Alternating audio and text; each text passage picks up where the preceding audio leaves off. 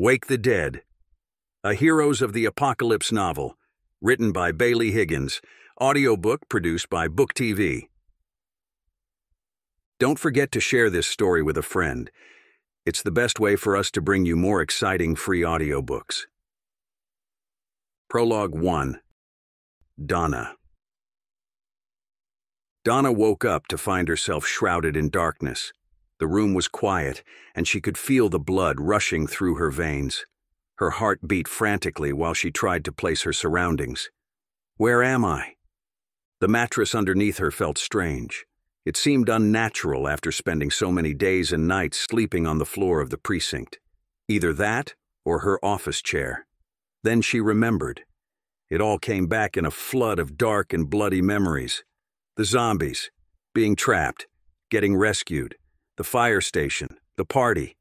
She also recalled feeling ill and going to bed early. Not that the sleep had done her any good because she felt sicker than ever. Her head throbbed, her mouth was dry, and it felt like her bones were on fire. Oh my God, it hurts. With a groan, Donna slipped out of bed and made her way to the bathroom. She needed to cool off. A cold shower, anything to relieve the burning sensation that coursed through her veins. Her skin radiated heat, and sweat matted her hair to her forehead.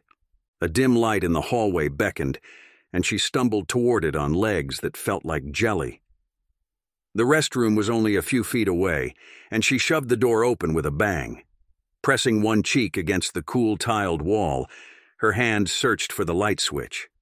The fluorescent bulbs flickered to life, and she stepped into the nearest shower stall.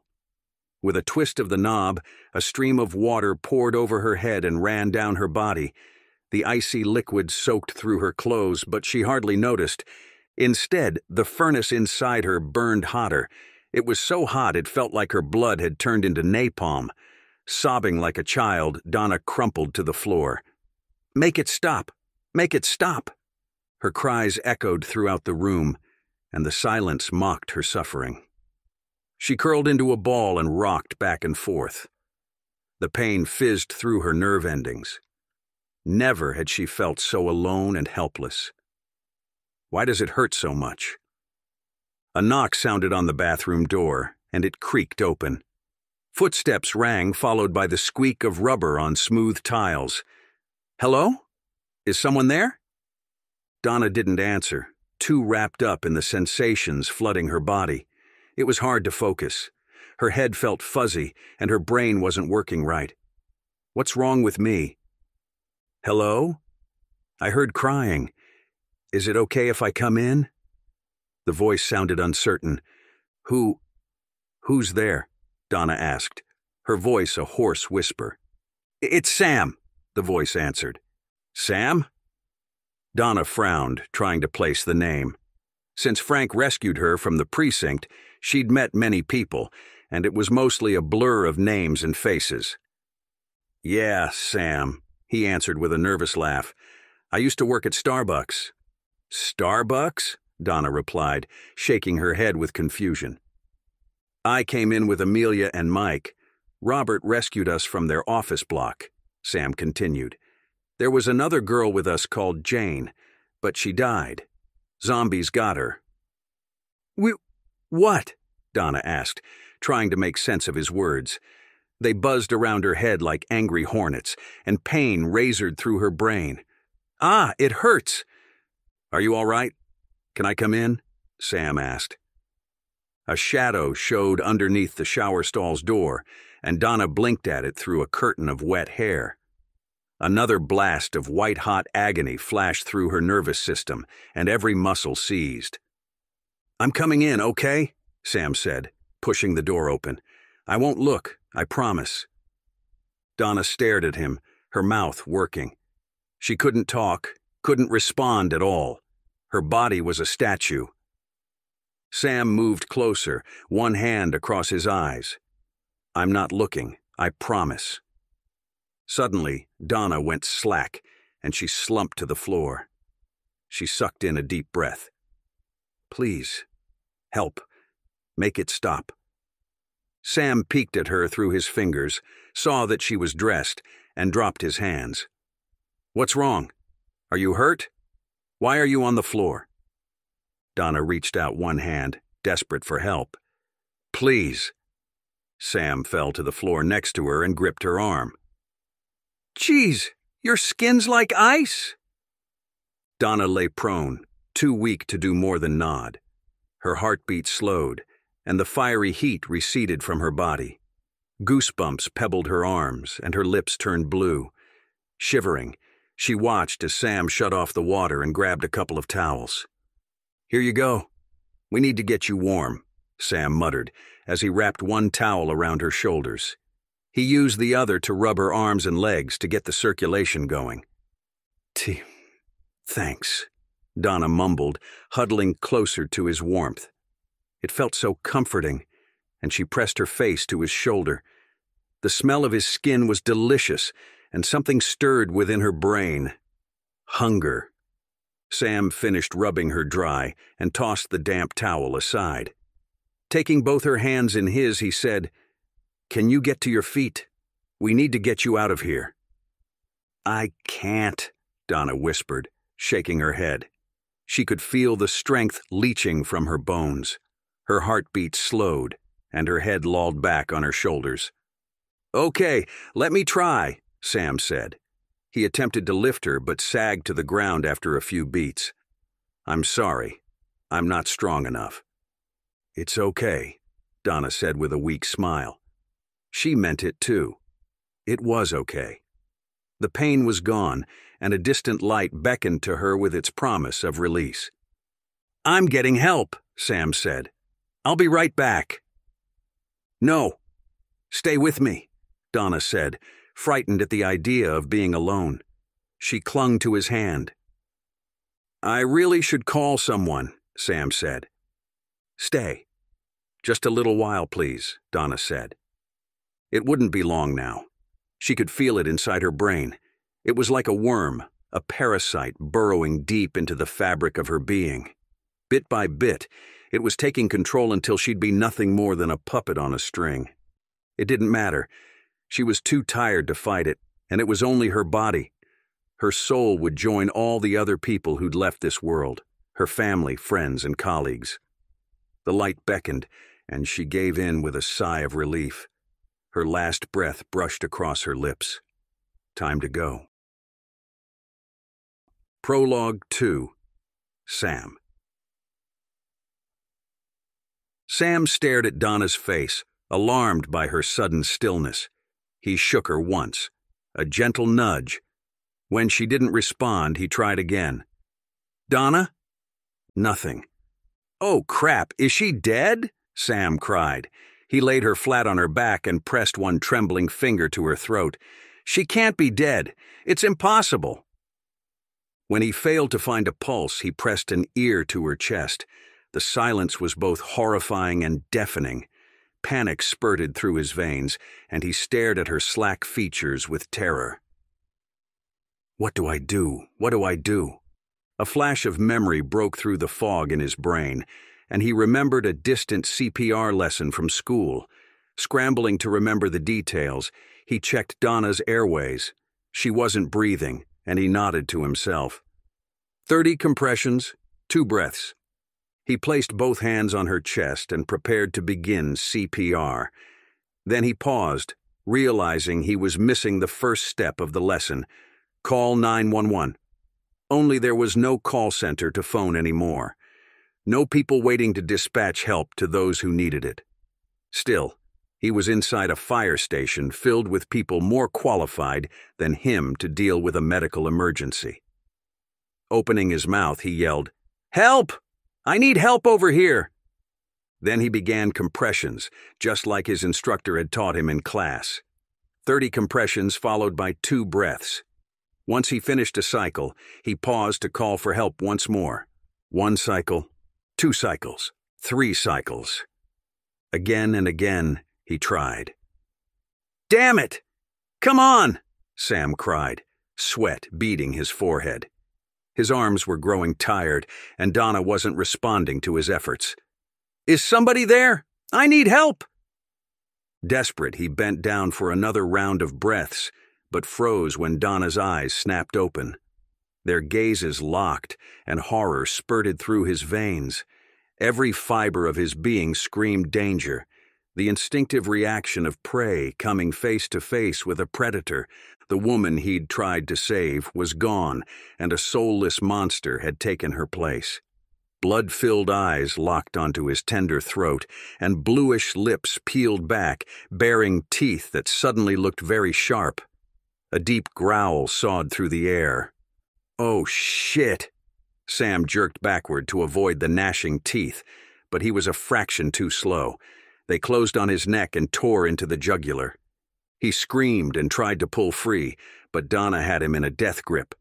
A flash of white hot agony shot through his brain as his flesh tore apart like wet tissue paper. Blood spurted onto the bathroom floor and splashed across the shower curtain. Each drop heralded his death, and he stared at the crimson pattern with a sense of defeat.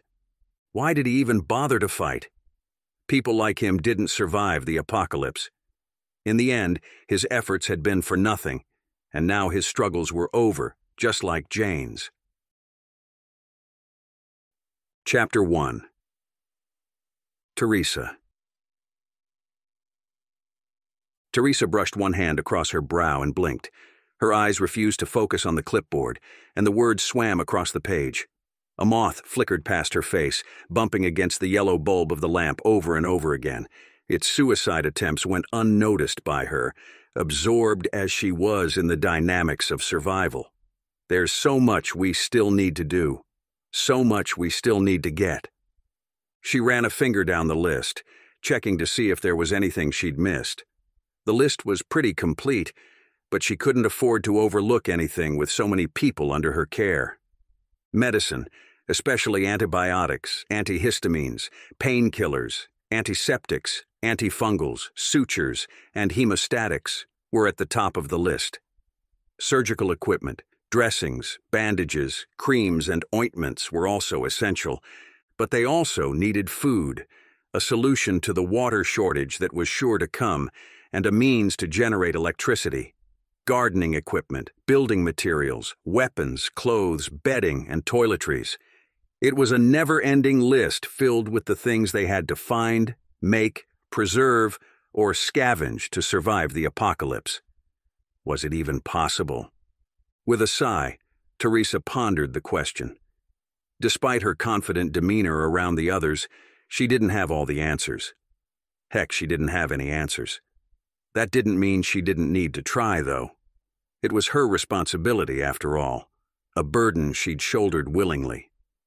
She reached for another stack of papers but paused when she noticed her empty teacup. For a moment she wavered. Should she make more tea and soldier on? or should she go to bed? A glance at the clock and her full bladder convinced her to take the latter route. Bed, it is. Teresa pushed back her chair and stood up. Her back twinged, and she took a moment to rub it with both hands. The soothing motion relieved some of the aches, and she was able to walk after a minute. As much as she longed to take her medicine, she had to wait until she got more stock. Until then, She'd save what she had left for emergencies. Carrying the empty cup, she exited the office and headed to the kitchen. Halfway there, she heard a loud yell and paused mid-step. Looking around, she frowned. Hello? Help! Somebody help! The cry came again, louder and clearer this time. Where are you? Teresa answered as fear set in. While she didn't know what was going on, it couldn't be anything good. Is somebody there? I need help! The cry for help echoed down the hall, and she pinpointed its location within seconds the women's bathroom. Breaking into a run, Teresa headed toward the room, her heart banging in her chest. Hold on, I'm coming. Oh, shit! The words were shrill with terror, and a scream followed seconds later the cry of a person in pain. Forcing herself to move faster, Teresa ran down the hall to the women's bathroom. She reached for the door, and her fingers closed around the knob. It felt cold beneath her palm, and she hesitated. What waited inside that room? What horror was unfolding in the heart of their home? The screams assaulted her ears, and her body responded with a spurt of adrenaline. Driven to action, she shoved open the door and stepped inside. Her eyes swept the open space and fell upon a pair of struggling figures. She caught a glimpse of a woman's face as her teeth sank into the other person's cheek. The flesh tore apart like paper, and the woman growled with satisfaction while she chewed on the juicy morsel. Her victim, a young man, batted at her face and hands with his fists, but with little effect. He was too weak, a victim of blood loss and shock. A pool of crimson fluid mixed with water formed a halo around his head, and his screams slowly turned to gurgles. With a final gasp, he breathed his last. His eyes glazed over, staring at Teresa with silent horror. Teresa raised a trembling hand to her chest as recognition flooded her mind. The two on the floor weren't some random strangers. They were Donna and Sam innocent bystanders who didn't deserve to end up like that. But the virus didn't care who you were or what you did. It killed without remorse or compromise. A true killer. Teresa stood frozen on the spot, shaking her head. Oh my God, Donna, Sam. While she hovered outside the bathroom, Andrea appeared next to her, dressed in a rumpled t-shirt and pants. What's going on? Teresa frantically waved her away. Stay back. It's not safe. Andrea ignored her and her eyes fixed on the scene on the bathroom floor. Is that Sam and Donna? Yes, it's them, Teresa replied, backing away. Donna's head whipped up at the sounds of their voices, and her gaze shot toward them. She bared her teeth and snarled. A sound so unnatural it sent a shiver down Teresa's spine. She scuttled across the floor, like a giant spider, leaving smears of blood in her wake. Donna! No! Teresa cried. She stumbled backward, her legs turned to jelly. Fear left a bitter taste in her mouth, and she forgot about the pain in her back. Stretching out one hand, she tried to push Andrea behind her. Run! Get help! I'm not leaving you, Andrea said, refusing to budge. Don't be stupid, run! Teresa said. Donna launched herself through the air, her face contorted. Teresa braced herself for the impact, knowing she was about to die. Unarmed, she was defenseless against the younger woman's attack. Suddenly, Andrea was there. She slammed both fists into Donna's chest, knocking her back. The woman fell to the floor in a tangle of limbs. Sliding around on the slippery floor, she tried to regain her feet while Andrea flashed Teresa a determined look. I'll keep her busy while you get help. What? No! Teresa cried, shaking her head. Go! Andrea cried. There's no time to argue. She pushed Teresa out of the room and closed the door. As the door swung shut, Teresa caught a final glimpse of Andrea's pale face. Behind her, Donna rose from the floor like a specter of death, her face and body covered with blood. Frozen to the spot, Teresa stared at the piece of wood that separated her and Andrea. Suddenly, a pair of strong hands gripped her shoulders, and she shrieked. Batting at the hands of her attacker, she whirled around and came face to face with Robert. Sagging with relief, she grabbed him by the shirt. Robert, you have to help Andrea. Andrea? Robert asked with a frown. There's no time to explain. She needs your help, Teresa insisted. Hurry! What's going on? I heard screams, a befuddled Mason asked, appearing next to Robert in the dark hallway. It's Donna. She turned and attacked Sam. Now she's killing Andrea, Teresa cried, the words spilling from her lips like poison. I'm going in, Robert said, reaching for the door. He pushed it open, but it slammed shut a second later as two bodies rammed into it. He tried again and shoved it open an inch or two. Wild shrieks and yells emanated from the interior, followed by vicious growls. Wait, Mason said, grabbing Teresa. You say Donna's a zombie, and she attacked Sam? Teresa nodded. She killed him. I saw it. Then he's infected too, and now... Andrea, Mason said, whirling around. Robert, wait. Don't open that door. What do you mean, don't open it? We have to help Andrea, Robert said, his tone aghast. It's too late for her. We have to think of the rest of the station, Mason said. Donna? Is that Donna in there? Another voice sounded. It was a shirtless Leo, dragged from his bed by the chaos and the noise. Leo, wait! Mason cried, but it was too late. Leo threw himself against the door, and his weight, combined with Robert's, was enough to push it wide open. A bloodied and battered Andrea fell through the opening, a moan escaping her lips. Donna spotted the frightened knot of humanity gathered in the hallway and threw herself at them. With hooked fingers and gnashing teeth, she attacked Leo. He staggered back under the assault, hard pressed to keep her away from his naked flesh. Robert and Mason jumped in to help, and the two wrestled Donna into a semblance of submission. They twisted her arms behind her back and held her in place while Leo grabbed her legs. Together, they dragged her away from the rest of the people in the hallway. Andrea, Teresa said, rushing to help. Bite marks marred Andrea's arms and shoulders, each tooth indentation deep enough to touch bone. A flap of flesh hung from one wrist, torn loose by Donna's vicious attack, and a steady stream of blood pulsed from her torn neck. Don't worry, I'm here. You're not alone, Teresa said, trying to stem the flow of blood from her neck. It was a useless exercise. The artery was torn beyond repair. Andrea's eyes fluttered open and she looked at Teresa. S. Sebastian, promise me you'll look after him. He's all I have left. I'll look after him, Teresa said, knowing that false platitudes were useless to Andrea now. I promise. What happened? Someone said, and Teresa looked up. The hallway was rapidly filling with people, all scared and confused. She spotted Ruby and waved her over. Can we do anything for her? Ruby asked. I can get the med kit. It's too late, Teresa said, removing her hands from the wound in Andrea's neck. Already the Crimson River was slowing as Andrea bled out. There must be something, Ruby said, but her voice petered out as she recognized the truth.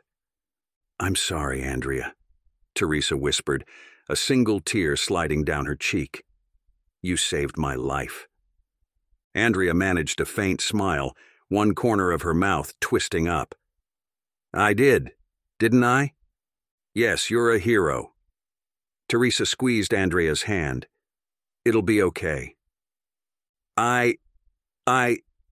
Andrea said before she went still. Silence fell over the room, broken at last by the question they all longed to ask. How did this happen? Ruby said. It was Donna. But we examined her for infection, Ruby protested. I know, but we must have missed something. I must have missed something, Teresa said, guilt welling up inside her chest. Already the woman she'd known as Andrea was gone, her features losing that essence that made her human. Her mind and soul fled into the night until all that remained was an empty vessel, one teeming with a viral infection. We need to quarantine the body, Teresa said. I'll get a stretcher, Ruby said. Get two. We need to take care of Sam as well, Teresa said, praying they had time to secure the corpses.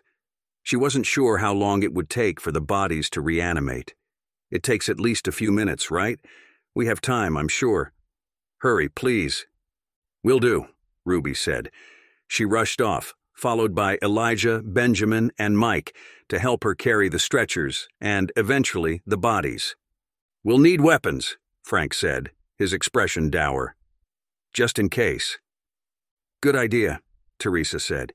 The keys to the gun locker are inside my office. Desk, top drawer.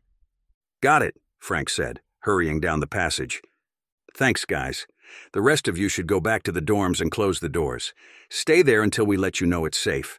Teresa said. You should lock them up inside the bathroom. We can't risk waiting for them to wake up, Amelia said, pointing at Andrea and Sam's bodies. I can do that, George said, volunteering. Thanks, George, Teresa acknowledged. The rest of you can go. Shut the doors and wait until we let you know it's safe to come out. We can help, Rick protested. No, Teresa said with a grim expression.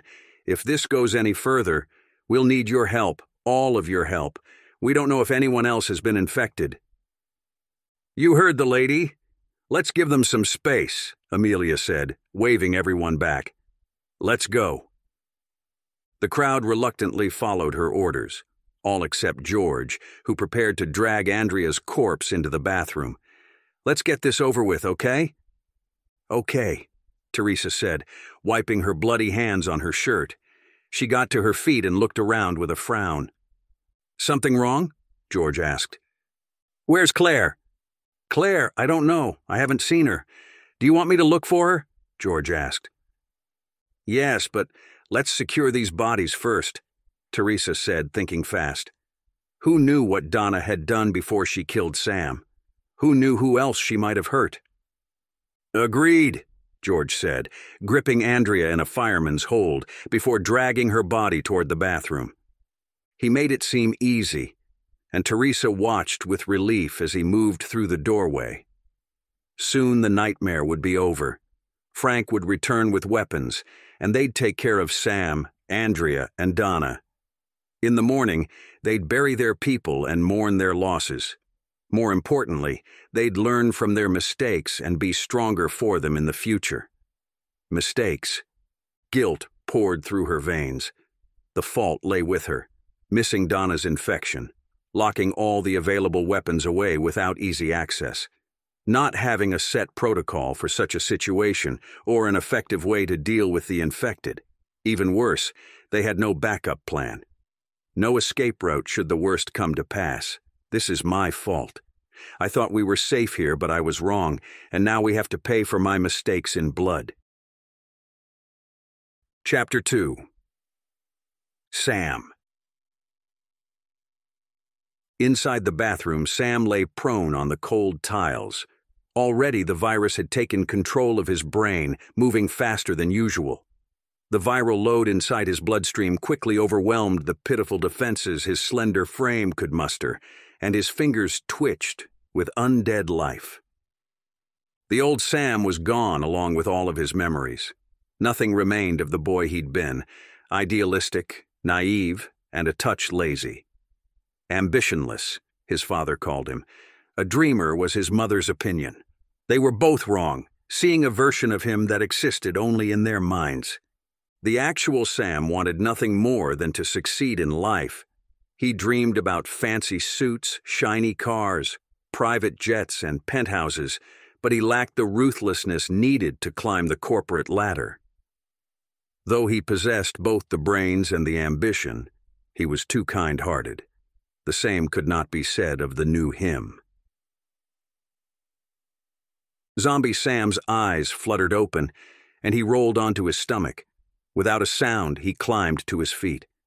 Agile for a zombie, his slender frame was packed with the vitality of youth.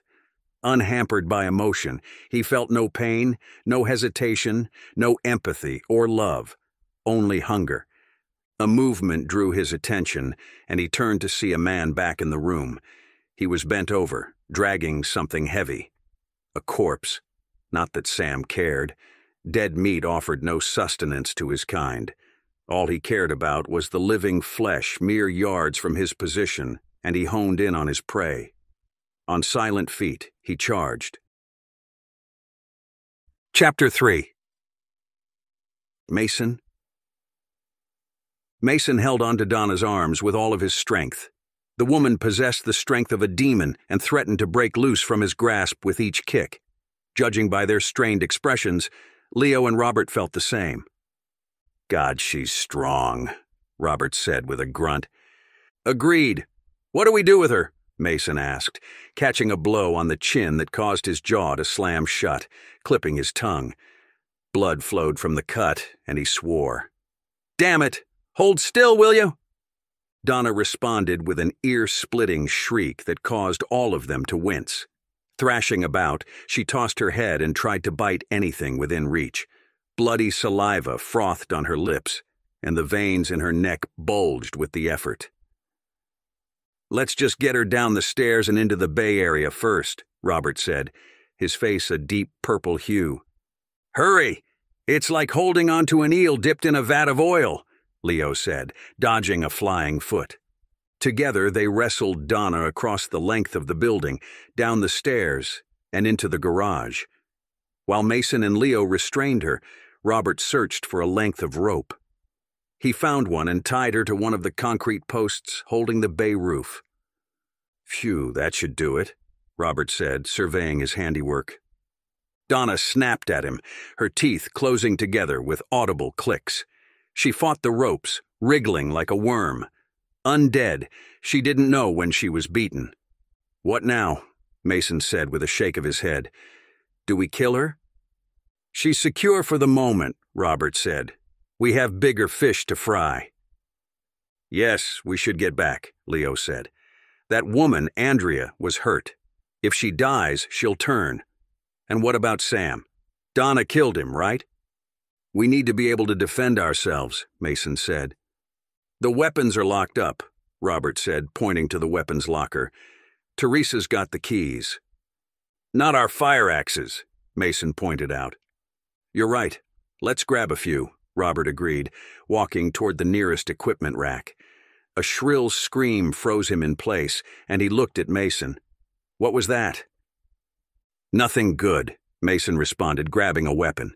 There was no time to gear up, and he sprinted up the stairs two at a time. Claire, where's Claire?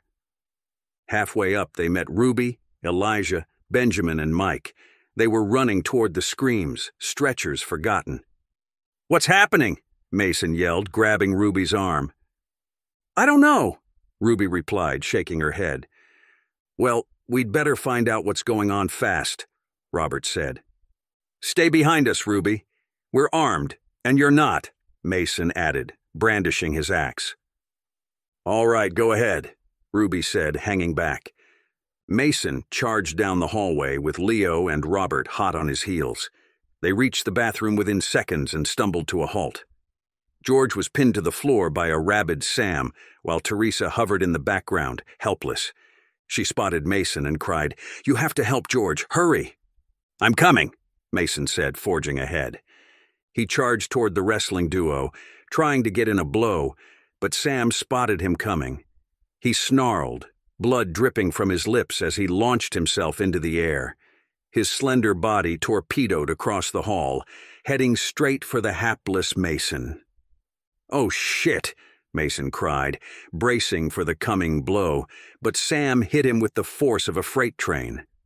Flying backward, Mason landed on the carpet with a brutal thud. His breath left his lungs in a rush, and he gasped for oxygen. Hands scuttled across his body like crabs, and he lashed out with his feet. That did little to deter the hungry fingers looking for a handhold, and fear pulsed through his veins. He expected teeth to sink into his flesh at any moment, and he'd never felt more scared in his life.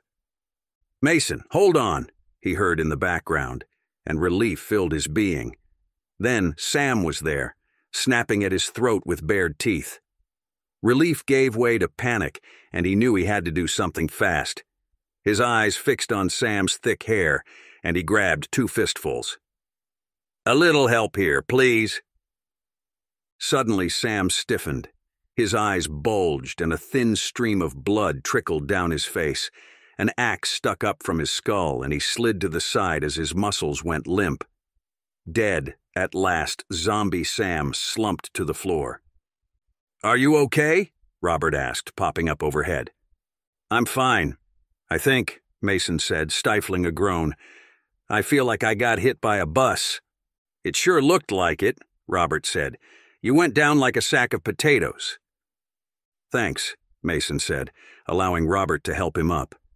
He looked at Sam's corpse and shook his head. It's too bad. Poor guy.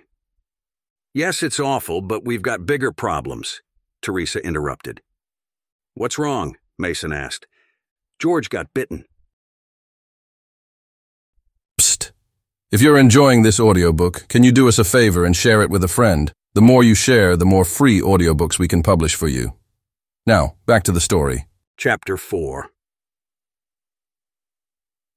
Claire Claire pulled her jacket close around her body and stamped her feet. The thick fibers barely kept the cold at bay, and each breath puffed from her lips in a cloud of white mist. She tucked her hands underneath her armpits and leaned against the low wall that edged the fire station's roof. Unable to sleep, she'd been driven out of bed in search of peace. Her head buzzed with the after effects of the alcohol she'd drunk, and it caused old memories to surface. Bad memories. While the party had been fun, it wasn't something she'd done in years, not since the overdose. Below her stretched the city, shrouded in darkness. A couple of lights shone from a few buildings, and she wondered if they'd been switched on before it all went to hell or if they signaled survivors. If they did, those people were acting pretty dumb, in her opinion. Leaving a light on would only serve as a beacon to the living and the dead. The fire station was hidden from view, the windows covered by thick shutters and blinds. A couple of dim lights shone inside, enough to navigate should the occupants need the toilet. The same went for the office block next door with the survivors from the school. They were under strict orders from Teresa not to reveal their existence. Idly, she wondered how long they'd stick to those orders. Not long, probably. From experience, she knew people were rebellious, none more so than herself. She'd made a lot of mistakes in her life. Some she regretted, some she didn't. But there was one that lingered in her mind. It tainted every thought and action she had from that moment onward. It became a dreadful secret, buried deep within her being. Not even Mason knew about it. He never would if she had her way. It would destroy him. As she gazed at the ruins of Burlington, she couldn't help but wonder if it was part of her punishment, not the apocalypse itself. That would be pure hubris. No twist of fate or distant deity would be so cruel as to end the world just to punish one person.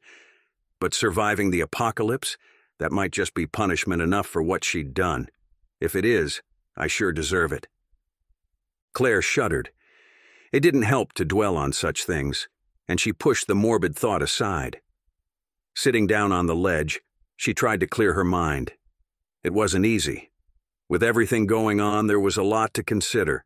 Not least of them was how they'd survive the coming days, weeks, and months. There was so much to do. Even though they'd managed to clear the block and set up barricades, they still needed to secure it for good.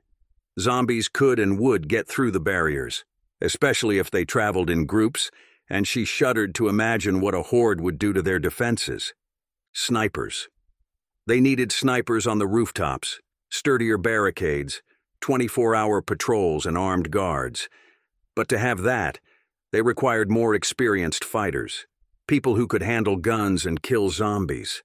Plus, they needed more weapons and ammunition. The latter they could get from the police station. A thorough sweep of the precinct would deliver what they needed it was risky, but it could be done, as proven by Donna's rescue. All she had to do was convince the rest of the group of the necessity. I'll bring it up first thing in the morning. With that thought in mind, Claire decided to give sleep another shot. It was getting late, and the morning would bring more challenges. A distant scream brought her to a halt as she walked toward the exit. Frowning, she cocked her head and listened. The screams were faint but distinct. Something was happening inside the station. It could be someone having nightmares. Since the apocalypse, it was pretty standard. Paisley suffered from terrible nightmares, but she wasn't there anymore. She was next door with the kids and the teachers from the school. Speeding up, she raced across the roof and opened the door to the stairwell. Sound blasted her ears without the thick metal sheet to muffle the effect, and she flinched. Someone was in pain. Terrible, awful pain.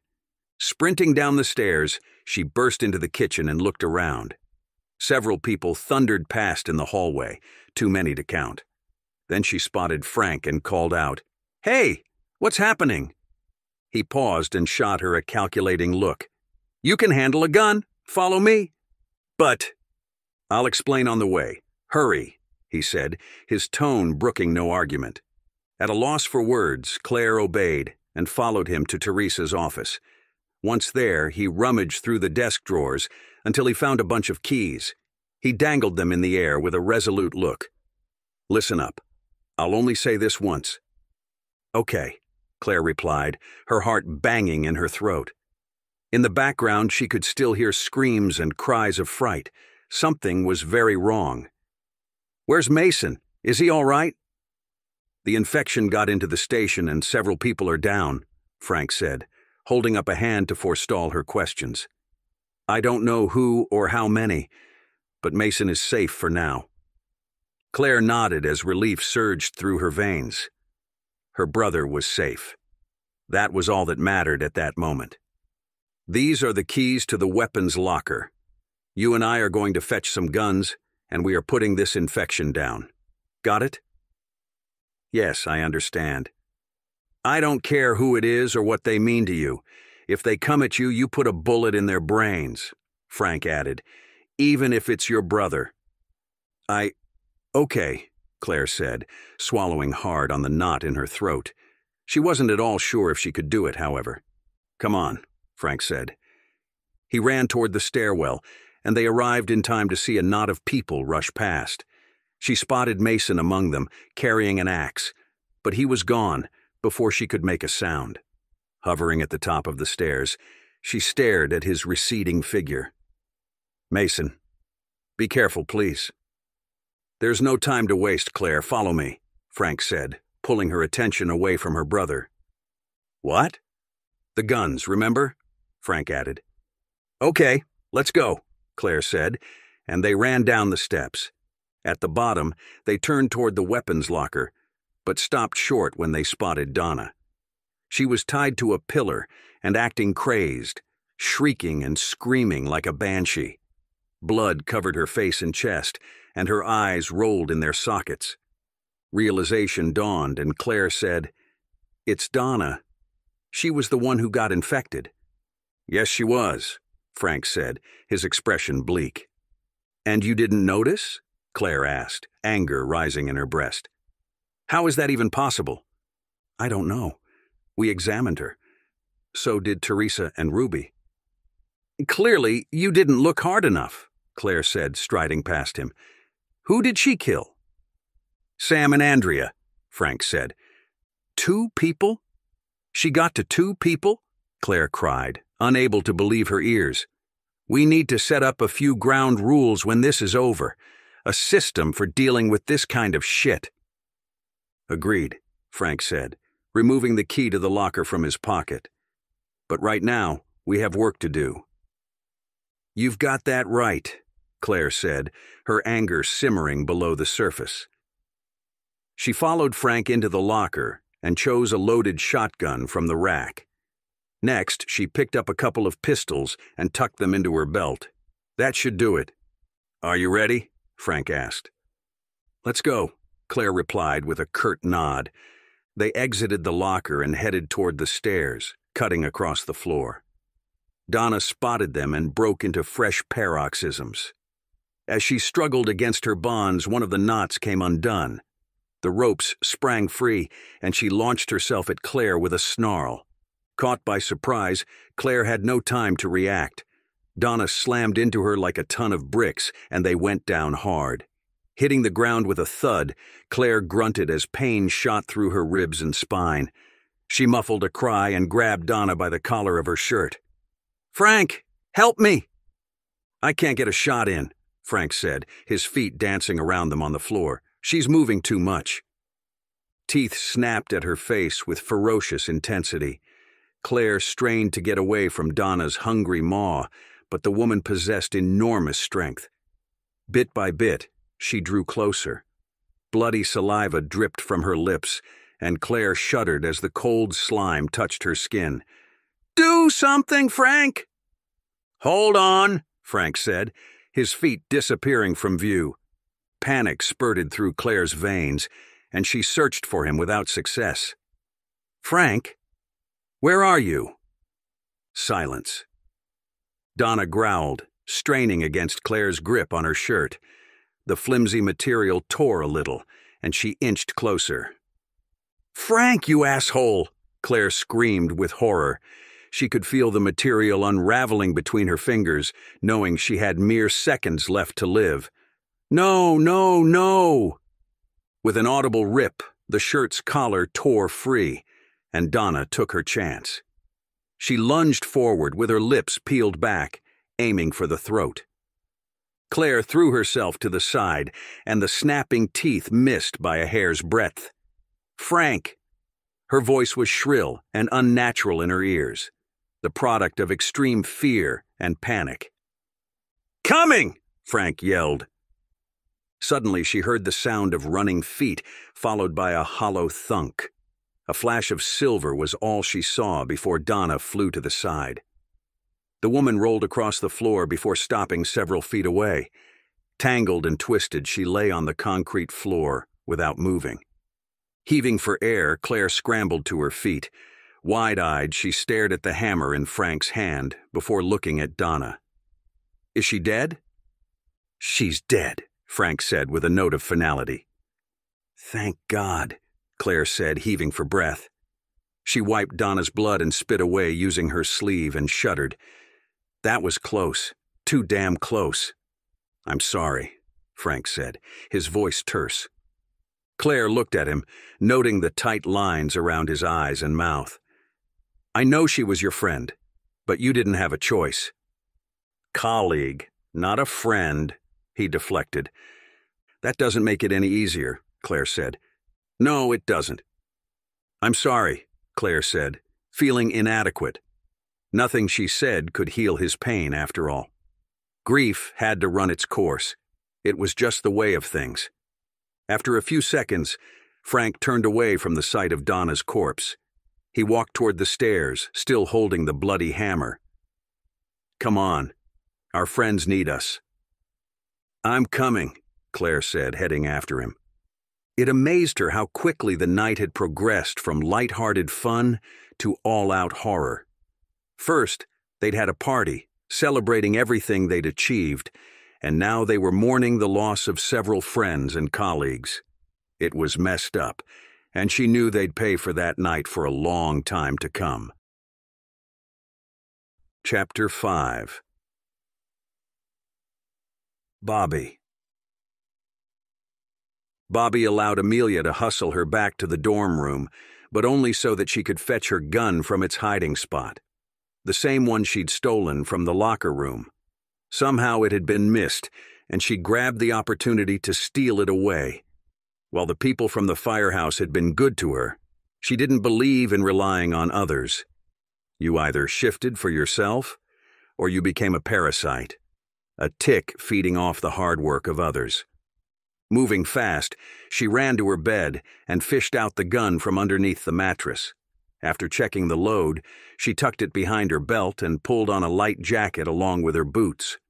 With her hair drawn back in a knot, she was prepared to face whatever lay beyond the dorm room door. Wait. Teresa told us to stay here, Amelia protested when she saw Bobby heading to the exit. You can do what you want, but I'm not staying here. Bobby said with a level stare. I'm not a lamb content to sit here and wait for slaughter.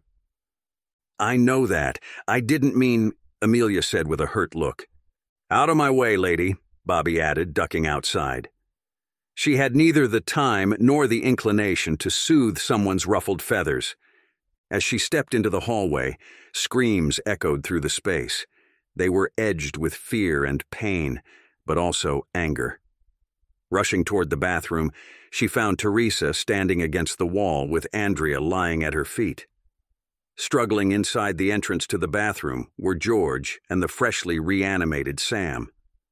Damn it, I knew this would happen, Bobby muttered as she pulled the gun from her belt. Although she faced exposure for the theft, she had no choice. As practical as she was, she couldn't just stand there and watch someone die, even if it was George. Taking a stand, she aimed at Sam's head. It proved impossible to pin him down, however, and she hesitated. If she missed, she risked shooting George. Damn it! Hold still, would you? Suddenly, a chorus of running feet filled the hallway, and a group of people burst onto the scene. First among them was Mason, followed by Leo and Robert. They were armed with fire axes, and hope flared within her chest. Teresa spotted them too and cried, You have to help George! Hurry! I'm coming, Mason said, charging toward Sam and George. Both were down on the ground, but Sam pounced the moment he spotted Mason. Oh, shit! Mason yelled, but it was too late. They tumbled to the ground with Sam trying to take a chunk out of Mason. Hold on, Mason! Robert roared, jumping into the fray. He aimed a short, chopping blow at the wriggling Sam and got in a lucky strike. The razor sharp blade sunk into the skull and cut through the brain. Sam stiffened, and his eyes rolled back into his head.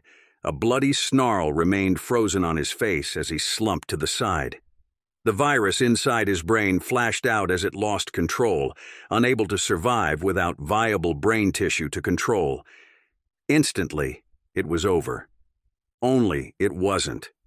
While Mason climbed to his feet, George moaned with pain, one hand clutched to a gaping hole in his forearm.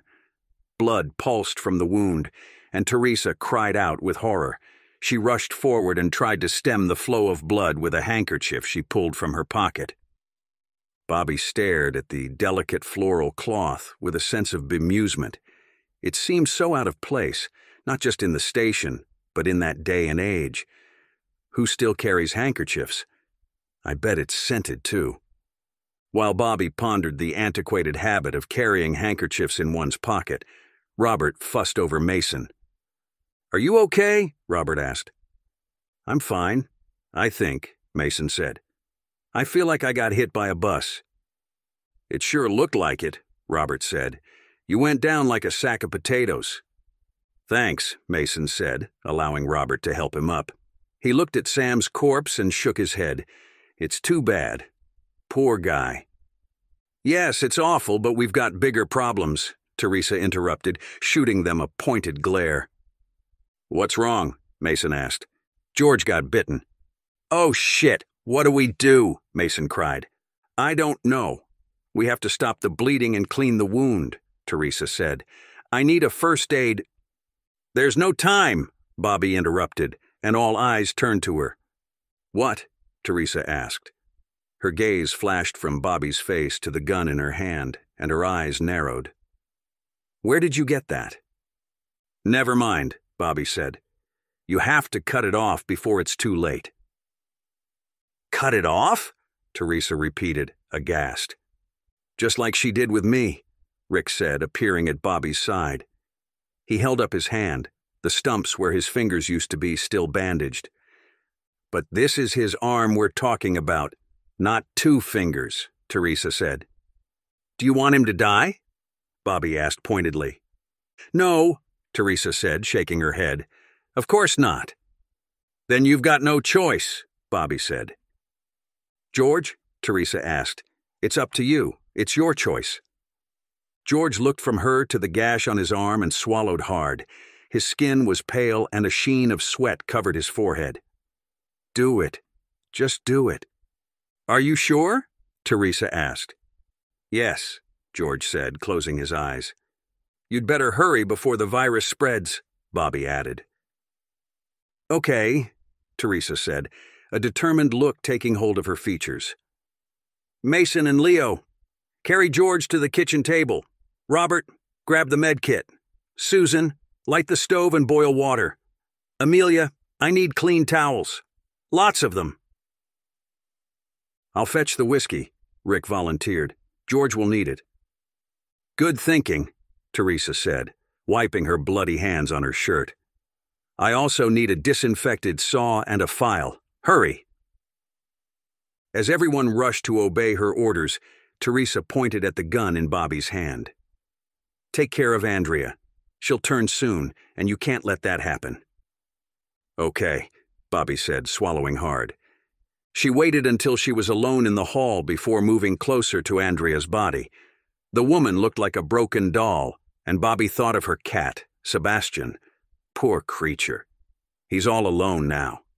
The memory of her dogs flashed to the forefront of her mind, and she shuddered. The awful sight would stay with her forever, branded into her soul. She couldn't allow that to happen to Sebastian. I'm sorry, Andrea. This is the end of the road for you, but I promise to take care of Sebastian. Andrea stirred, and her eyelids fluttered. A faint smile twisted her lips, almost as if she had heard and understood Bobby. Her head rolled to the side, and she groaned, the sound inhuman. Andrea was no more, and the time had come. With a sigh, Bobby squeezed the trigger. The shot was shockingly loud in the confined space, and she staggered back with a gasp. Her ears sang and her head spun, a painful combination. Huddled against the wall, she pressed her palms to her ears and waited for the worst to pass. It took a couple of minutes, and during that time, the entire station was in an uproar. People ran past, their arms loaded with the things Teresa had asked for in preparation for George's amputation. It was a horrible thought, cutting off the right arm of a fit young man, but it had to be done. Rather than have him end up like Donna, Sam, and Andrea. Still, Bobby knew she didn't want to witness the operation. Chopping off Rick's fingers had been a spear of the moment decision. Amputating George's arm was a different matter. When she finally regained her balance, Bobby staggered off in the opposite direction, Gun in hand, she took it upon herself to inspect the building and ensure it was clear of infection. Halfway through, she remembered Sebastian and headed toward Andrea's room. Inside, she found the poor animal pacing like a caged tiger. It looked both scared and confused, which wasn't surprising. Its sensitive ears must have picked up every single scream, shout, cry, growl, and snarl that echoed through the building, including the shot that ended Andrea's life. I'm sorry, Sebastian. Your mama's gone now, but I'll look after you, Bobby said, holding out both arms. For a brief moment, Sebastian didn't move. He stared at her with grass green eyes. Finally, he walked toward her with a plaintive meow. It was almost as if he sensed the loss of Andrea and already mourned her. Bobby reached out to take him in her arms, and he allowed her to hold him. It seemed he'd decided to trust her. As the minutes ticked by, affection for the orphaned feline filled her heart. While nothing could ever replace her dogs, Sebastian needed her, and that was enough for her. Chapter 6 Robert Robert ran toward the kitchen and grabbed the first aid kit from the cupboard. Mason and Leo were right behind him, supporting the faltering George on either side. Susan rushed to clear the table, and they laid the injured man down on the flat surface. Stay strong, George, Susan said, before she grabbed the kettle and put it on to boil. We're right here beside you. Amelia ran in with an armful of clean towels and put them to one side. Is that enough, Robert? That's perfect, honey, he replied, kissing her forehead. Now go back to the dorm room. What? No, I can help, Amelia protested. You mustn't see this, it'll get ugly, Robert said with a firm shake of the head. But go, Robert said, waving her off. With a quick nod, she left the room, and Robert surveyed the preparations. Things were moving fast. Sarah had the kettle boiling and a pile of rags and cleaning products readied for the aftermath of the amputation. Removing the belt from his waist, he wrapped it around George's upper arm and tightened it. It would slow the spread of the virus and numb some of the sensation in the arm. Or so he hoped. With the rough tourniquet in place, he asked, You okay, buddy? I'm just dandy, a pale looking George replied. At that moment, Rick showed up with a bottle of liquor, and a look of relief filled George's face. Thank God. Here you go, Rick said, feeding the amber liquid to George straight from the bottle. Robert placed a couple of towels underneath the operations site to absorb the blood and another rolled up towel underneath George's head for support. Suddenly, a shot rang out, and everybody jumped. What the hell was that? Susan cried. It's Bobby, Teresa said, her expression somber. I asked her to take care of Andrea. I see, Robert said, and sadness filled his heart. That's another one. At that moment, Claire and Frank barged into the kitchen with wild looks. What's going on? Bobby shot Andrea before she could reanimate, Teresa explained, and we're about to amputate George's arm. He got bitten. What can we do? Frank asked. You can search the station for more infected, Robert said. Take Mason and Rick with you. After that, you can check on the people next door and reassure them. Tell them everything's under control. All right, Frank said, turning to Sarah. Please stand watch on the roof. We don't know what all this noise might attract, and you're a good shot. I'll fetch my rifle, Sarah said. Ellen, please make sure Amelia and Bobby are all right, Robert added. That damned cat of Andrea's, too. Okay, Ellen said with a quick nod. What about us? Elijah asked, pointing from him to Benjamin and Timothy. Take care of the bodies and clean up the mess, Robert said. All right, we're on it, Elijah said, and the kitchen emptied as everyone moved off to fulfill their duties. Everyone rushed off, and Teresa gave George a shot in the arm. This should take the edge off. I'm sorry I can't put you in dreamland. Half drunk, George managed a crooked smile. You and me both, sister. What did you give him? Mike asked. Morphine, the maximum dose, Teresa said. Don't you have local anesthetic? Mike asked. We don't carry that, Teresa said, and it wouldn't work for an amputation anyway. All right, let's do this, Ruby said, picking up a scalpel. Hold him down. Robert, Leo, and Mike took up their positions while Teresa set up an IV bag filled with fluids in George's other arm and placed a wad of cloth between his teeth. Here should do it, Ruby said, indicating a spot halfway between the elbow and bite mark. It'll leave at least five centimeters of the ulna, enough for proper elbow flexion. With a wad of gauze, she disinfected the site and pressed the scalpel to George's arm. The skin split beneath the razor sharp edge, and blood welled up from the cut. George grunted with pain, but she didn't hesitate. With a swift move, she sliced through the skin, creating two skin flaps on either side.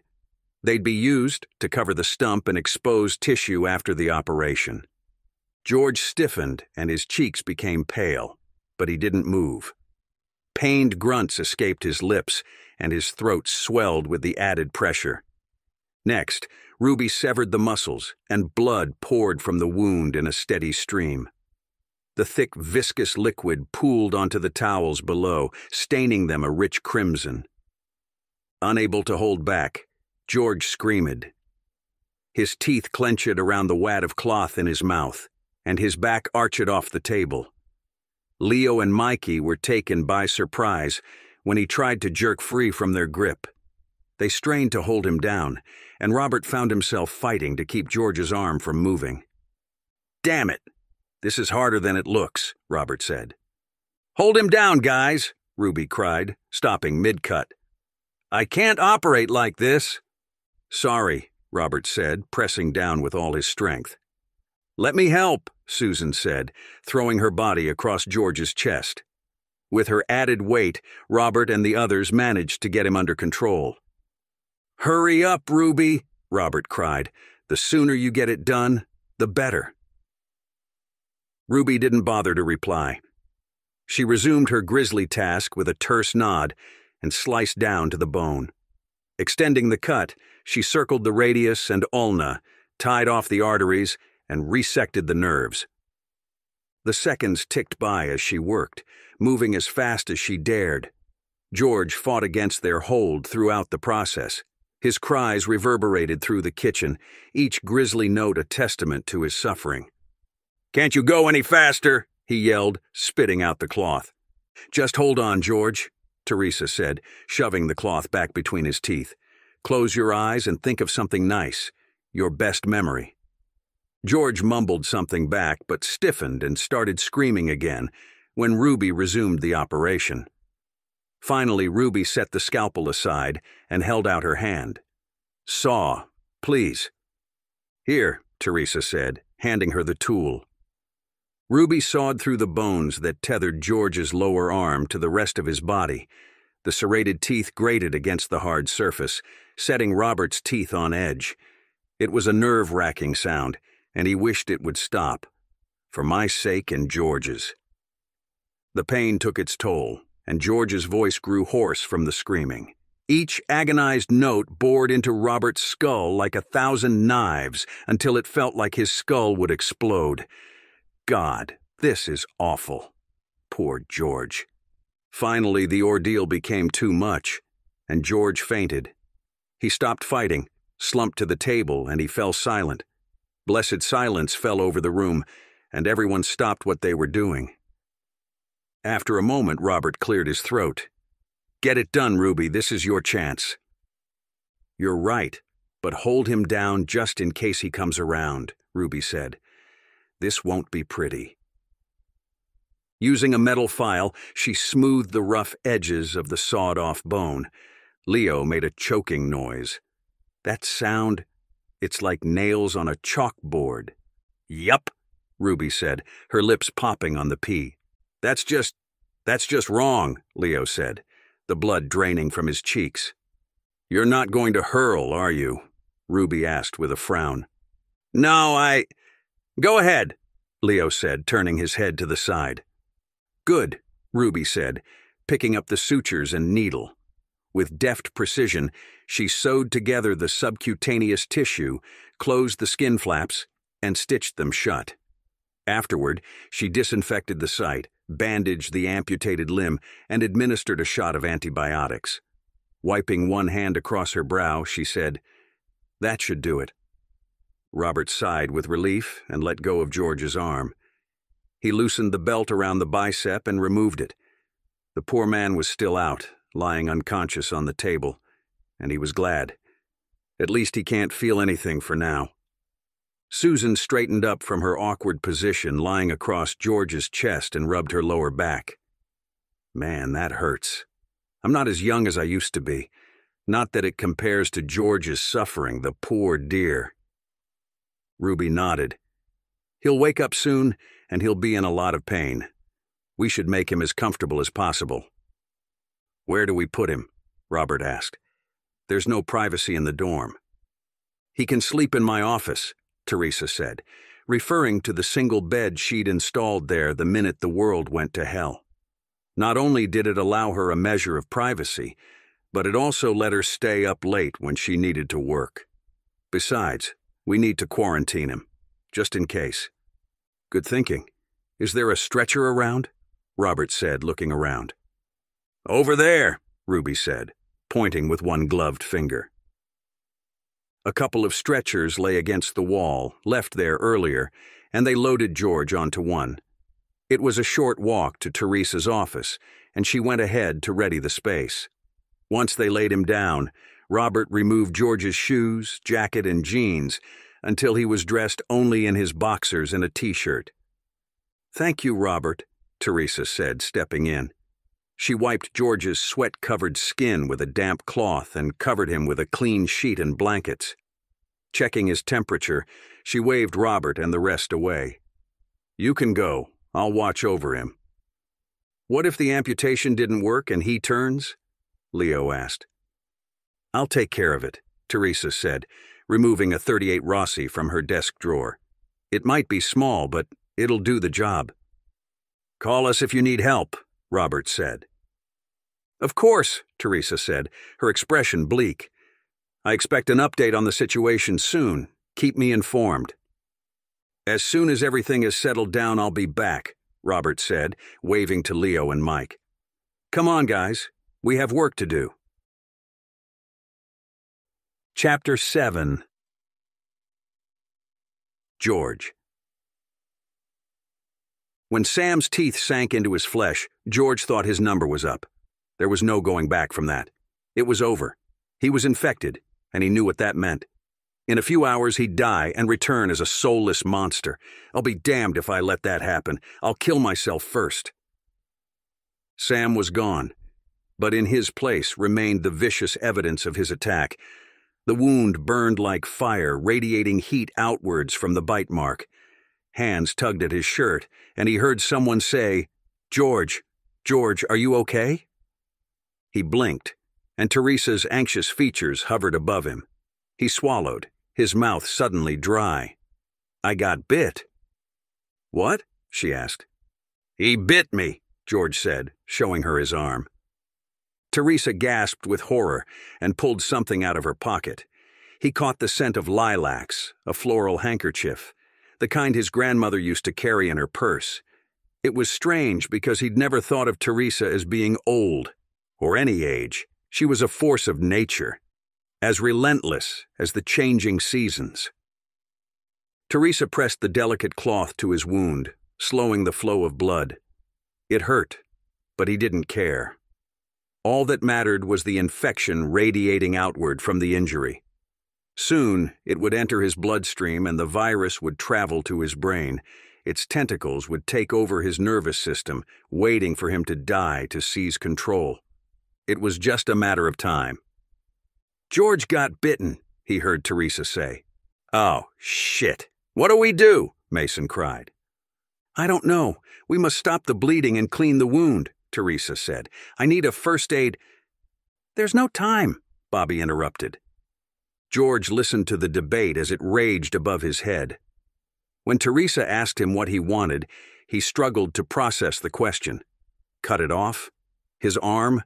Would it even work? A small flower of hope bloomed within his chest, and he realized one thing. If there was even the slightest chance of a cure, he wanted it, no matter the cost. He looked from her to the gash on his arm and swallowed hard. Do it, just do it. Are you sure? Teresa asked. Yes, George said, closing his eyes. You'd better hurry before the virus spreads, Bobby added. After that, George didn't hear much more. He faded in and out, probably because of the shock. Hands lifted him into the air and carried him through the air. The next moment, he was lying on the kitchen table with the light shining in his eyes. People talked to him, and he answered. Rick fed him whiskey, and the liquor cast a hazy fuzz over his thoughts. Then Teresa jammed a needle into his arm, and the pain disappeared. Drifting on a cloud of morphine-induced bliss, George could almost forget what had happened. There was a little pain, not much. A tiny starburst in the universe. It was enough to make him grunt and stiffen in anticipation of what was to come. He knew it would be bad, and it was. It began as an intense cutting pain that grew deeper and deeper until it cut into his very bones. It sizzled through his nerve endings and took control of his body. Can't you go any faster? he screamed. Just hold on, George, Teresa said, shoving the cloth back between his teeth. Close your eyes and think of something nice. Your best memory. A nice memory? She had to be joking. George tried to do as she suggested, but it was a futile effort. His past was nothing more than a tapestry of pain, poverty, and abuse. He had no good memories. He fought against the hands that tried to hold him down and screamed until his throat was raw. When Ruby picked up the saw, he thought he would die. When that didn't happen, he wished for death.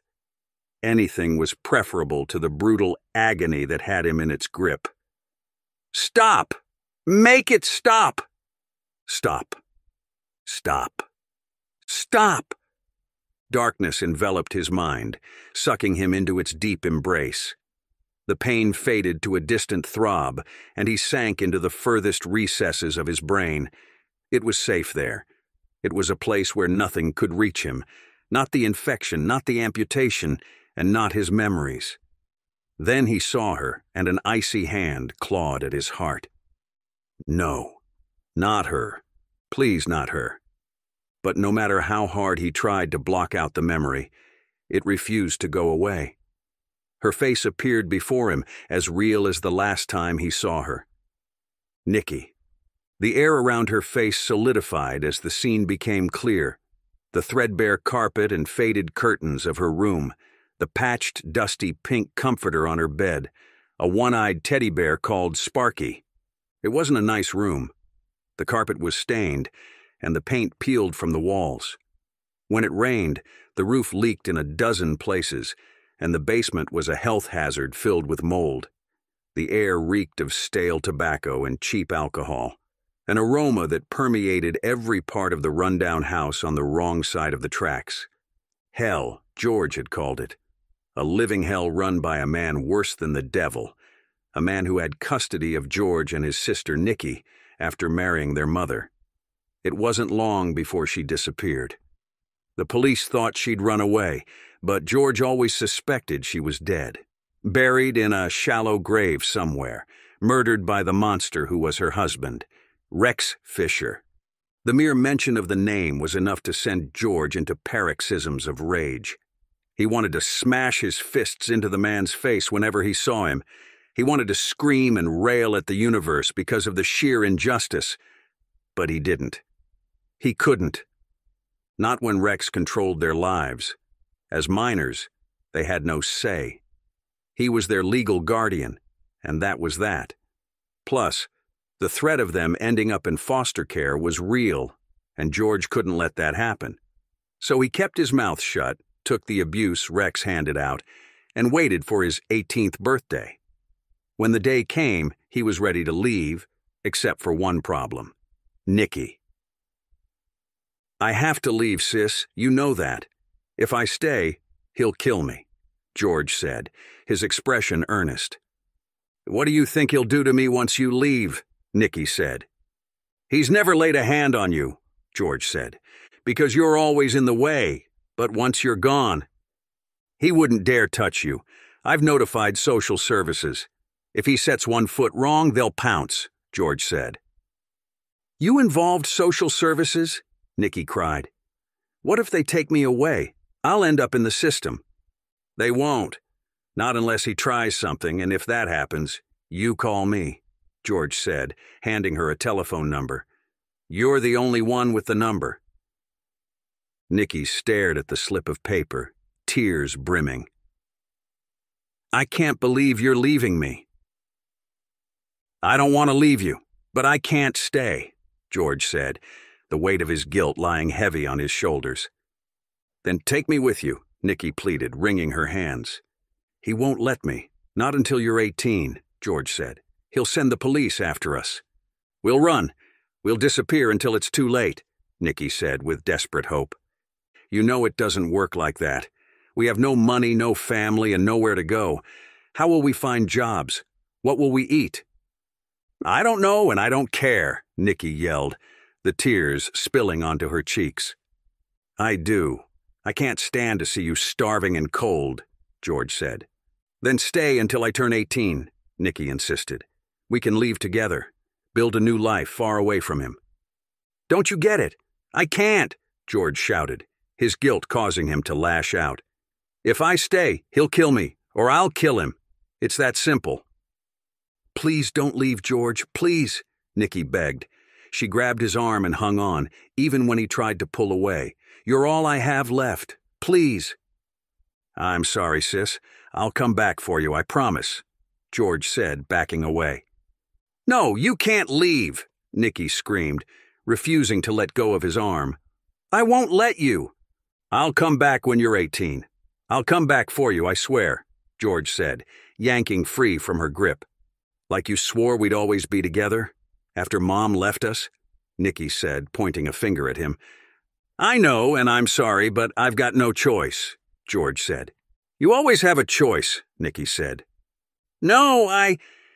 You're choosing to abandon me. You're just like Mom, Nikki added, her voice bitter.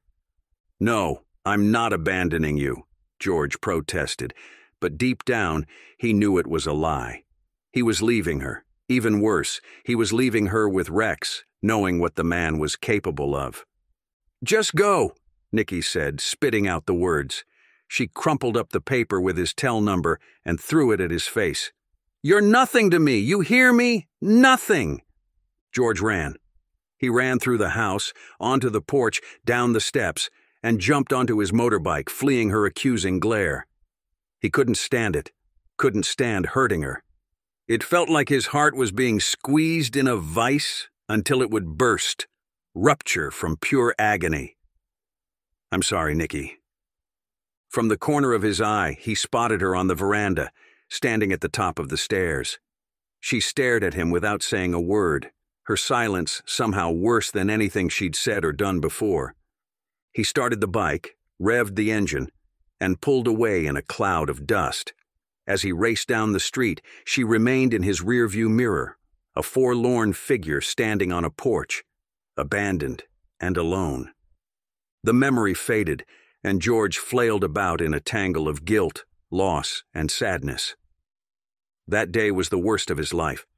It was the day he'd betrayed the only person in the world that meant something to him, the only person he'd ever loved. Worst of all, he did it because of a selfish desire for freedom. Because she'd been right. He could have waited or taken her with him. They would have been all right. But the truth was, he didn't want to. He'd wanted to experience life alone without his little sister holding him back. As it turned out, life without her wasn't that great either. He'd drifted for a couple of months before he became a firefighter. After that, he floated from one station to the next before settling in at the Burlington Firehouse.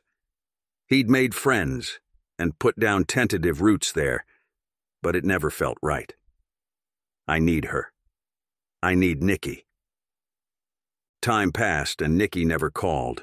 The phone he'd bought remained silent, though he kept it fully charged and on him at all times. He tried phoning her, but she never answered. Each time he left a message telling her where he was and that he loved her. He hoped she'd forgive him, but still she never phoned, never contacted him. His promise to return always loomed large in his mind. What terrified him was the thought that she might reject him, that she'd throw his offer back in his face. Now, it was too late. The apocalypse had begun, and she was lost to him. When the zombies rose, he'd tried to call again, praying she would answer. It just rang and rang. He kept trying, however, not letting go of hope. Eventually, it stopped ringing as the lines went down, leaving him with nothing but silence. Silence and empty regrets. Even then, he didn't give up, making quiet plans to rescue her as soon as he could make the trip. He'd ask Teresa for a vehicle and supplies once everything at the station had settled down. Now that dream was gone. He'd never make it with only one arm. Even if he could, chances were she was dead already. A zombie. It was time to face the facts. Nikki was lost to him, and he had no one to blame but himself. If he hadn't left her, she'd still be alive. They'd be together, facing the world as one just like they'd faced Rex in the past, as a unit. Brother and sister, I'm sorry, Nikki. I hope wherever you are, you can forgive me because I'll never forgive myself. Chapter 8 Amelia After she left the kitchen, Amelia made her way back to the dorm room. She left the scene in the kitchen with reluctance, acutely aware that she had nothing to offer. No medical experience, fighting skills, or marksmanship. She knew nothing about growing or storing food and had negligible upper body strength. Hell, I can't even cook, clean, or sew. The only thing she was truly good at was accounting. Numbers were her jam, she knew how to rock a power suit, and she could put together one hell of a PowerPoint presentation.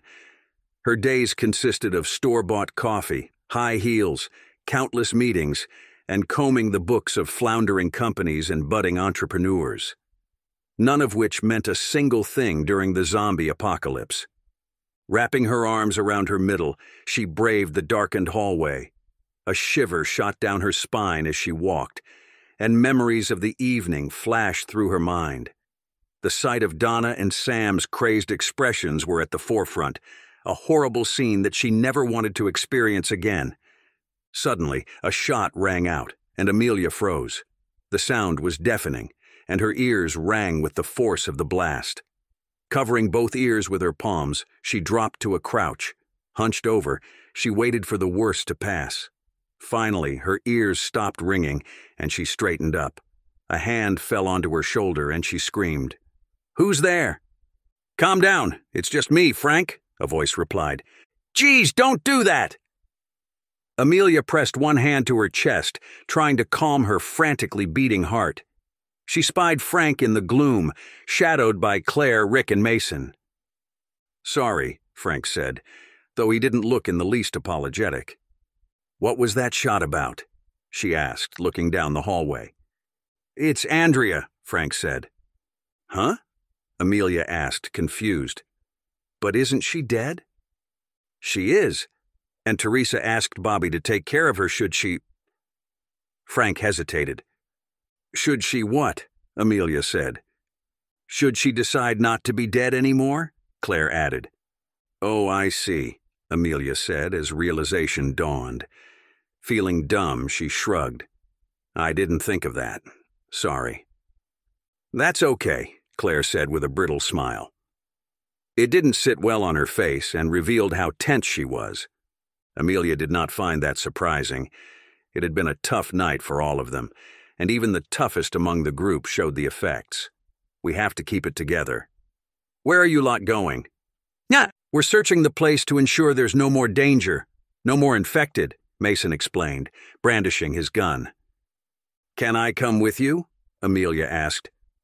No, Frank said. You're not armed. But.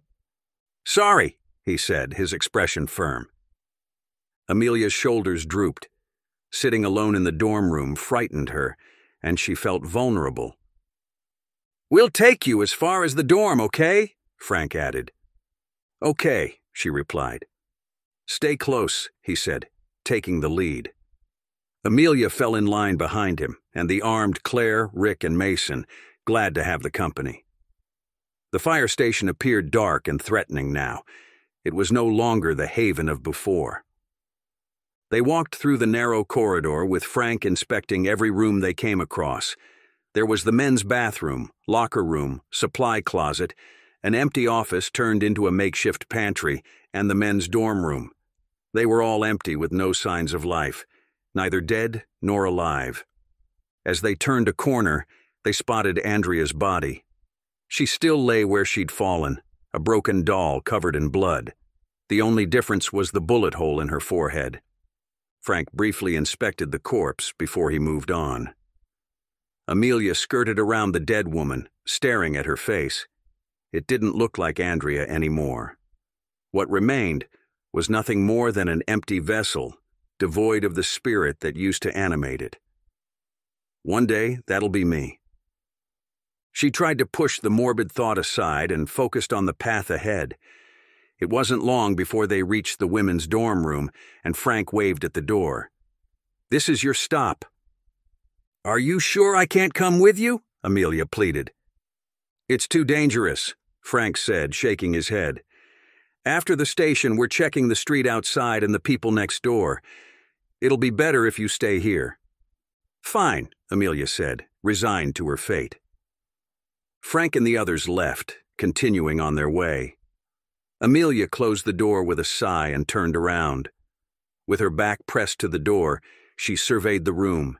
It was dark and, after everything, scary. The darkness seemed to breathe. It was a living creature waiting to pounce, and her heart pounded with fear. Oh, hell no. Hurrying toward the bed, Amelia switched on the lamp. Golden light flooded her cubicle and formed a warm halo around the area. It chased away the feeling of dread that threatened to suck the life from her soul, but it couldn't dispel the knowledge that she was useless, superfluous, a burden to her husband, and everyone charged with protecting her life. Suddenly, the dorm room's door opened, and a bright blonde head appeared silhouetted in the light. Amelia, are you there? Amelia perked up. Ellen. That's me, Ellen said. Robert asked me to check up on you and Bobby. Andrea's cat, too. He did? Amelia said, love for her husband filling her heart. A good man and a wonderful husband, he never failed to amaze her with his consideration and care. Yup, he did, Ellen said. So, how are you holding up? Not great, actually, Amelia admitted. I don't blame you, Ellen said, walking into the room. She took a seat next to Amelia on the bed. It's been a trippy evening. Trippy isn't quite how I'd describe it, Amelia said. No, I suppose not, Ellen said. I just feel so useless, Amelia exclaimed. Why would you feel like that? Ellen asked. You are the furthest thing from useless that I can think of. I can't do anything. I can't shoot, fight, or even cook. I'm not domestic or even very fit. I'm only slim because I live on caffeine and adrenaline most of the time. Ellen laughed. That's not true, and you know it. You're a survivor. Am I? Robert had to save me from my own office block. Sure he did. And in saving you, you saved him, Ellen pointed out. What? Don't you see? You're his heart, Amelia. Without you, Robert can't function. He'll always need you to steer him right. Do you think so? Amelia asked. I know so, Ellen said with a decisive nod. Besides, whining and moping about never helped anyone. Amelia choked on a laugh. Did you just call me whiny? Ellen winked. Maybe a little bit. Thanks. I needed to hear that. And you're right, Amelia said. I've been feeling very sorry for myself when others lie dead or might be dying. Well, do you feel better now? Ellen asked. Much better, Amelia said, and it was true. Ellen's words had reawakened the fight inside her heart, and she felt a surge of renewed determination. Come on, then, Ellen said with a soft smile. Let's go check on Bobby and.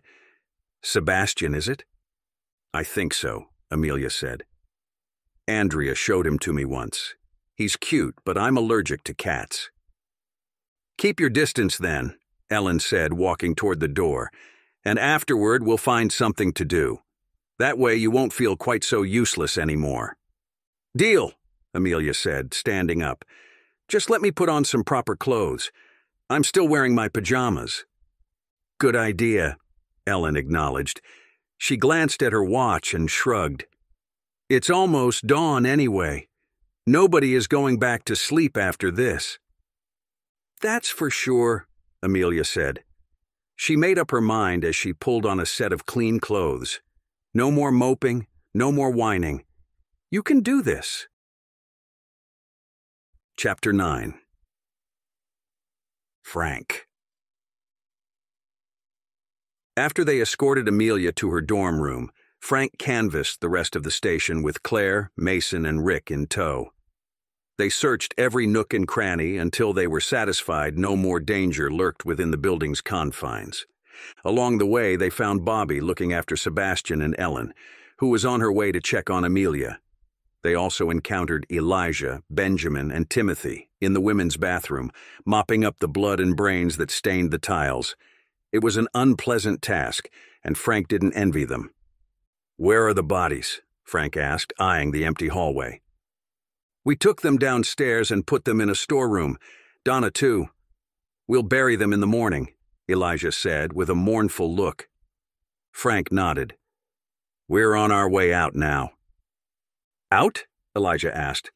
We need to check on the people next door, reassure them and such. They would have heard the shots and they must be pretty scared, Frank explained.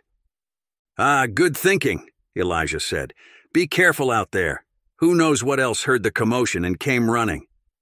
We'll be careful, Frank replied before continuing his security check. They bypassed the kitchen where Susan had begun the job of cleaning up after the operation. All was quiet, the amputation over. Poor George, Claire whispered, her eyes wide. You can say that again, Mason said. He has a long road ahead of him.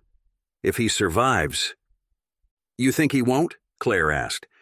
I hope he does, but infection can be a bitch, and we don't have the proper facilities to treat him, Mason said. All right, guys, that's enough, Frank said. We have a job to do. Sorry, Mason said, looking contrite. Remember what Elijah said. People aren't the only things drawn to noise. Zombies are too. Be alert and keep your eyes and ears open, Frank cautioned. Yes, sir, Claire acknowledged, with Mason and Rick following her example. They quickly searched the Bay Area, but found nothing of interest. Donna, Sam, and Andrea lay where they'd been placed, their bodies wrapped in sheets. Frank stared at them for a few seconds, his heart hurting with the loss. He hadn't known any of them well, not even Donna. But they'd been good people, and their deaths weighed heavy on his shoulders. He felt responsible as well. He was the one who'd brought Donna into the station, and he was the one who failed to pick up on her illness. This is my fault, and so is George's injury. If only I'd been more careful. But empty regrets would get him nowhere, and he led the way to the weapons locker. The door opened readily, the keys dangling in the slot. Take what you need, everyone, whatever gun you're most comfortable with. Don't mind if I do, Rick said, exchanging the pistol Claire had given him earlier for a Glock and an extra magazine. He also hung an axe from his belt as a backup weapon before stepping back. Your turn, Mason.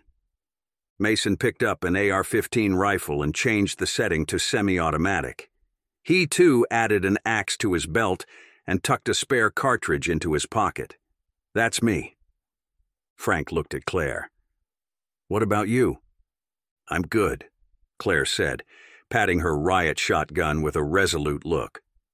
With its shorter barrel and extended magazine, it packed quite a punch. She also carried a knife on both hips, an addition Frank only noticed at that moment.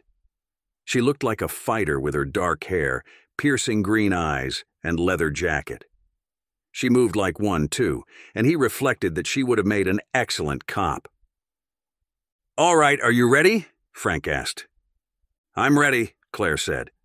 So am I, Mason echoed. Me too, Rick added. Your fingers won't be a problem? Frank asked. Not if I can help it, Rick said. All right, let's go, Frank said. What about the garage door? Claire asked. We don't know what's outside. What if we're overrun? You make a good point, Frank said, kicking himself mentally for not thinking about it first. And we can't leave the door open either, not when we have to go next door. We need someone to stand guard, Mason added. We can do it, Robert said, his voice coming from the stairs. With him stood Leo and Mike. How's George doing? Frank asked. As well as can be expected, Robert said. He's resting in Teresa's office, and she's ready should he take a turn for the worse. Good, Frank said. The weapons locker is open. We'll wait until you're all armed. We're on it, Robert said. Frank waited while they were gone, shifting from one foot to the other with nervous energy. The entire night had been a disaster, and he wondered what awaited them outside the bay doors. Elijah, Benjamin, and Timothy showed up a few minutes in. Frank quickly filled them in, and they volunteered to help. Thinking it over, Frank made a couple of swift decisions. Timothy, you're good with a rifle, right? Yes, sir. Grab a gun and join Sarah on the roof. You can cover us from there and let us know if you see trouble coming. Take a radio with you, Frank said. He went to the equipment rack and chose a couple of portable radios. Handing one to Timothy, he clipped the other to his belt. Will do, sir, Timothy said, grabbing a rifle and taking the radio. He disappeared up the stairs, and Frank waved to Leo. You come with us. The rest of you defend the station. Good luck, Robert said, forming a defensive line next to Elijah, Benjamin, and Mike. Frank felt his insides warm with approval. While Robert and his colleagues weren't trained officers, they were no cowards either, ready to lay down their lives for their fellow man. I couldn't have asked for better company during the apocalypse. After a few minutes, the radio at his belt crackled. Sir, it's Timothy. Yes, Frank answered. It's clear outside, no zombies. Are you sure? We're sure, sir.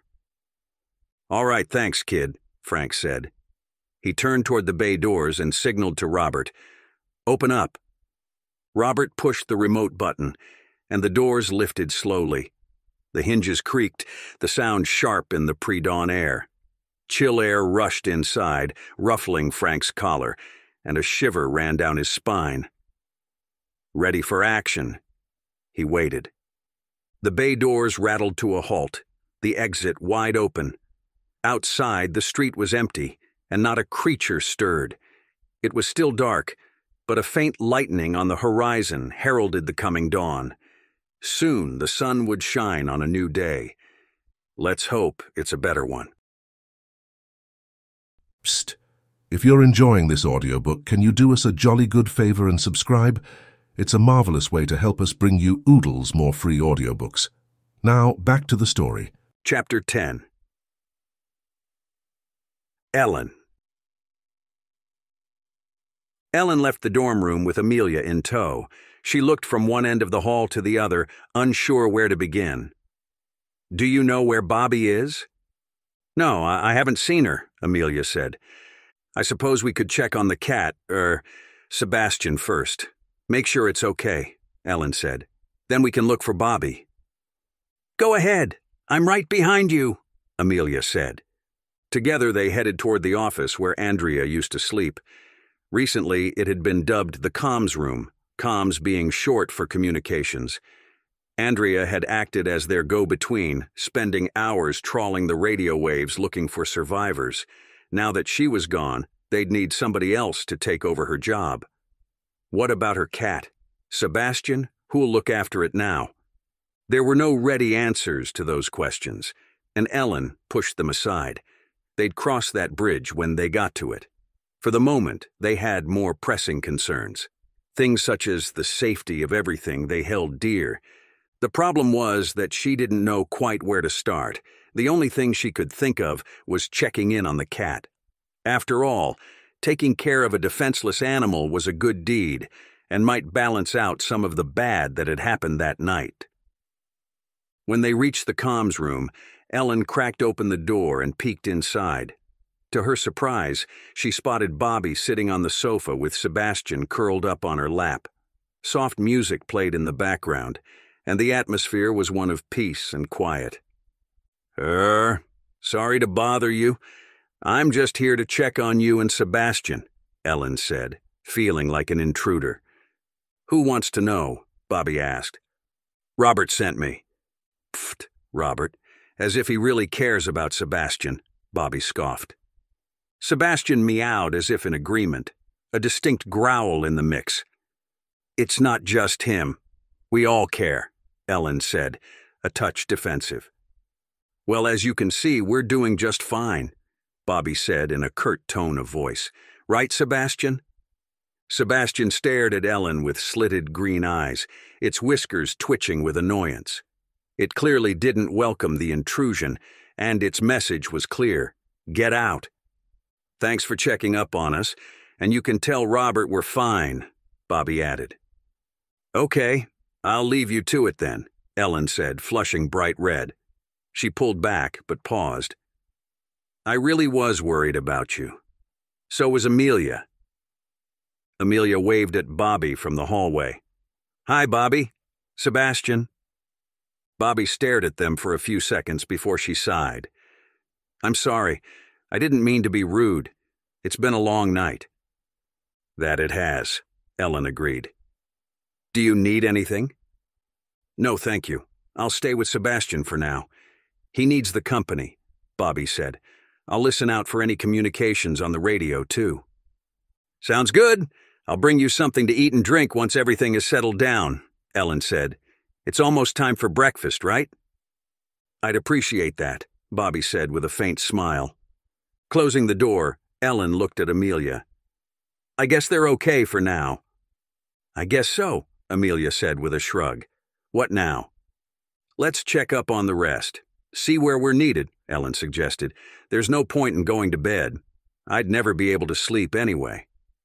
Good thinking, Amelia said, and they continued down the hallway, where they found Elijah, Benjamin, and Timothy cleaning the blood from the walls, tiles, and carpet.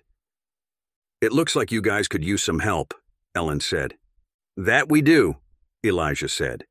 This is all that's left. Left? Ellen asked. We wrapped the bodies in sheets, moved them downstairs to the bay area, and cleaned up the mess down there. Elijah pulled a face. It wasn't pretty. So it's just this? Ellen asked, waving a hand across the scene. If you can call it just this, Elijah said. There's blood and brains all over the show. Squeamish, Elijah? Ellen teased. Me? What about you? I slaughtered my first chicken when I was six, my first pig at eight. By the time I was 12, I'd shot, skinned, and butchered my first buck, Ellen said. when everyone stared at her like she'd grown two heads, she clarified. I grew up on a farm, so no, I'm not squeamish. Elijah tossed her a damp rag and grinned. Put your money where your mouth is. Happy to, Ellen said, grabbing a bottle of bleach and a bucket. I'll help too, Amelia said, picking up a mop. More hands make for light work, as my mom used to say, Timothy quipped. Your mom was right, Ellen said with a wry smile. And my mom used to say the exact same thing. Clever ladies, Amelia said. Let's get to it then, Elijah said, handing out sets of gloves. Glove up, everyone. We don't want to take any chances. Thanks, Ellen said, pulling on the gloves. She got down on her hands and knees, scrubbing the blood-stained carpet. Bits and pieces of bone, tissue, and other unmentionable matter found their way into a plastic bag, and it wasn't long before the water in the bucket had turned a hideous rust red. Amelia didn't take it quite so well. Her cheeks turned pale, and more than once, she had to take a few seconds to compose herself. Even so, they made quick work of the mess between the five of them. After cleaning the area, they disinfected the site, threw the contaminated material into a plastic bag for removal, and returned the supplies to the storeroom. There was nothing to be done about the hideous stains on the carpet, however, short of replacing it. Not even bleach could get it out. The powerful detergent merely served to add its own distinct yellowish color to the mix, forming an eyesore that no amount of trying could wish away. I suppose we could throw a rug over it, Amelia said, eyeing the ugly blotches. If we can find one, Ellen agreed, turning to Elijah. What about you guys? What's next on the list? We'll check on the others. Frank and his group are inspecting the building before they go out. Maybe they'll need our help. Go ahead, Ellen said. I think we'll check on George. Elijah nodded. I hope he's okay. Well, he stopped screaming a few minutes ago, Benjamin said, referring to a sound they'd all tried to ignore while they were busy cleaning. That must mean something. Yeah, but is it something good or something bad? Elijah said, and a troubled silence filled the hall. Clearing her throat, Ellen broke the stalemate. Anyway, you guys check on Frank's group, and we'll visit George. Deal, Elijah said, hurrying away with Benjamin and Timothy close on his heels. I hope George is all right, Ellen said as she and Amelia walked to the kitchen. I hope so too, Amelia said. Robert didn't want me to see it.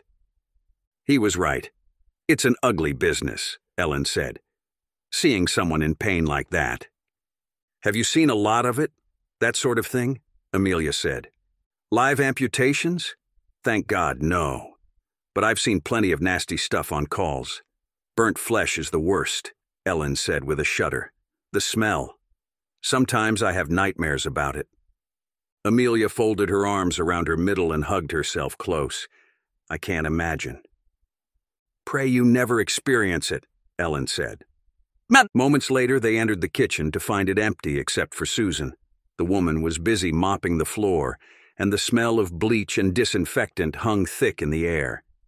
She spotted Ellen and Amelia and waved them over. You're just in time. Just in time for what? Ellen asked. Time to help me prepare breakfast, Susan said. Breakfast?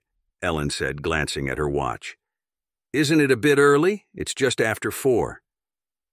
By the time everyone comes back from their tasks, they'll be cold, tired, and hungry. The least we can do is offer them something warm to eat and drink. Agreed? Susan said, hands on her hips. Agreed, Ellen said, pulling up her sleeves. Are you in, Amelia? Of course, Amelia said. I'll get started on the coffee. Thank you, Susan said, picking up a bucket of dirty water and a bag full of bloody towels. I'll take care of this and come back for the arm. With those words, Susan strode out of the kitchen, leaving behind a shocked and bemused audience. Ellen stared at her retreating back.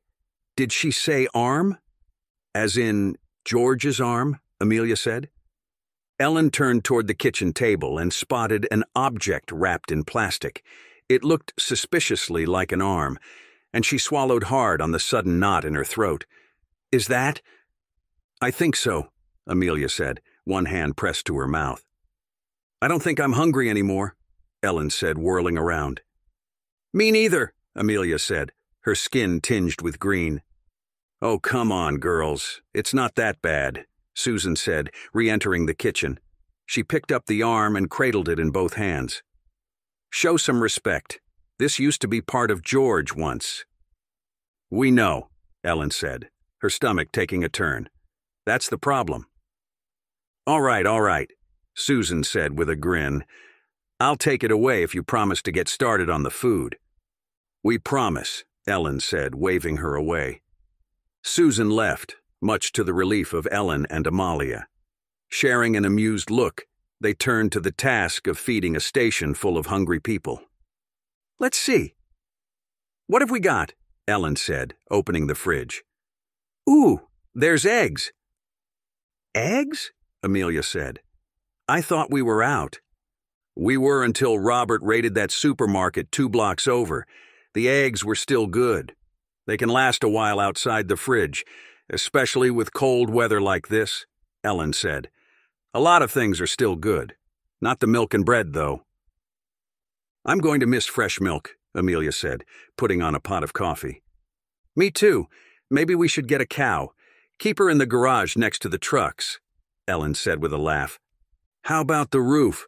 At least she'll get some fresh air up there, Amelia quipped. If we can get her up the stairs, Ellen said. Hey, girls, I'm back, minus the arm, Susan said, greeting them with a smile. Have we decided what to make for breakfast yet? How about scrambled eggs? Ellen asked. With what? Susan asked, cocking her head. There's onions, tomatoes, and ham, Ellen said. How about a veggie egg scramble? Like a frittata? Susan asked. Er, sure, if that's what it's called, Ellen said. You don't? No, my mom used to call it mishmash eggs or mengelmoes in Afrikaans, Ellen said. Meng il mus. What? Susan said, trying to pronounce the foreign word. Yeah, I'm not even going to attempt that one, Amelia said with a laugh. Mishmash eggs it is, Ellen announced. Just that? We don't have bread, and I'm not in the mood to bake, Susan said. Pancakes and syrup? Amelia offered. Sounds good, Susan said with an approving nod. Let's get cracking. I'll start on the batter, Amelia said. I'll whip the eggs, Susan said. And I'll do the chopping, Ellen said, grabbing an armful of onions, tomatoes, and ham. With a knife in hand, she began her preparations. As she sliced, diced, and quartered, she thought back to when she was a little girl, learning how to cook under her mom's tutelage. Back then, she wasn't a firefighter or a zombie killer or anything special at all. She was just a kid learning how to bake her first cookie and fry her first egg. Do you miss it? Amelia asked. Your home, I mean. I miss the way the sun rose over the veldt and the smell of moer coffee early in the morning, Ellen said. What's moer coffee? Amelia asked. It's like filter coffee, but better, Ellen said. I don't know how to explain it, but there's nothing like it on Earth. I used to sit on the veranda and watch the sunrise with a cup of coffee in one hand and a buttermilk rusk in the other. Rusks are like biscuits. You dunk them in your coffee before you eat them. That sounds so yummy, Amelia said. Ellen shrugged. There are many things I miss about my home the farm, my family, the animals, and the smell of rain hitting the dirt. I just hope they're okay and that they're weathering the storm. I'm sure they are, Susan said with a sympathetic look. From what you've told me in the past, your family is strong and resourceful. They'll survive.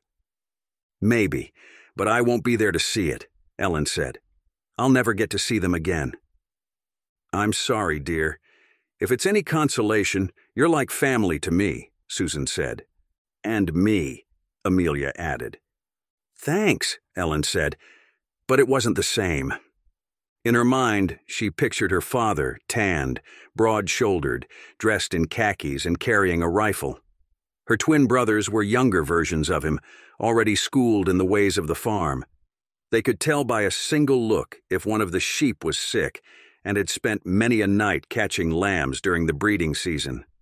Her mother worked in the home, but she was no doormat.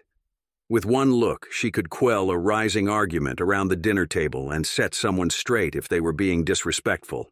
She was the family matriarch and ruled her domain with an iron fist.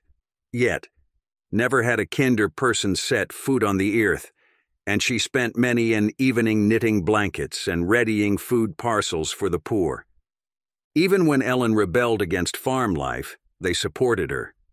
After school, they paid for her to attend a college in Cape Town, and when she decided to work abroad, they cheered her on. With a shake of the head, she tried to dismiss the memories. They were best left for quiet moments in the middle of the night. Then she could mourn their loss without upsetting her friends.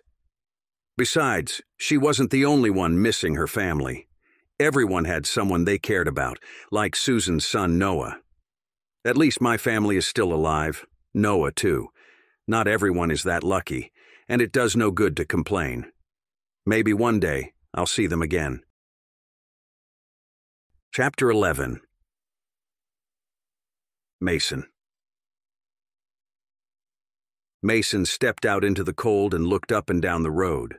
All was quiet, and no sound could be heard in the hushed atmosphere. No snarling, growling, or shuffling, no footsteps, either dragging or running, could be heard. All was quiet except for the wind whistling through the alleyway, scattering a carpet of dried leaves.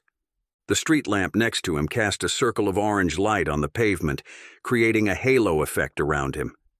It struck him as funny because he was no angel, and never had been. While he considered himself a good guy, he wasn't a saint and didn't believe in anything he couldn't see or touch. Doesn't look like any infected got in, Claire said, joining him. I wouldn't be so sure of that, Mason replied. They can be sneaky bastards. True. I'll keep my eyes peeled, she said. Come on, guys, Frank said. Look alive. Do all old policemen talk like that? Claire whispered. Look alive. Be alert. Blah, blah, blah. Mason stifled a snort. Shut up, sis. You'll get us into trouble. I'm just joking, Claire said with a grin. You know me. Exactly, I know you, and you always manage to put your foot in it, Mason said, chucking her on the shoulder. Whatever, she said, rolling her eyes. They followed Frank to the building next door and up the steps toward the entrance. A dim light shone around the edges of the door, and muffled voices sounded from the inside. They were arguing, and Mason could make out some of the words. We can't just stand here, we have to do something, one voice said. You want out there? Too dangerous, another replied. Be a such coward, not think of the children, their protection, priority. Well, I'm going to find out. Going on. Out of my way. Seems like we're just in time, Frank said, banging on the security gate with one fist. Hello? Anybody in there? The voices went silent for a few seconds before someone called out. A woman. Who's there? It's Officer Frank Hearn from next door, Frank said. We've come to talk to you about what happened earlier. Hold on, the voice said. The door opened, and a woman appeared inside the frame. She wore a thick polo neck jersey with jeans, and her graying hair was drawn back into a loose knot. Dark bags lined her eyes, and she looked almost as tired as she probably was. She also looked cranky as hell, and Mason knew she'd be trouble. I'm sorry to bother you at this hour, ma'am, but a lot has happened, and we wanted to reassure you, Frank said. Well, it's about time, the woman exclaimed. We've been worried sick. First, there were the screams, then the gunshot, then more screaming. We thought it was the end. What in God's name is going on? Yes, I know, and I apologize, Frank said. Apology not accepted. What's going on? We had an outbreak inside the fire station. An outbreak? the woman said with a gasp. She pressed one hand to her chest, visibly shaken. Has it been contained? Do we need to leave? Nobody is going anywhere. You are quite safe, I assure you, Frank said, his tone soothing. The outbreak was contained and the affected parties neutralized. Neutralized? You mean killed? The woman repeated. Yes, unfortunately, we had no choice, Frank said. How did the infection get in? This is supposed to be a safe place. You promised, the woman cried, her voice becoming strident. Before Frank could reply, another woman stepped in. Mason recognized her as one of the teachers they'd rescued from the school called Sandy. She had soft brown hair and kind eyes, but her voice was firm when she said, Claudia, please calm down. You'll frighten the children. The children? They're already frightened, Claudia said, but she lowered her tone to a fierce whisper. I want to know what's going on, and I want to know now.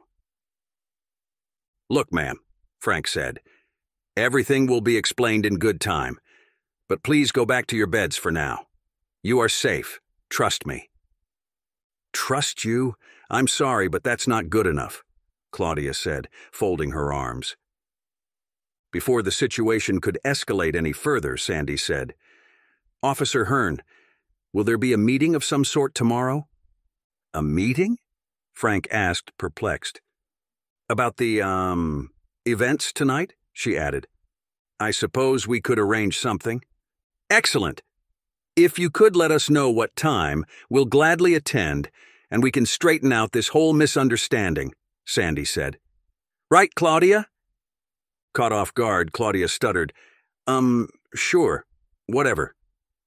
I'll see what we can do, Frank said, visibly relieved. For now, the best thing to do would be to get some rest. Everything is fine. Thank you, officer, Sandy said, ushering Claudia away from the door.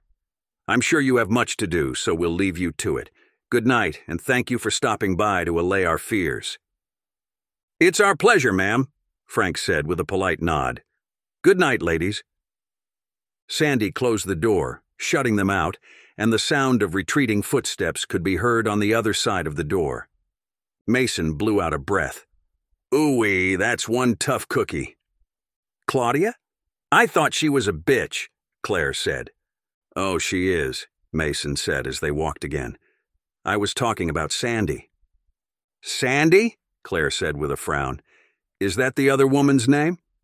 Yes, if I'm not mistaken, she's a teacher and a lot tougher than she looks. Do I detect a hint of admiration, bro? Claire asked with a teasing smile. I thought you had the hots for Sarah. I don't have the hots for anyone, Mason protested. You mooned over her at the party. I did not. Did too. Did not. Don't make me come back there, Frank said, waving a finger at them. You're not too old for a hiding, both of you. Corporal punishment is a crime, Claire said. Not anymore, Frank said with a wicked grin. It's the apocalypse. No rules, right? Spoil sport, Claire grumbled. Just shut up and keep your eyes peeled for trouble, Frank said. We're doing a circuit of the block, then heading back. Together they walked up the street and inspected every dark alleyway, nook, and cranny. Periodically, Frank would check in with Timothy, but all remained quiet. Even the barricades were silent, though they spotted a couple of wandering zombies beyond the barriers. To Mason, it meant the infected were still very much around, but the barricades were doing their jobs. It also appeared that a single distant gunshot and some screaming weren't enough to draw them en masse. That didn't mean other people wouldn't notice, however. A fact Frank mentioned on their way back to the station. While I've got you lot here with me, I want to talk to you about something that you might not realize, but Leo and I know for a fact, Frank said. What's that? Mason asked. Zombies aren't your only enemies out here, Frank said. Other people are just as dangerous, if not more so, now that law and order are gone and no one is left to enforce it. Chaos rules. He's right. As police officers, we've seen what people can do, and it's a lot worse than anything the zombies will do to you, Leo said. So remember, people can't be trusted. Not at first. They're as likely to kill you as the zombies are, Frank said. Even seemingly good people. What do you mean? Mason asked. Picture this. You meet a woman with three kids. They're on the run and starving when you meet them. You think you can trust her because she looks okay. Just a mom, right? Frank asked. Right, Mason said. Wrong. She's probably the most dangerous person you could meet out on the road because if it comes down to keeping her kids alive, she'll do anything. Literally anything. And that includes killing you and taking what you have. Understand? Frank asked. What you're saying is, it's not just the obvious criminal types we have to look out for, Mason said. Anyone could be a threat. Exactly. And the longer this apocalypse carries on, the worse it will get. People will start to lose their humanity after a while. If you spend enough time hunting, killing, and surviving, all the rules and inhibitions of the before will fall away. We'll revert to what we were thousands of years before savage beasts. You think that'll happen to us? Mason asked. Frank shrugged. I hope not, but time will tell. A few years from now, you won't recognize yourself. None of us will. Silence fell as they walked the last few steps to the station, each lost in thought. Mason couldn't help but mull over Frank's words. While much of it was common sense, some came as a revelation. In a few years, none of us will be able to recognize ourselves. But will the change be for the better or worse? Chapter 12 Sarah Sarah leaned against the roof's edge and scanned the nearest barricade through the scope of her rifle. Nothing stirred, and she moved on to the next. There were four barriers in total, blocking off a neat square of buildings from the rest of the city.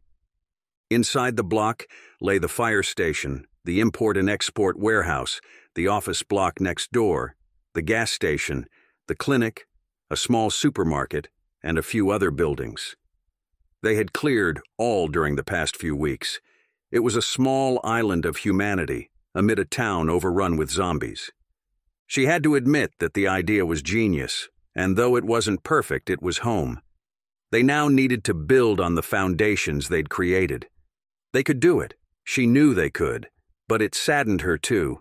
It saddened her because it was too late for the thousands that had already died, for the friends and family that they'd lost, her sister, her parents, everyone. Tears pricked her eyelids, the yawning pit in her heart, an empty void she could never fill again. The memories of that first day returned. The death and destruction at the precinct, their narrow escape, looking for their family and friends in the hours and days after that only to meet with failure. Sarah closed her eyes, vividly remembering the scene at her parents' house. It wasn't something she wanted to relive, but it was impossible to resist. She kept picking at the scabs on the wound, keeping the pain alive in her heart. It was a form of punishment, she supposed, a way to pay for surviving when everyone she loved was dead. Sarah climbed out of Leo's police car, her stomach a churning pit of anxiety. Her sister Anne's car stood in the driveway, parked behind her father's old Mercedes. The driver's door stood open, and a trail of blood led toward the front door. A crimson handprint was smeared across the pane of glass that abutted the heavy wooden door, and the entrance yawned open to all comers. Are you sure you want to go in there? Leo asked. We can check it out for you. No, I'm going in, Sarah said. You shouldn't, Frank said. What if they've turned? Then I'll take care of it, Sarah said, lifting her chin. You can't, Frank protested. It's not right. That's your family. No person should be forced to kill their own family. I said I'll take care of it, Sarah said, shooting him a cold glare. Frank stared at her for a few seconds, his years of experience heavily imprinted in each line of his face. Sarah supposed she should listen to him. He knew what he was talking about, but she couldn't. That's my people in there, my blood. It's my responsibility. With her gun gripped in both hands, She approached the house. She went up the steps one at a time until she reached the door. There, she paused, nudging the door open with one foot. It swung wide, and Sarah spotted a pool of blood in the foyer. She didn't know who it belonged to, but prayed it wasn't Anne or her parents. The chances of a happy ending were slim, however, and she prepared herself for the worst. Armed and ready, she moved deeper into the house. Frank followed her while Leo stood guard at the door. The trail of blood moved through the foyer and living room, into the hallway, and beyond. Be careful, Frank said in a low voice. I know, Sarah said, feeling a spurt of irritation. I'm not a child. She checked the first room on her left, taking a quick turn into the room with her gun at the ready. It was empty. Repeating the maneuver, she cleared the next room and the next. Finally, there was only one room left her parents' bedroom. The door yawned open, and she stepped inside, not knowing what to expect. The first thing she saw was blood. Blood everywhere on the walls, the ceiling, the carpet, and the bedding. It drenched the room until it reeked of death. Horror froze her to the spot, and ice flushed through her veins. Unable to move, she stood like that until a low growl sounded from the bowels of the room. It was soft and low, almost feminine.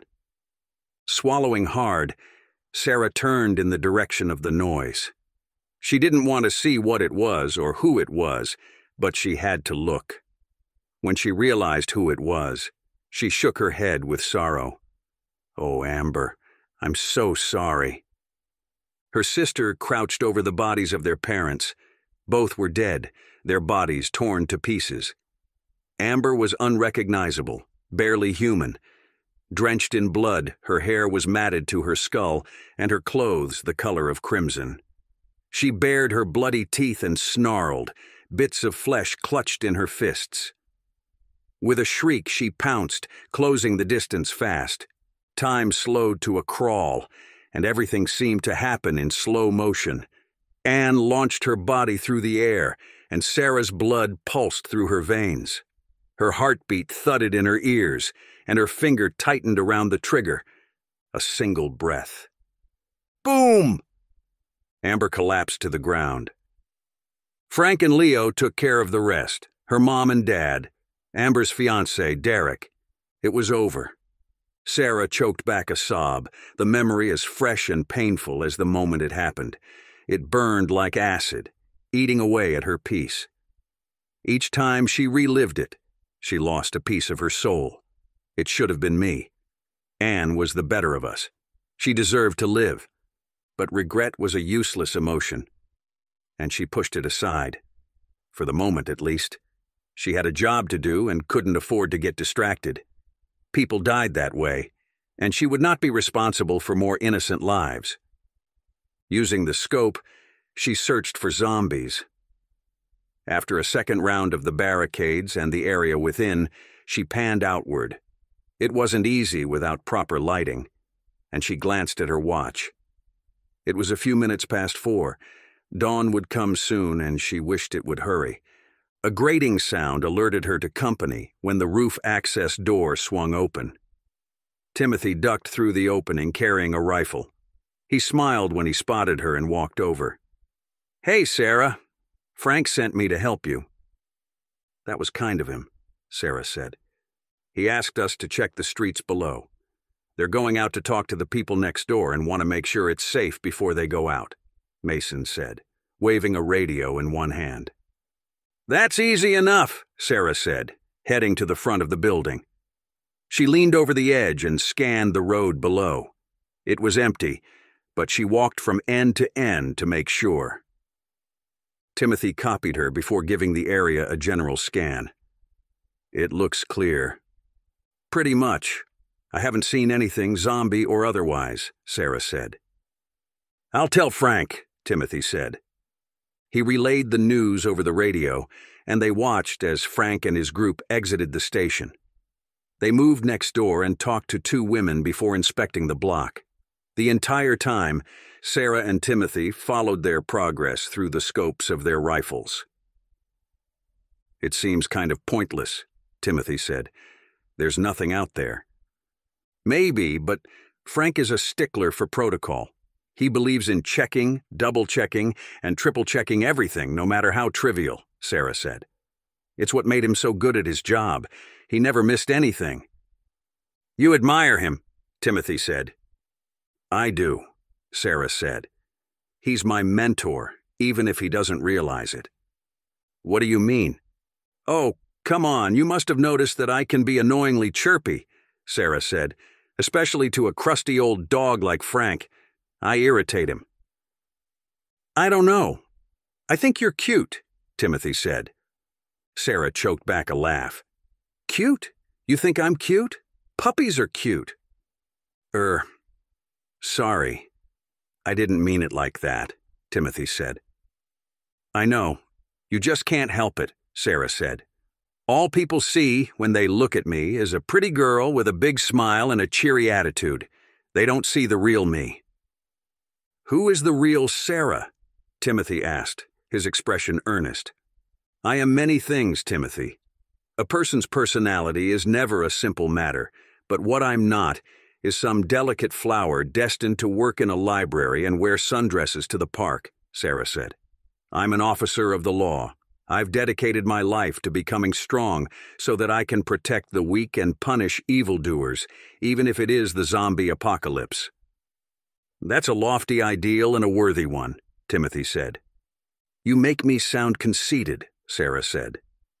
Sorry, I didn't mean it like that, Timothy said, blushing bright red. I know. I'm just teasing, Sarah said with a grin. She leaned toward him. So what makes Timothy tick? I'm a simple guy, Timothy said. I'm not complicated or deep. What you see is what you get. Somehow I doubt that, Sarah said. I think there's more to you than meets the eye. I want to help people. That's why I became a firefighter, Timothy added. And now it's the zombie apocalypse, Sarah said. I know. Who'd have thought? Timothy said. He was quiet for a while before he continued. I hope my family is okay. The last I heard, they were doing well, but that was days ago. I'm sure they're fine, Sarah said, laying a soft hand on his arm. He smiled at her. Thank you. Of course, we're all in this together, Sarah said. The least we can do is be there for each other. The radio at Timothy's side crackled, and he answered. Yes, sir. We're coming back in, Timothy. The block is clear. Got it, sir, Timothy said. They watched as Frank's group returned to the fire station and waited until the bay doors closed behind them. Once they were safe inside, Sarah turned to Timothy. Are you going back in? I guess so, Timothy said with a shrug. I'll stay a little bit longer, Sarah said. Are you sure? I'm sure. I can stay with you, Timothy offered. That's sweet, but I need a moment to gather my thoughts. It's been a long night, Sarah said. I understand, but don't take too long, Timothy said. A hot cup of coffee will be waiting for you below. Thanks, I'll be right there, Sarah said. Promise. Timothy left her on the roof, going back to the others. Sarah walked toward the far end of the building and faced the northeast. There she waited, emptying her mind of all thought. She was a big believer in meditation and often used the method to calm herself in times of distress. As the sun touched the far horizon, she lifted her face toward the sun. Its warmth touched her skin, and tendrils of its golden heat crept into her heart. Standing there, it was strangely peaceful, and she managed to forget her grief for a while. Maybe one day it won't hurt so much anymore. Finally, Sarah decided to go back. The night had gone, and morning had come. It was time to face whatever else life had to throw at them. Before she left, she raised her rifle and scanned the barricades one last time. The area within the block remained empty of life, except for the occasional rat or feral cat scurrying through the alleyways. Panning the scope across the area beyond the barriers, she checked for activity. With the coming dawn, she could make out a couple of figures roaming the streets. They wandered about aimlessly, and she guessed they were infected. It was good to know they hadn't been alerted by the previous night's activity. At least for now, their haven remained undetected. Hidden. Her stomach growled, and she determined it was time for breakfast. It was bound to be a long day, and she'd need her strength, especially since she was operating on the minimum amount of sleep. As she prepared to leave, Sarah caught a glimpse of something different. A vehicle driving slowly along the row. As it neared the barricade, it stopped, idling in one spot. Then it reversed, going back the way it came. As it turned a corner, Sarah caught a glimpse of bright red. She waited for a few more minutes, but it never returned. Finally, she straightened up and walked to the roof access. There was no point wasting any more time, and she needed to tell Frank what she'd seen, and I can grab a cup of coffee at the same time. Two birds with one stone. Chapter 13 Frances An infected woman stumbled down the street, dragging a broken leg. Every time she stepped on the limb, the bones ground together, further mangling the flesh. She didn't notice or care, nor did she feel a thing. The only sensation she felt was the gnawing pit of hunger in her stomach. It drove her ever onward in search of food, and she wandered tirelessly until she found it. A name tag on the woman's chest read Frances. That was who she used to be in her former life a young woman working her way through college and earning money as a waitress at a local coffee shop. Attractive and neat, she had a practiced smile and easygoing manner, all traits that earned her good tips, especially from the regulars. Frances was smart enough to learn their names, favorite meals, and just enough about their daily lives and family to make it seem personal, to make them think she cared. It wasn't hard. People like to talk about themselves. Things went well until Mrs. Jenkins entered the coffee shop, acting funny. Her arm was heavily bandaged, and she seemed off balance and confused. Heat radiated from her skin, and she fell into the nearest booth, as if her legs couldn't hold her anymore. There she sat, nursing a cup of coffee until she dozed off. Mrs. Jenkins, are you feeling okay? Frances had asked, touching the woman's shoulder. Mrs. Jenkins jerked around and snarled at Frances, her eyes bloodshot and crazed. Saliva frothed on her lips, and Frances stumbled back in horror. Mrs. Jenkins, what are you? Mrs. Jenkins snapped at the air, baring her teeth like a rabid dog. She cocked her head and eyed Frances with evil intent. Shrieking like a banshee, she attacked. Mrs. Jenkins, what are you? Frances screamed, turning to run. Before she'd gone three steps, clawed hands dug into her shoulder and she spun around. Her ankle twisted, and she went down with Mrs. Jenkins on top of her. Her leg snapped like a twig, and white hot pain lanced up her leg. She screamed, but her voice was cut off when sharp teeth tore into her throat.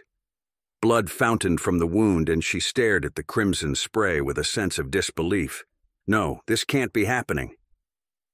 Twisting away from the snapping teeth, Frances crawled across the floor. Her broken leg dragged behind her, the sharp end of the tibia sticking out through the flesh. Blood pumped from the hole in her throat, warm and sticky. The essence of life. Screams of fear rose around her as the other customers panicked. The noise drew Mrs. Jenkins away from her victim, and she launched herself at an older man in a wheelchair. She ripped into his face, tearing through the papery skin like it was nothing, and people scattered in all directions. Chairs fell over, and cutlery smashed to pieces as chaos broke out in the shop. Frances crawled across the floor, but her strength was waning. She searched for help and spotted a slender man in a business suit. Reaching out with a trembling hand, she pleaded, Help me, please. The stranger stared at her with horrified fascination, his spectacles perched on the end of his nose. His lips quivered with fright, and he shook his head. I'm sorry. I can't. On unsteady legs, he ran away, and Frances's last hope died. Sagging to the cold tiles, she choked back a sob. Someone, please, help me. Lying in a pool of her own blood, she felt the life drain from her body. Her vision dimmed, and the light faded from her eyes. Breathing her last, Frances was gone, along with her hopes, dreams, and ambitions. In her place rose a monster, and like all monsters, she needed to feed. What she craved was flesh. Warm, living flesh. Breakfast consisted of a rat unlucky enough to get too close, and the day before, she'd feasted on the flesh of a teen boy. He'd left his hiding spot and gone on a supply run. Inside the shop, he'd dropped a can of beans, alerting the zombies outside to his presence. That mistake proved to be his last. Now she was on the hunt again, prowling the avenues of her former home in search of prey. Movement drew her attention, as did sound and smell. When an ambulance cruised past her in the street, she gave chase. When it stopped, she closed in, beating her fists on its bright red sides. But she soon tired of the game. Nothing living could be seen through the tinted windows, and the metal contraption stank of smoke and burning fuel. It smelled not of flesh and blood, and she saw nothing that indicated food. Losing interest, Frances continued on her way. A block further, she met up with two more of her kind. They didn't mean anything to her, and she felt no kinship, but they were going the same way. She fell in beside them, and they formed a small group. More of the undead joined them along the way, and their numbers grew apace. That continued until they reached a corner. Above their heads loomed a multi-storied building, the Virtua Willingboro Hospital. A fence surrounded the property, reinforced with barbed wire, concrete slabs, and metal sheets. The gates were likewise closed, sealed off by double-layered barricades. It was impossible to see inside the grounds, all views blocked by the mishmash of material that lined the palisades. It effectively hid its contents from prying eyes, but couldn't block out the sound of voices from within. The zombies, numbering over a hundred strong, paused a few feet from the nearest gate. As one, they turned toward the noise, and their appetites quickened with the promise of fresh meat. The undead mob charged the barricade, their feet thundering across the asphalt, their lips peeled back from their teeth, and they snarled with primitive rage. Closing on their objective, they failed to notice the barrel of a 50 caliber machine gun mounted on a turret. Even if they had, they wouldn't have known what it was or cared. Frances ran with the rest, her predatory instinct urging her onward. She raced toward the gate, determined to get to the prey that hid behind its reinforced steel. Her stomach clamored with anticipation, and the virus in her brain urged her to feed. Suddenly, the 50 caliber's muzzle flashed. A wall of red-hot lead cut through the mob, ripping their bodies to shreds. Heads exploded, limbs flew, and torsos burst. Brains, guts, bodily fluids, and innards paved the road, and the tar grew slick with blood. Frances never saw the bullet that ended her undead life. It flew across the distance, faster than the speed of sound, and punched into her forehead. It traveled through her brain and blasted out the back of her skull. Thrown backward, she landed on her back, her broken leg bent at an obscene angle. When the last zombie fell, the 50 caliber's muzzle stopped turning and silence fell across the bloody scene. A few minutes passed before the gate opened with a ponderous groan. Six armed figures exited the gate and fanned out. With their guns at the ready, they moved through the ranks of the fallen undead. A snarl sounded when an infected reared its head. A bullet from the 50 caliber gun had cut it in half, but it was still alive. A muffled pop sounded, and one of the figures dispatched the zombie for good. That continued until the team of armed guards checked the entire area, focusing entirely on their surroundings. Afterward, they returned to the gate and gathered inside the entrance to discuss the situation. We'd better get the cleanup crew out here, the first voice said. Yup, the 50 sure makes a mess, Lieutenant, a second voice replied. More will come, the lieutenant agreed. The noise draws them like moths to a flame. We could send out an AMBO, Lieutenant. AMBO 27 just got back an hour ago, Chris, the lieutenant replied. What about AMBO 33? Chris suggested. Banks won't mind. He hates being cooped up in the hospital. Zoe, too. Those two are crazy, a feminine voice said. Riding around day and night in a city overrun with those things? Crazy, I tell you. Yeah, they're nuts, Priya, Chris said, but they bring back valuable intel. Besides, the infected don't seem to bother them. Yeah, I suppose as long as they can't see or hear you, they don't give chase, Priya agreed. I'll find Banks and ask him to draw off the infected, the lieutenant commanded. Chris, you get the cleanup crew ready. Yes, sir, Chris replied. The rest of you, make sure nothing gets in, living or dead. Priya's in charge, the lieutenant added. Yes, sir, a chorus of voices replied. The gate closed with a clang, and everyone took up their positions. Out in the street, not a soul stirred, the area devoid of life. A chill breeze swept through the trees, and a flock of ravens flew overhead. Then the first infected showed, drawn by the noise from before. Another reared its head, and another, and another. Soon they came from all directions, zeroing in on the hospital. Before they could swarm the area, the gate opened, and an ambulance drove through the entrance. It drove through the throng and switched on its sirens. With the lights flashing, it drew the undead away from the hospital. While the zombies knew what was food and what wasn't, the blaring noise coupled with the lights proved too tempting to ignore. As one, they followed the vehicle, running as fast as their bodies allowed. Within minutes, peace was restored, and Priya chuckled.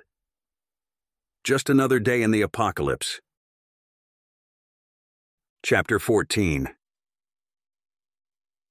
Zoe the ambulance cruised down the street, a silent witness to a broken world. Inside its protective shell sat two people. Banks operated the wheel while Zoe lounged in the passenger seat next to him. Outside, it was still dark, though dawn wasn't far off, and the weather was typical for late fall cold and miserable. Zoe shivered when a chill ran down her spine and burrowed deeper into her jacket's collar. She stared out the window, taking in the bleak scenery.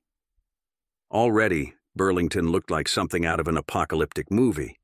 The streets were empty except for the abandoned cars, rotting corpses, and strewn rubbish. Weeds poked up through the pavement cracks, and the recent rains had eroded the street, forming giant potholes. Infected wandered the streets, their eyes soulless, their bodies mere vessels for the virus inside their brains. They appeared to be in a fugue state, almost as if they were in a trance. Not even the moving ambulance was enough to jar them awake. Only the sight of warm flesh shocked them back to the land of the living, food. It was what they lived for. It was what the virus wanted. Not only did feeding on the living nourish their bodies, but it spread the infection. More hosts for the virus within their brains. Weaving around the road hazards, Zoe smothered a laugh when she spotted a zombie stuck inside a pothole. The trench was waist deep, and the dumb creature snarled with futile rage when a rat scurried past. The rodent paused mid scurry to test the air, its nose twitching. It stayed just beyond the zombie's reach, smart enough not to get caught. Finally, it lost interest and moved on, disappearing into a dark alleyway. Smart mouse. Are you hungry? Banks asked, pulling her from her reverie. I could eat, Zoe said with a shrug. Wait here, Banks said, pulling to a stop. He removed a metal pipe from underneath his seat, one end sharpened to a fine point. After a quick check to ensure the coast was clear, he jumped up and ran into a convenience store. It wasn't long before he returned. They'd hit the store many times before and knew it was zombie free. Banks returned moments later and climbed back into the ambo. Rummaging through a plastic bag, he tossed a couple of items into her lap. I got your favorite. Zoe picked up the bag of flamin' hot Cheetos and a packet of Reese's peanut butter cups and grinned. Aw, aren't you a sweetheart? You know what they say. Breakfast is the most important meal of the day, Banks replied. I don't think this junk counts as real food, Zoe said. It does now, Banks said, digging into a jar of Jiffy peanut butter. Silence fell over the cab while they ate, broken only by the crunch of crackers, chips, and foil packets. Afterward, they cracked a couple of ice cold cokes and cheered each other. Hear's to you and me, paramedics by day, recon specialists, and zombie bait by night, Zoe said. Here, hear, Banks replied. Zoe drained her coke in one big gulp, savoring the fizz in her throat. Crumpling up the can, she tossed it into their trash bag and let rip a giant burp. Ah, that's better. Could you not do that? Banks exclaimed, wrinkling his nose. We've talked about this. It's just a little bit of gas. Now, if it came out the other end, that would be a real problem, she replied with a chuckle. Please don't, I'm begging you, Banks said, rolling his eyes. So what's the plan? We've been out all night. We led the zombies away from the hospital and scoured the area. Time to head back? Maybe, but I want to check something out first, Banks said. That roadblock we spotted earlier? Zoe asked. Yes, it was too dark to see properly before, and I didn't want to use the lights, Banks explained.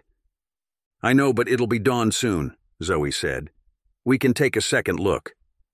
Exactly, Banks said. Lieutenant Kingsley would want us to check it out.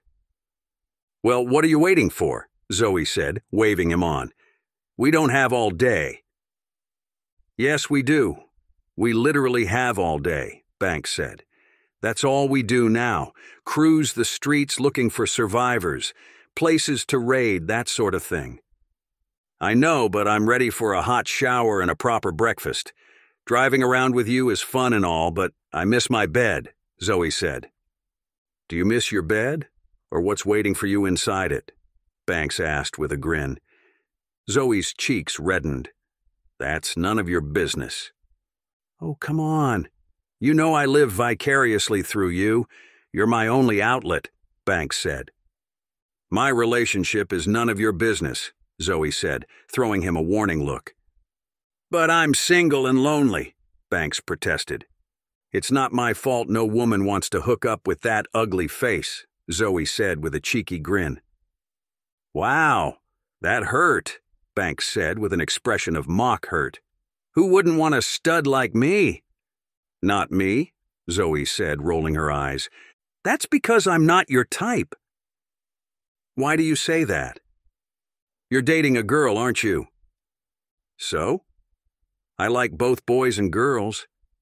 It's your personality that's the problem, Zoe said with a teasing grin.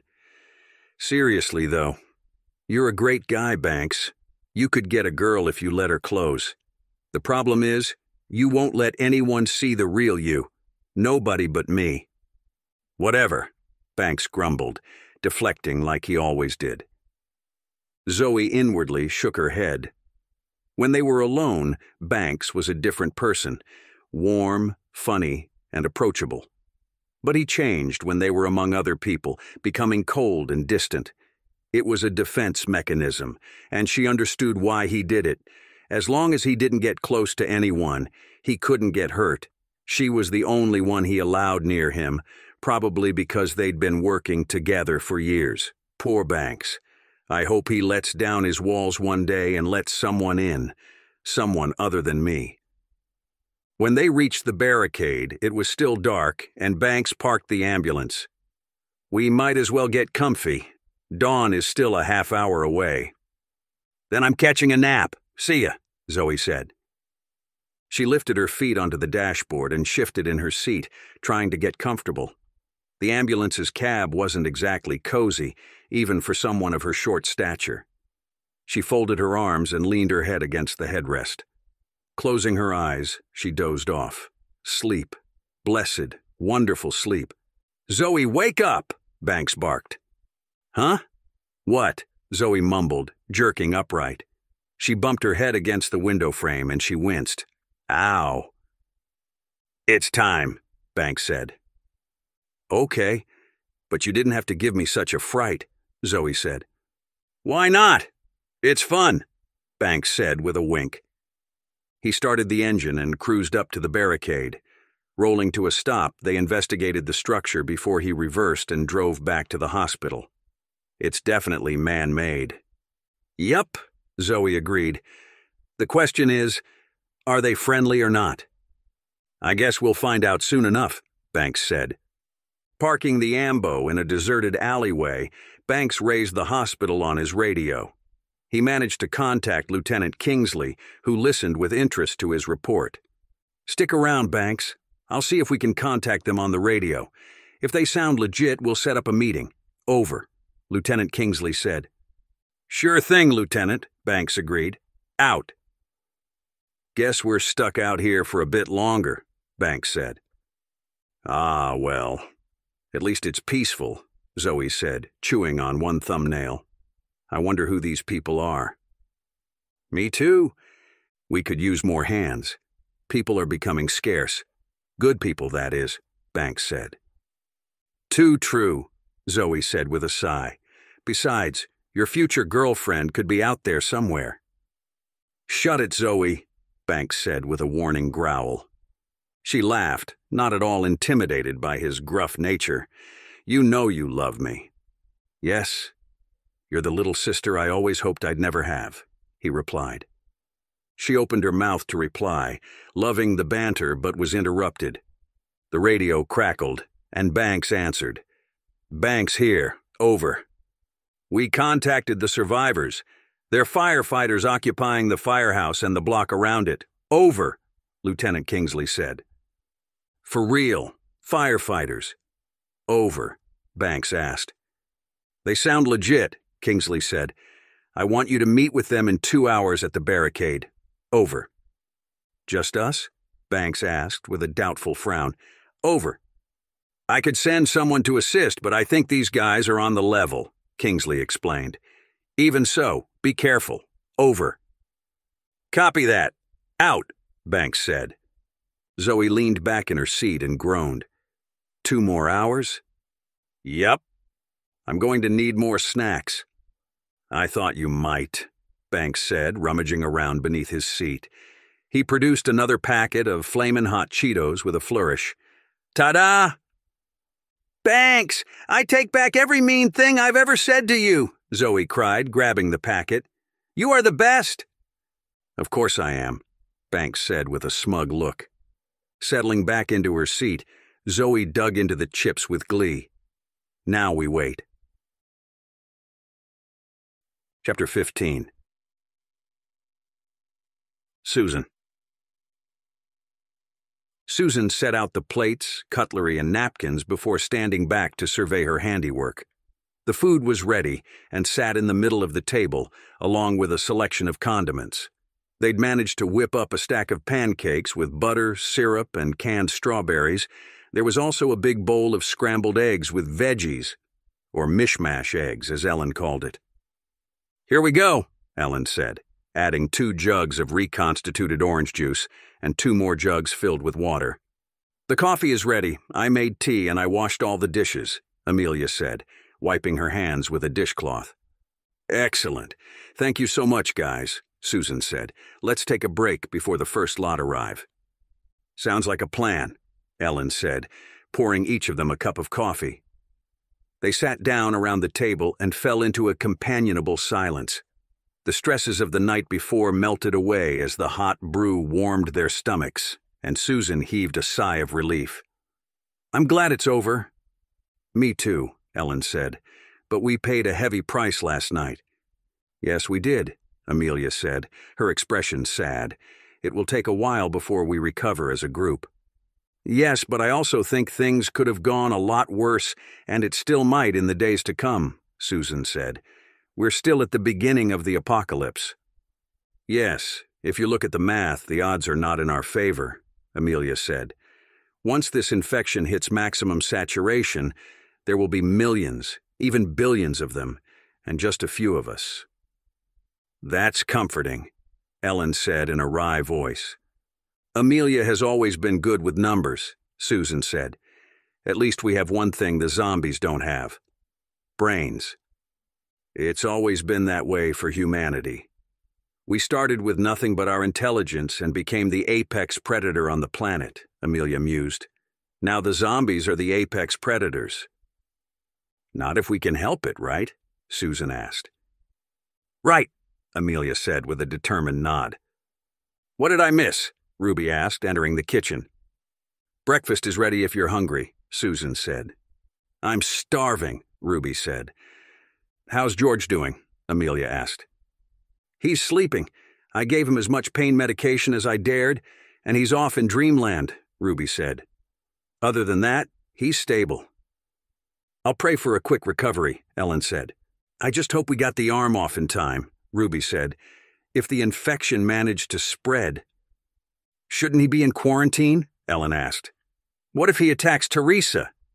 Teresa is ready for it, Ruby said. She'll manage. George will be fine, Susan said with as much confidence as she could muster. Despair never did any good. She'd had enough of the glum expressions.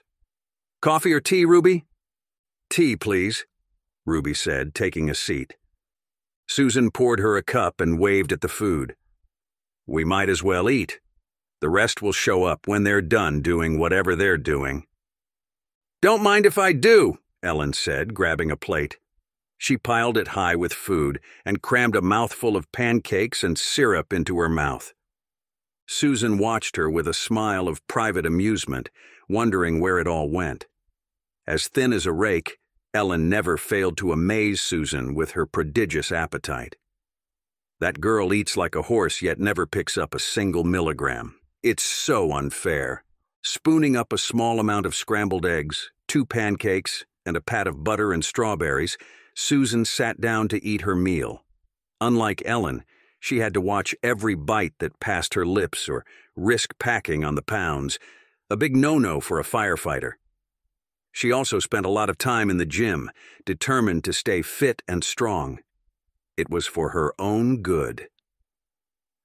While she ate, her thoughts wandered to Noah, and she wondered how he was doing. Not a moment passed that she didn't worry about her son, and it killed her that she couldn't talk to him. The cell phone lines never reopened after the first crash, and the internet was extremely spotty. The last time she got an email from him was three days ago, and it scared her silly to think of him wandering around in a hostile, zombie filled world. But what could she do besides suffer in silence? Everybody had their own cross to bear. She was nothing special. While she ate, the rest of the station began to trickle into the kitchen, and the clatter of plates and cutlery filled the air. Frank's team was the first, fresh from their inspection of the block, followed shortly by Robert and his team. Timothy showed up minutes later, leaving only Bobby, Sarah, and Teresa out of the loop. Once she'd finished her food, Susan dished a plate and poured a cup of tea. I'm taking this to Teresa, guys. Enjoy your food, but I expect this place to be spotless when I get back. Ellen and Amelia are excused from cleaning duties. Yes, ma'am, the rest mumbled through mouths full of food. Good. Entering Teresa's office, she found the woman sitting in a chair next to an unconscious George's bed. I brought you something to eat, Teresa. Thank you, Teresa said, putting her book down. I appreciate that. How's our patient? Resting, I hope. He needs it, Teresa said, taking a sip of tea. That he does, Susan said. Are you sure you should be alone with him? I'll be fine. I think we got it in time, Teresa said. I can stay with you, Susan offered. No, thank you. It's bad enough that one of us is stuck here, let alone two, Teresa said. You must have a lot to do. All right, I'm going, but I'll be back for your dishes, Susan said, returning to the kitchen. Taking another plate, she dished up for Bobby and prepared to take it to her. Before she could move, however, clattering footsteps announced a ruddy cheeked Sarah, fresh from the roof. Sarah headed straight for the coffee pot. Boy, could I use a shot of caffeine right about now. She poured herself a cup, spooned in roughly a pound of sugar, added a touch of milk, and turned to survey the room. So? What have I missed? Well, you almost missed breakfast, Susan said, her tone wry. Not for long, Sarah said. But before I eat, I saw something beyond the barricade. What did you see? Robert asked, perking up. A vehicle. A red one. It was hard to determine exactly what it was, but I saw it, Sarah said. Did it come close? Robert asked. It approached the barricade, stopped for a while, then left, Sarah said. I wonder who they were and what they wanted, Robert mused. I don't know, but I think we should permanently post a guard on the roof, Sarah suggested. I agree, Frank said. I'll go back up as soon as I've eaten, Sarah offered. Thank you, Robert said. We'll send someone to take over from you in a while. Deal, Sarah said, refilling her cup. Did I hear something about a strange vehicle? Bobby said, showing up. You heard right, Sarah said with a nod. Well, I just spoke to them on the radio. They say hi, Bobby said. What? Frank said, jerking around in his seat. You heard me? Bobby said. Who are they? Robert asked. They're paramedics from Virtua Willingboro Hospital. Apparently, there's a whole group of survivors living there. What do they want? Robert asked. They want to meet with us, Bobby said. Robert and Frank exchanged looks. What do I tell them? Bobby asked. Tell them we'll let them know, Robert said. Once we've had time to sort things out, I'll clear it with Teresa. Okay, I'll do that, Bobby said, inclining her head. Take something to eat, Susan said, handing her a plate of food and a cup of coffee. Thanks, Bobby said, taking her leave. We should have a meeting to discuss last night's events and this new development, Frank said. Yes, we should, Robert agreed. What about Donna, Sam, and Andrea? Susan asked. They deserve a proper burial, Amelia said. As much as that's true, it's not possible, Robert said. We have to burn the bodies. We can at least have a short ceremony, Amelia protested. Pay our respects. All right, we can do that after breakfast, Robert said. Then we'll take them to the lot for cremation. I'll go with you, Frank said. Me too, Leo said. Donna was our friend. Sounds good. I'll need the help, and afterward, we can meet the newcomers at the barricade, Robert said. Find out what they want. What about the meeting? Susan asked. We can have it after that and everyone should be there, Robert said, including Bobby and Teresa. I'll let them know, Susan said, and I'll make sure there's coffee. Thank you, Susan. I can always count on you. We all can, Robert said. I'm standing guard. Someone has to keep an eye out for danger with all these strange folks around, Sarah said. She's right. We should be careful, Frank cautioned. Fair enough. We'll make sure we're armed and ready when we meet them. We'll take a radio, too, Robert said. The rest of you must be prepared to defend this place if necessary. We'll be ready, Mason said. You can count on us, Claire added. What about the people next door? They'll want to attend the meeting, Mason said. You should inform them of the time then, Robert said. No problem. I'll pop around after the service, Mason said. I'll go with you, Claire said. I'd like to say hello to Paisley, yeah, right, Mason scoffed. You just want to tag along and ruin my day. Busted, Claire replied with a grin. Whatever, Robert said. Just get it done. Will do, Claire said, unrepentant. Okay, are we done now? Mason said. All this talking is interfering with my breakfast. Robert sighed. Yes, we are done. Thanks, Mason said shoveling a forkful of pancakes into his mouth. He washed it down with a glass of orange juice, groaning with satisfaction. Now that's what I'm talking about. Glad you're enjoying my pancakes, Amelia said with an amused look. Oh, I am, Mason said. In that case, you can wash the dishes. Consider it a thank you, Amelia said. Claire laughed out loud with glee. Sucker! But she sobered when Amelia added, Just for that, you can help him, Claire. Claire's face fell, and it was Mason's turn to laugh. Susan watched the scene with a sense of contentment. Despite everything that had happened, it was good to see people laughing. It was even better to know they still had the capacity. It meant they still had hope. And that was a powerful thing. Psst. If you're enjoying this audiobook, can you do us a favor and subscribe? It's the best way for us to bring you many more free audiobooks. Now, back to the story. Chapter 16 Robert After breakfast, everyone moved to the garage.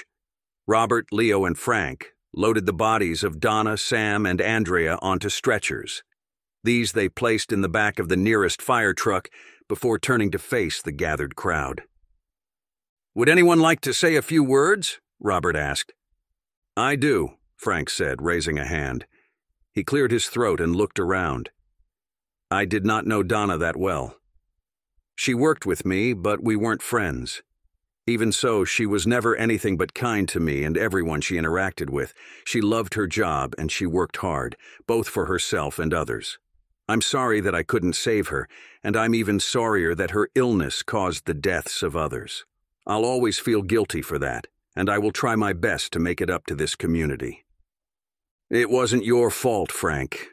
We all missed it, Robert said, placing one hand on the man's shoulder. Thank you, but I was responsible for her, Frank said, his expression bleak. Robert shook his head, saddened. Anyone else? Bobby stepped forward. Like the rest of you, I didn't know Andrea. We hardly spoke and we didn't have much in common, but she loved animals, which I can relate to.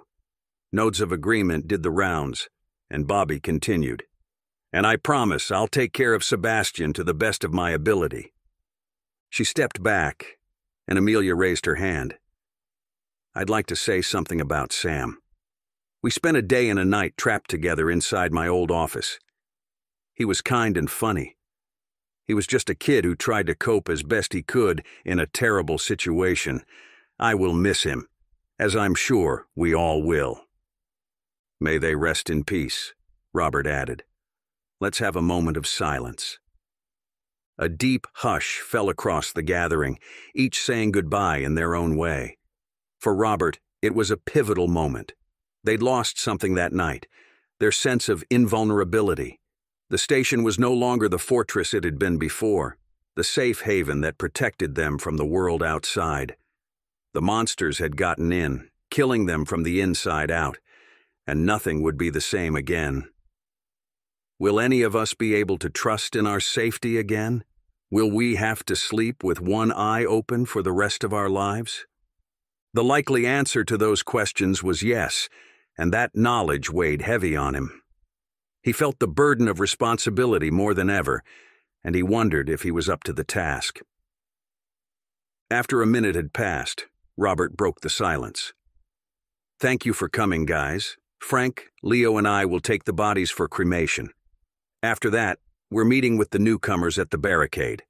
Hopefully, it won't take long, and we'll be back in time for the meeting. Are you letting the strangers in? Mike asked. No, we're meeting with them, that's all. Nothing more, Robert said. All right. We'll be ready for trouble, though, Mike added. Just in case. Robert nodded. We'll stay in touch via radio. Be careful, Teresa said. We will, Robert said. Teresa left, making her way back to George's side. The rest of the group dispersed to do their own thing. Mason, Claire, Mike, Elijah, Timothy, and Benjamin were the only exceptions. They stayed behind to stand guard in case of trouble, while Sarah returned to the roof with her rifle. With the service behind them, Robert, Leo, and Frank climbed into the truck. They were each armed with a handgun and an axe, while Frank carried a shotgun for good measure. They exited the station and drove toward an empty concrete lot with a small park in the middle. It was the only open space near them, and they'd begun using it to cremate the infected. Afterward, the remains were placed in a shallow grave and covered with a thin layer of dirt. It was the first time they were burning human corpses, and they completed the task with heavy hearts. Robert watched the flames race along the path they'd created with the accelerant, a squirt of gasoline. The cover sheets charred, split apart, and peeled back to reveal the bodies underneath. He backed away when the sickly sweet stench of burning flesh hit his nostrils. It was a horrendous smell, and he didn't want to risk losing his breakfast. Leo and Frank followed, watching from a distance as the flames consumed their former friends. When the fire died, they buried the remains in a shallow grave and scattered a layer of dirt over the top. With the burial behind them, Robert looked around. The park, though small, was pretty. A couple of tall trees cast dappled shadows on the ground, and birds chattered in the trees. Flowers bloomed in the corners, adding a cheerful touch, and clouds drifted across the blue sky overhead. This isn't so bad, I guess. No, it's not, Leo agreed. I'll say a prayer, and we can go, Frank said. Eternal rest grant unto them, O Lord, and let perpetual light shine upon them. May they rest in peace. Amen. It was short and simple, but the words were final, and Robert felt better when they left. As they climbed into the truck, he drove away with a sense of completion. One chapter of his life was over, and he was about to enter another, a survivor's life. When they reached the barrier, the ambulance was already waiting. It sat on the other side, a silent sentinel. Coming to a stop, Robert surveyed the area. It appeared to be quiet, and he reached for his radio. Sarah, Sarah, come in, over. This is Sarah, over. What does it look like? Robert asked. Over. I've looked everywhere. It's clean. Over. Can we proceed? Over. Yes, but be careful. I don't know what's inside the ambulance. Over, Sarah said. Copy that out, Robert said. He patted the gun at his side. I guess this is it. I'll cover you from here, Frank offered, brandishing his shotgun.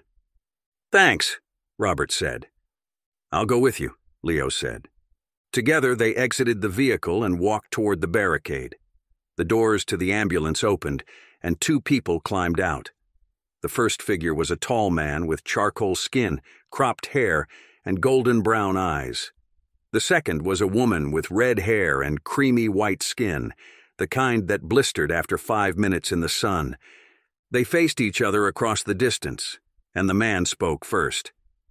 Thank you for agreeing to meet us. My name is Banks, and this is Zoe. Nice to meet you, Zoe said with a slight wave, her red hair shining in the sunlight. Robert nodded. I got your message, and I am glad you reached out to us. I'm Robert. This is Leo, and that's Frank. Are you with the fire station? Banks asked, pointing at the fire truck. I am a firefighter, yes, but Frank and Leo are police officers, Robert answered. At his words, Zoe perked up. The police? We thought you were all gone. The city department was overrun, and we couldn't find any survivors. It's the same with the township department. We're from the city department, and as far as we know, only the three of us are left, Leo said. Only three? Zoe said with a gasp. I'm so sorry. Thanks, Leo said. What about you? Robert asked. We are paramedics with the Virtua Willingboro Hospital, Banks said. I'm surprised the hospital survived. That's like ground zero, isn't it? Leo asked. You must have been flooded with infected. We were. People flocked to us in the hundreds, and everyone who died returned to life. We would have been overrun if it wasn't for CERT, Banks said. CERT, Leo said. The Sheriff's Emergency Response Team? That's the one, Banks said. They eliminated the zombies, quarantined the infected, and cleared the ground level and trauma unit. After that, they closed the parking area, blocked the gates, and set up a perimeter. So the hospital is zombie free? Robert asked. Not exactly. The morgue is full of them. The upper levels, too. We survivors stick to the ground floor and the trauma unit, Banks explained. Isn't that dangerous? Robert asked. The upper levels are blocked off. They can't get out, Banks explained. How many of you are there? Robert said. A few dozen, mostly doctors, nurses, hospital staff, and former patients. We've had civilians trickle in over time, but not many people are left out there. It's mostly zombies now. That's why we were so excited when we found you. I knew this barricade was made on purpose, and we heard a gunshot during the night, Zoe said with an enthusiastic grin. We had some problems. An outbreak inside the station, Robert admitted with a pained look. We lost three people. I'm sorry to hear that, Banks said. Did you manage to contain it? Yes, we did, and we'll be more careful in the future, Robert said. We've learned the hard way, too, Banks said. This apocalypse, it's something else. That's another reason we wanted to meet. Yes? Robert asked. We want to form an alliance and work together, Banks said. It's the only way we'll survive in the long run. Not all survivors are friendly. Have you had problems? Robert asked. Not yet. But some of the people we've taken in have been robbed or worse. The zombies aren't our only enemies. There are other people, not to mention the threat of starvation and disease, Banks said. An alliance, you say? What would that entail exactly? Robert said. That depends on you. We were thinking about opening trade between us and offering protection to one another, Banks said. Of course, you need not decide anything now. We've merely come to touch base and to show you we're friendly. Trade and protection. A powerful duo, Robert mused. We can offer medicine and medical expertise, and we have the CERT. Do you have any wounded that need treatment, perhaps? Banks said. Robert and Leo exchanged looks. One of our men had an amputation this morning. He was bitten, so we removed the arm, Robert said. I imagine it was a traumatic experience without the proper medical facilities, Banks said.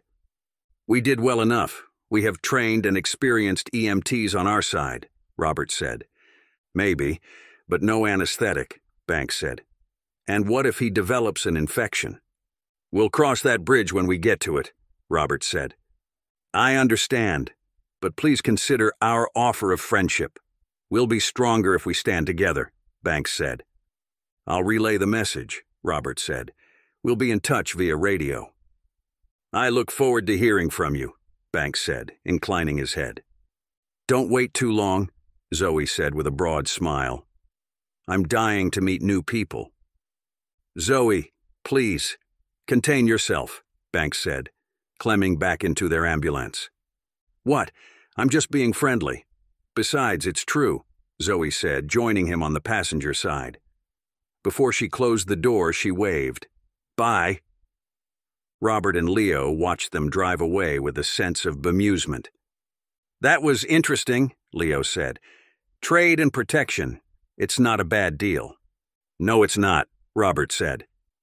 They turned and walked back to the truck where Franks waited, ready to blast a hole in anything that moved. How did it go? Quite well. We'll fill you in on the way back, Robert said. One thing, though, Leo said. What? Frank asked. I think we just met Sarah's clone. Sarah's clone? Frank repeated with a confused look. Or her long lost twin, Robert said. Really? Frank said. Robert looked at Leo and they both nodded. I'm going with twin. Non identical in looks, though they both have red hair, Robert said. Yeah, but Sarah's hair is more of a reddish gold, Leo mused. Zoe's is darker. Really? Frank said. You're going on about hair color? It was just an observation, Leo said, a blush rising up his cheeks, much to Robert's amusement. He chuckled. Whatever their differences in looks, they're almost identical in personality. You nailed it, Leo agreed, climbing into the truck. As Robert slid behind the wheel, he mused about the vagaries of fate. Who'd have thought they'd meet possible new friends from a possibly friendly community? This day can't get any weirder. Chapter 17 Teresa Teresa checked on George one last time before she left the room. It was time for the meeting, and she had to attend. After checking his heart rate and blood pressure, she checked his IV bag and patted his hand. I'll be back soon, dear. Don't worry. He couldn't hear her, of course. He was heavily sedated and fast asleep, but it felt right. Although he appeared to be doing well, she worried about him. She worried about all of her flock but the young ones always tugged at her heartstrings. After a final look, she left the room and locked the door, just in case. With her 38 Rossi tucked into its holster on her belt, she made her way to the kitchen. Susan met her with a warm smile and a fresh cup of tea. How are you holding up? I'm all right, just tired, Teresa said. I'll watch over George for a spell after the meeting, Susan offered. Thank you, I could use a hot shower, Teresa said, and she wasn't lying. Looking around the room, she determined that everyone was present except one. Where's Sarah? She's standing guard on the roof, Robert explained. I thought it would be prudent now that other forces are on the board. Good thinking, Teresa said with an approving nod. She also noticed three extra people, two women and a man. She recognized them as part of the teacher and parent group next door. Walking toward them, she said, Welcome. I'm Teresa. I'm Sandy, one of the women replied. We've met before. I'm a teacher. I remember, yes, Teresa said. And this is Claudia. She sought refuge at the school when the rising began, Sandy said. The other woman sniffed. I wouldn't call it a refuge. More like bad luck. Ignoring her, Sandy continued. This is James, a parent.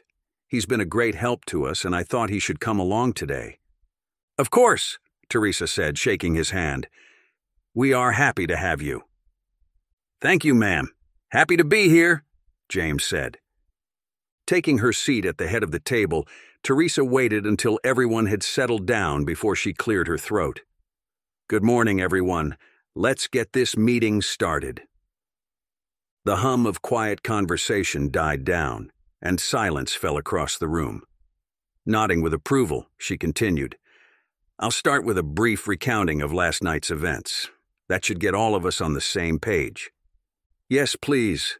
I would love to know exactly what happened, Claudia said, her manner stiff. Unlike the night before, she was dressed in a pantsuit, and her hair was drawn back into a tight knot. This gave her a severe look that matched the bitter downturn of her lips.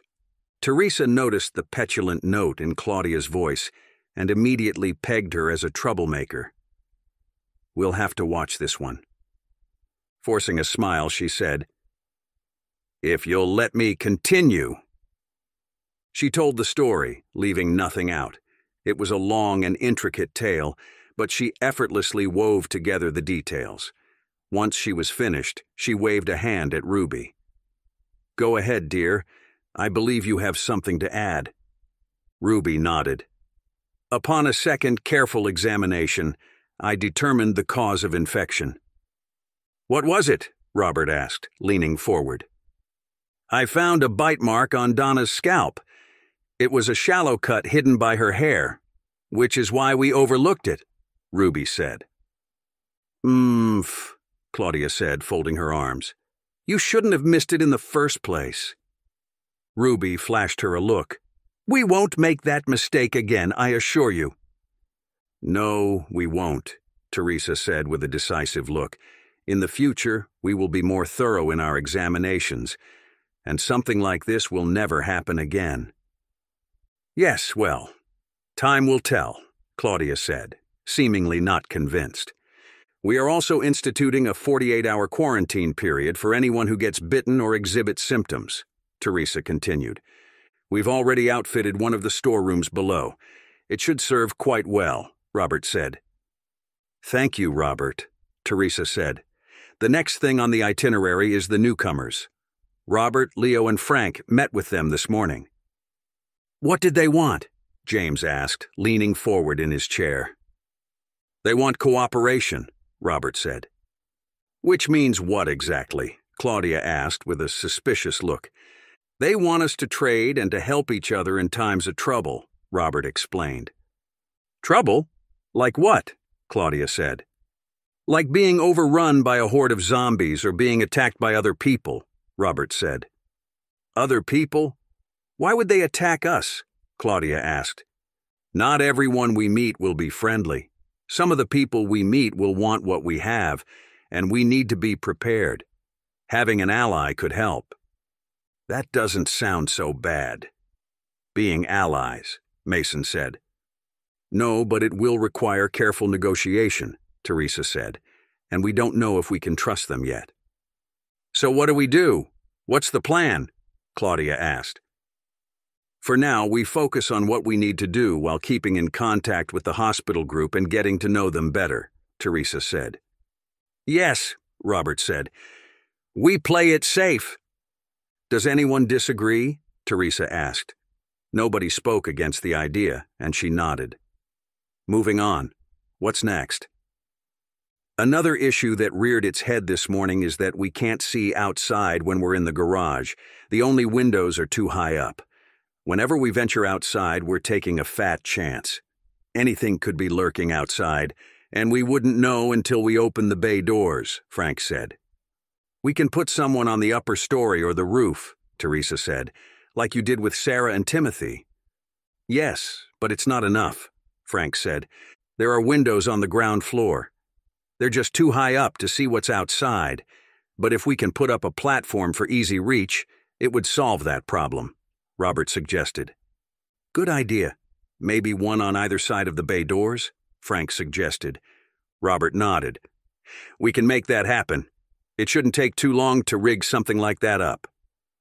Let's put that at the top of the list then, Teresa said, jotting it down on her clipboard. What else?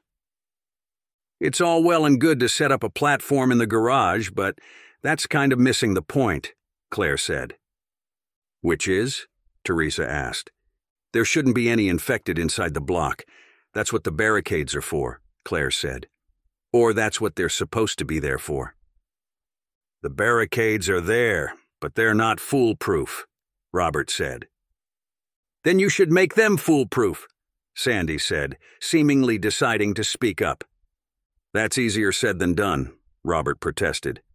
Get it done, Sandy said.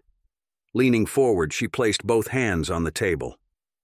The most important thing we should focus on right now is our safety. The children's safety, especially after last night.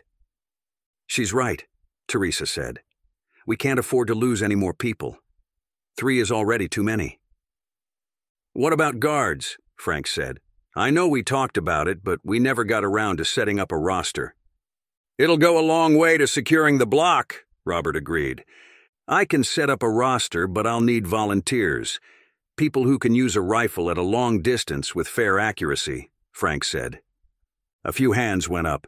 Sarah, Timothy, Ellen, Rick, Leo, and Claire. What about you, Bobby? Teresa asked. You're a good shot. Yes, but I'd prefer to take over communications, Bobby said, and I can look after Sebastian. Sounds good, Teresa said, making another note on her clipboard. I'll ask our people. There's bound to be someone who can use a gun, James said. I'm willing to learn if someone will teach me, Amelia said, raising a hand. It will give me something to do besides twiddling my thumbs. All right, but be careful, Robert said. Guns are dangerous. Of course, Amelia said. Now, who will teach me? I will, Frank said, as well as anyone else who wants to learn how to shoot. I've shown most of you the basics, but we should all know how to handle weapons in case of an attack. Maybe you and Leo could take turns giving class up on the roof, Robert suggested. Frank nodded. We'll put up a schedule on the notice board. If you're free, drop by. And I'll see what I can do about the barricades, Robert offered. We'll probably need more material and equipment. That means more supply runs, Teresa said. I need canning and bottling supplies to store surplus food, Sarah said. It's amazing how much people can eat. We should get the garden growing, Timothy said. What about the power? It's got to go soon, right? Susan said. What do we do then? We've got a couple of backup generators, Robert said. And the gas station is part of the block now. We can get fuel there, Mason said. It's not enough, Susan said. What happens when the fuel runs out? Susan is right. We need to be prepared, Teresa said. Any suggestions? Solar lamps, lights, and candles for a start, Robert said. Our kitchen has a gas stove, but we should get more for the other buildings and extra gas cylinders. We can install solar panels on the roof with inverters and battery banks in one of the storage rooms, Timothy said. We've got them on the farm and it works. Yes, but it's a big undertaking and it will take time to set up, Robert said. We don't have a lot of time, Teresa said. For now, let's focus on getting generators installed here and next door. The gas station and clinic, too. We should set up an extra space to store frozen foods with a generator to run the freezers should the power go out, Susan said. Once the food rots, it's over. The supermarket, Robert said. The small one on the other side of the block. It's already got freezers in place, and there's still some food left. We can set up a generator and add to the stock as we scavenge. Right, Teresa said, looking at her list. From the top, Frank is in charge of setting up a guard duty roster. All volunteers are to report to him directly. Yes, ma'am, Frank said. Frank and Leo will also offer lessons in gun usage and self defense. Everyone capable of wielding a gun must report for these lessons whenever possible. Got it? A chorus of yeses and nods did the rounds. James will ask next door for volunteer guards and sign his people up for the classes as well, Frank said. That's right, James said. We are happy to help. Thank you, Teresa said. Is everyone satisfied? Any questions? As she asked the question, the power shut down, plunging them into the gloom. Teresa looked around, startled despite herself. Even though she'd expected the electricity to go, it was still a shock. I think our list of priorities has just shifted, Teresa said. Robert, please put together two teams to get the generators installed and up and running. You also have to figure out a solution to the water problem. Yes, ma'am, Robert said. Frank, you and Leo can go ahead with your guard roster and training. That remains important, and having a guard on the roof will add an extra layer of defense. Of course, ma'am, Frank said. Bobby, Please remain in contact with the hospital. I would like to speak to someone in charge soon, Teresa added. I'll arrange something, Bobby said. Susan, I'm placing you in charge of the food. Recruit whoever you need to help you store as much as possible before it goes off. We'll likely be forced to ration electricity as we can't run the generators day and night. I'll make a plan, Susan said. James, if anyone in your group has expertise regarding water, electricity, and plumbing, please have them report to Robert. I'll ask around, James said. Sandy, I trust you and the other teachers can keep the children happy and occupied? Teresa asked, looking at the teacher. We can, but we could use some stationery, books, and toys, Sandy said. I'll add that to the scavenger list as soon as we get the water and power set up. Teresa said. What about me? Claudia asked. Someone with as much authority and influence as yourself can help smooth the transition, Teresa said, quirking an eyebrow. Going forward, we will have to ration our food, water, and electricity. We also can't have people running around doing their own thing. We'll schedule times for people to go outside, but until we get everything sorted, their freedom of movement is curtailed. Can you manage that? Claudia puffed up underneath Teresa's praise, envisioning herself as a ward to her subjects. She'd guide them along the right path and ensure the rules were followed. Of course, I can help with that. For someone like myself, taking the reins comes naturally. Thank you, Teresa said, hard put not to roll her eyes. Handling people like Claudia didn't require much finesse just a thick slather of praise countered with the slightest suggestion of doubt. After a final look at her list, she said, I think that covers it. Everybody has jobs, and if you don't know what to do with yourself, find something. In the meantime, I'll be on George duty should anyone need me. Teresa pushed back her chair and stood up. Oh, and besides myself, Robert is in charge of all operations. He has the final say, and if you want to know something, ask him. After a brief farewell to everyone, she gathered her things and left the room. On the way out, she stopped next to Susan.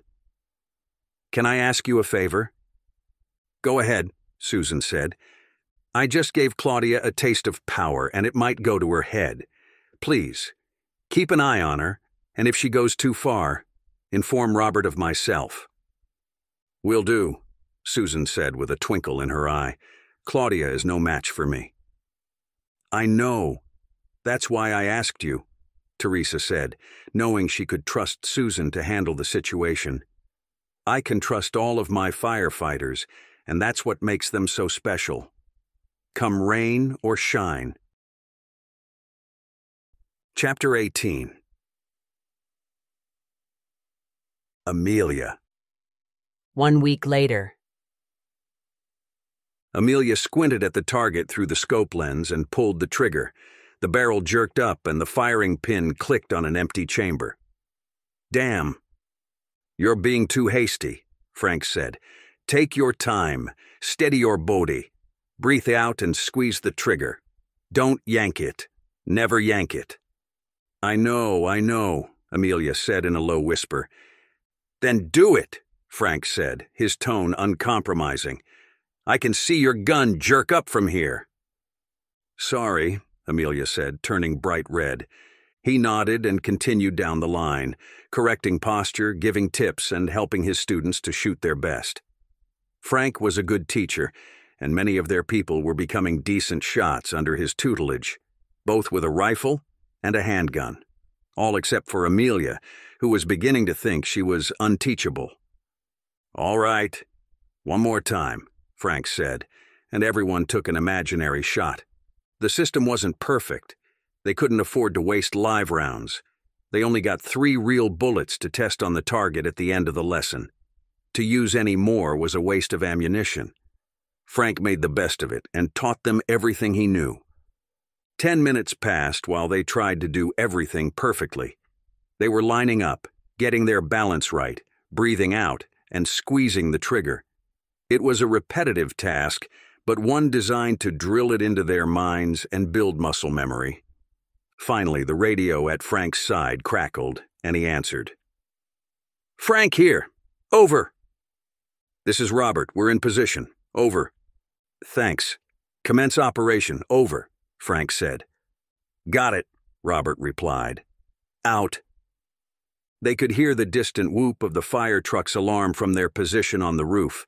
It called out to the nearby infected, inviting them to follow the sound. Once it faded into the distance, taking any nearby zombies with it, Frank lifted his hand in the air. Load, he said, and everybody loaded three live rounds into their guns. Ready? He asked, waiting until everybody affirmed. Remember what we practiced, he added. Yes, sir, everyone agreed. Shoot. The first volley rattled off.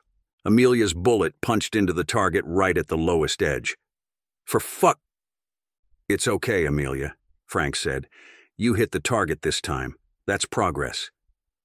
Thanks, Amelia said, but she couldn't help but notice the round hole in the forehead of Claire's target while Susan had decapitated hers.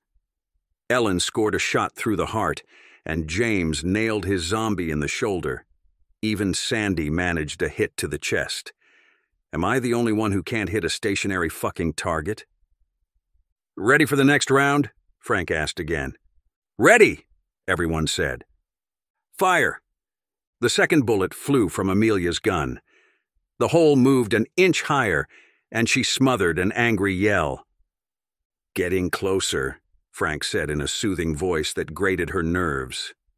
Closer, my ass, she thought to herself. I can't shoot for shit. This is your last try for the day, guys. Give it your best shot, Frank said. Ready? As ready as I'll ever be, Amelia mumbled. Fire. All right, Let's do this, Amelia thought. She focused on the target, steadied her aim, breathed out, and squeezed the trigger. The gun barked, and she blinked at the roughly drawn outline on the paper, her heart in her throat. A neat hole had punched through the paper man's face, and Amelia stared at it with shocked surprise. I did it. I can't believe I did it. Getting to her feet, she jumped up and down. I did it. I damn well did it. Take that, zombie suckers. Well done, Amelia, Frank said with an approving nod once he confirmed the shot. You did well. Thanks, Amelia said, beaming. I think you might even be ready for your first guard duty assignment, Frank added. Really? Amelia asked with a mixture of nervousness and eagerness. Yes, I think you can handle it, Frank said. We'll start you off with an easy shift. Say, tomorrow, late afternoon? I'll be here, Amelia said, puffed up with pride. Excellent. Report for duty at 2 in the afternoon. You'll stand watch until 7, Frank said. I won't disappoint you, Amelia said, resisting the urge to salute. But only soldiers did that, didn't they? She wasn't sure, but the whole thing seemed terribly formal, and she felt like that warranted some kind of celebration. I'm sure you'll do just fine, Frank said with a hint of a smile. See you at dinner. See you, Amelia said, still flying high on a cloud of euphoria. I did it. I did it. I did it. Frank gathered up the guns and ammunition. They'd be locked away until the next lesson, or if someone should need them for a scavenging trip. Only permanent guards wore guns the rest of the time, ready to fight should there be another emergency. Class dismissed, Frank said, heading back. Amelia hung around a little longer, chatting with Sarah and Claire. Did you see that? I got it in the head. See? I told you it was possible, Sarah said with a broad grin. Anything is possible if you just put your mind to it. I knew you had it in you, Claire said, chucking her on the shoulder. We all did, Ellen said. If I can do it, you can, Sandy said. Thanks, everyone. I appreciate the support, Amelia said. After sucking for many so days, I feel like I should get an award. Of course you should, Sarah cried. I'm sure we can set something up, right, Claire? Like what? Claire said with a doubtful frown. We'll figure something out. Let's meet back here after dinner. Just us girls, Sarah said. We can have a mini celebration. All right, count me in, Claire said with a shrug. I'll be here, Sandy said. The other teachers can cover for me with the kids for a while. Me too, Ellen said. What? Sarah asked with mock surprise. You'll drag yourself away from Rick to hang with us? I thought you two were joined at the hip.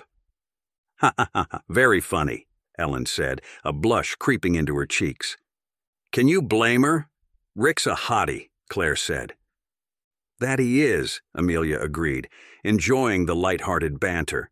So is Mason, your brother. What? Ooh, gross, Claire said with an exaggerated shudder. I think he's cute, Sandy said with a shy smile. Yeah? I suppose there's no accounting for taste, Claire said with a teasing smile. What about you, Sarah? Are you a Rick or a Mason kind of gal? Neither, Sarah said. I think Timothy's cute. George, too, but he seems emotionally unavailable. You noticed that? Ellen said. It's like he lost someone and never got over it. Exactly, Sarah said. Don't forget about Leo, Amelia said. Ugh, no, he's like an older brother to me, Sarah said, and a colleague. Your loss, Claire said. Have at it, Sarah said. Thanks, but no thanks. I'm happily single, Claire said. It's nice to talk about it, though. It makes me feel almost normal. It kinda does, Sarah agreed. Anywho, we'll meet back here after dinner. See you. Skipping off into the sunset, Sarah went on her way. Ellen and Sandy followed, with Amelia and Claire taking up the rear. What are your plans for the rest of the day? Amelia asked. I'm off on a run to a plant nursery with Mason, Ellen, and Rick, Claire said. Bobby and Timothy have a whole list of stuff they need. I wish you luck, Amelia said. Thanks. What about you? Claire asked. Me? I'm due for a self defense lesson with Leo in ten minutes, she said with a grimace. That bad, huh? Claire asked. I've been meaning to join in, but I've been too busy. Oh, Leo's good, very good.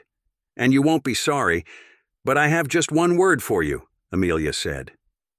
What's that? Pain, Amelia said, rubbing her sore muscles. Lots and lots of pain. Claire laughed. I'll remember that, but I'd better get going. I'm already late. She ran off, and Amelia went to the kitchen for a quick coffee.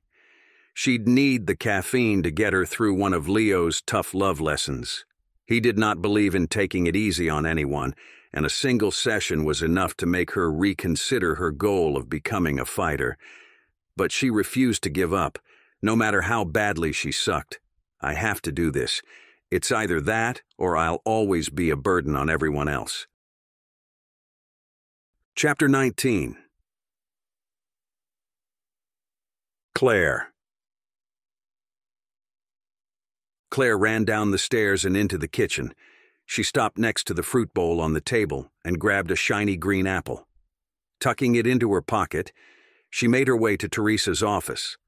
After a soft knock on the door, she stuck her head inside. Hello? Anyone there? Hi, Claire, George replied, his voice rusty from disuse. Claire stepped inside and looked around the room. Where's Teresa? She had to run, George said, propped up on a stack of cushions. And leave you alone? I'm not a baby, I still have one good arm, George protested, waving the limb around. He picked up a bottle of water from a side table and took a couple of sips. He said, See, I can take care of myself. Yeah, I'm sure you can, Claire said, though she doubted it. She did not like the wan expression on George's face or the grayish tone of his skin. He looked both tired and drained, not a good combination. How do you feel? Just peachy, George replied. Are you sleeping? Yes, Mom, he said. I'm eating my vegetables, too. Claire rolled her eyes. I'm sorry. Would you rather I leave? No, I'm sorry, it's just. You don't like people feeling sorry for you, Claire said. Exactly. Well, I don't feel sorry for you at all, it was your own fault for getting bitten, you dumb ass, Claire said with a broad smile. I was kinda dumb, George admitted. Kinda? Claire asked, raising an eyebrow. Very dumb, George amended. As long as we learn from our mistakes, right? Right, George said. How are things going out there? Whenever I ask Teresa, she says, I mustn't worry my pretty little head. She's right. You're much too pretty to worry, Claire said with a chuckle. Come off it, George said with a growl. Things are going okay. We're holding the fort, and we're building it too. Everyone's pitching in, Claire said. I'm glad to hear it. You should just focus on getting better. We need more hands, Claire said. Don't you mean hand? Glad to see your sense of humor is still intact. Oh, it's alive and well. How else could I survive around people like you? George quipped. True, Claire admitted. Anyway, I've got to run before Mason skins me alive. We're due for a run. I'll be joining you one of these days, George said. Promise? Claire asked. Promise. Good. See you soon, Claire said with a wave of goodbye. A glance at her watch had her stomach in a knot, and she tore through the kitchen and down the stairs to the bay area. Tripping over her own feet, she sprinted toward the waiting fire truck. Wait for me! Mason sat behind the wheel with a thunderous look on his face. You're late. Sorry, she cried, jumping into the seat behind him. Next time I'm leaving you behind, Mason said. No, you won't. I'm your little sis, Claire said. Besides, I checked up on George before I came here. Mason's expression cleared. How is he? Better, but not great. Meaning? He looks sick, tired, Claire clarified. I hope he doesn't have an infection, Mason said. If he does, We might have to take the hospital up on their offer and send him there, Ellen said. Maybe, but George is tough, Claire said. He'll make it. Let's hope so, Mason said, reversing out of the garage. Ellen sat beside her, her rifle between her knees, while Rick sat next to Mason. Claire flashed them a smile while she checked her magazine. Once satisfied, she relaxed in her seat and made herself comfortable. Claire stared at the scene around them as they rumbled out of the firehouse into the open. The block was busy, bustling with life aplenty, unlike a few days before. There was much to be done, and only so many hours during the day. As such, everybody was expected to pitch in, and they did. A group of kids walked around the block with plastic bags, picking up stray rubbish under the supervision of a teacher and an armed guard. Leo was getting ready for his self-defense lessons, while Frank oversaw the operation of the barricades. Robert, Mike, and Elijah filled up fuel tanks from the underground container at the gas station, and Ruby set up shop at the clinic. James was loading full rubbish bags onto the back of a truck, and Claudia took inventory of incoming supplies on a clipboard. It was good to know they were making progress, making her even more eager to help. Hopefully, their current run would be a success, and they could bring back more gardening supplies. It was a key ingredient to their future success. Leaning forward, she asked, How far is the nursery from here? About 15 minutes, Mason replied. Is it a hot zone? It's on the outskirts of town, and the area is quiet as far as I can tell, Mason said. But we'd better be ready for anything. Gotcha, Claire said, drumming her fingers on her knees. She disliked inaction and wanted to get moving as soon as possible. Fifteen minutes seemed too long, and she wished it was over already. To pass the time, she looked at the other party members. With Robert spending more time at the base, taking over the day-to-day responsibilities, Mason had stepped up as the leader of his own raiding party, consisting of the four of them, Mason, Claire, Rick, and Ellen. They complemented each other's strengths and weaknesses and formed a cohesive unit. While Rick and Claire tended to be daredevils, charging in and asking questions later, Ellen and Mason were more cautious. They preferred to have a plan and always did a fair amount of reconnaissance before a hit. We make a good team, Claire thought with satisfaction, knowing she could count on them to have her back. Fiddling with the knife at her hip, she waited until they reached their destination. Bloomingdale's plant nursery. Mason parked the truck before the main entrance and shut off the engine. For several long minutes, he surveyed the surroundings through binoculars until Claire could no longer contain her impatience. Well, can we go? I count three infected outside, Mason replied. He pointed at two figures shuffling around the parking lot and another stumbling up the road, plus four more inside. Four? Ellen asked. The cashier behind the till, two people wandering through the aisles, and one going in circles over there, he said, pointing at a window. Stuck in an office, maybe? Seems like it, Ellen agreed. There could be more, but that's all I can see through the windows, Mason added. All right, let's take care of the lot outside before we head inside, Rick said. I'll take those two, Claire said, reaching for the door handle. We'll take those two, Mason corrected. Rick can take the other one, and Ellen can act as lookout. Ugh, fine, but move your ass, Claire said, rolling her eyes. Wait for me, Mason cried. Ignoring her brother, she jumped out of the truck and into the road. Her sneaker clad feet made barely a sound as she closed the distance between her and the two zombies, milling about the lot like two drunkards on karaoke night. They saw her coming at the last moment and growled with hungry anticipation. Their movements sped up, and they raised their arms to welcome her into their deadly embrace. Bloodshot eyes fixed on her form, and teeth gnashed at the air. Claire plucked the fire axe from her belt as she ran, holding it in her right hand. On her left, she carried the rifle, armed and ready to shoot. Ducking beneath the grasping fingers, she swept the gun through the air. The barrel connected with the closest infected's leg, and it fell to the ground with a thud. While it struggled to regain its footing, Claire focused on its friend. With a wild yell, she swung the axe. The blade flashed in the light before it sunk deep into the neck. Muscles and tendons parted with a snap, and the edge ground against the vertebrae in the neck. Half decapitated, the zombie turned in circles as its head flopped around on its shoulders. Claire yanked the axe free and jumped out of reach. Another chop was enough to send the head flying, and it smashed onto the asphalt a few feet away. A pool of clotted black blood formed underneath the skull, and the swollen tongue stuck out between the gray lips. Pulling a face, she looked away and focused on her next adversary. The downed zombie had regained its feet and came at her with renewed determination. Come on, zombie bait, I'm ready for you. It snarled in answer, and bloody saliva frothed on its chin. Before she could attack, however, Mason was there. He crushed its skull like an overripe melon with a heavy overhanded blow.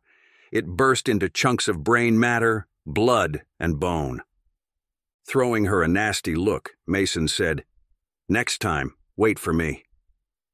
I was doing fine on my own, Claire protested. I don't care. This is my team, and you follow my orders. Got it? he asked. Claire stared at him for a moment, tempted to say no, but he had a point. It was his team, and he was the leader. They'd all agreed to it, including herself. All right, I'm sorry. I'll listen next time. Good, Mason said, wiping his blade clean on the infected's shirt. He tucked it back into his belt as he strode toward Rick and Ellen, who hovered above the third zombie. It was also down on the ground, its face smashed to a pulp. Good job, guys, Mason said when he reached them. Thank Rick. He got to it first, Ellen pointed out. Doesn't matter, Mason said. All that matters is that it's dead. Oh, it's dead all right, Rick joked, wiping blood from his face. What's next? Ellen asked. Let's clear out the nursery, but if it gets too hairy in there, run back to the truck, Mason said. Got it? Yup, Ellen said. I'm ready, Rick added. Lead the way, bro, Claire said with an exaggerated wave. He glared at her, and she smothered a grin. Teasing her brother was the stuff of dreams. They'd done it all their lives, and the familiar routine soothed and invigorated her. Mason loved it just as much, even if he pretended not to. In the end, it was another strand in the rope that bound them together. The nursery loomed in front of them, a long, low building made with rough timbers and a thatched roof. The bright afternoon sunlight shone on the whitewashed walls and reflected off the large plate windows. Figures moved around inside, and it was hard to tell how many. Pausing at the entrance, Mason tested the handle. The door was unlocked, and he looked at each of them. Ready? They nodded in turn, their sweaty palms wrapped around the handles of their weapons. Claire swallowed on the sudden knot in her throat, her stomach queasy. Suddenly, breakfast seemed like a bad idea, and she wished she hadn't eaten. Breathing through her nose, she calmed her nerves. You can do this. Mason rammed the door with his shoulder and it flung open. Hitting the wall with a bang, it attracted the attention of every infected inside the building. They turned toward the intruders and snarled. As one, they attacked, converging on the entrance from all directions. Claire did a quick head count and quickly realized Mason had it wrong. Besides the cashier, there were at least five more zombies. Make that six. Taking a stand, she lifted her axe and warned her fellow teammates. We've got incoming. Around six, maybe more. I see them, Mason affirmed. Rick, can you take the cashier? I'm on it. The cashier hung over the counter, reaching for them with milky pale arms. She growled with frustration, unable to climb over the barrier. Scrabbling at the smooth surface, she flopped around like a fish out of water. Rick stepped up and dispatched her with a single mighty blow. Preferring a hammer, he hit her on the head and smashed her face into the counter. Her skull imploded with the impact, and her body spasmed with the last echoes of life. Done, Rick said with a grim look. He turned back in time to meet the first wave of incoming zombies, and they stood side by side to meet their foes. Lifting her axe, Claire launched herself into the fray. She slashed at the nearest body that came her way and missed. The blade sunk deep into the flesh between the neck and shoulders. She pulled back on the handle, but the weapon stuck. With a yell, she booted the infected in the chest and wrenched the axe free. The zombie fell back, and she took her chance. With a second blow, she caved in its skull, and it flopped to the ground. Another one stepped into the gap, and she hit it with the back end of the fire axe. The heavy metal crushed the bone and damaged the brain. With a grunt, the zombie collapsed. Breathing hard, Claire looked around. A total of eight zombies lay on the floor, seven of them dead, and another unable to stand. Stepping up, Mason put it out of its misery. It joined its brethren in final death, a sad remnant of the person it once was. Let's get them out of the way, Mason said, grasping the nearest corpse in a fireman's hold. He dragged it to the side and returned for another. Claire copied him, and they soon cleared the entrance of any obstacles. Right, let's move. You know what to do, Mason said. I'll take gardening equipment. Rick, you're on soil, pots, and fertilizer. Ellen and Claire, you're on seed duty, and anything else you think might be useful. Got it, Claire said with a nod. Be careful. There might be more zombies around, Mason added. We're always careful, Claire said, rolling her eyes. I wasn't talking to you, Mason said, looking at Ellen. You never listen to me anyway. True, Claire said with a chuckle.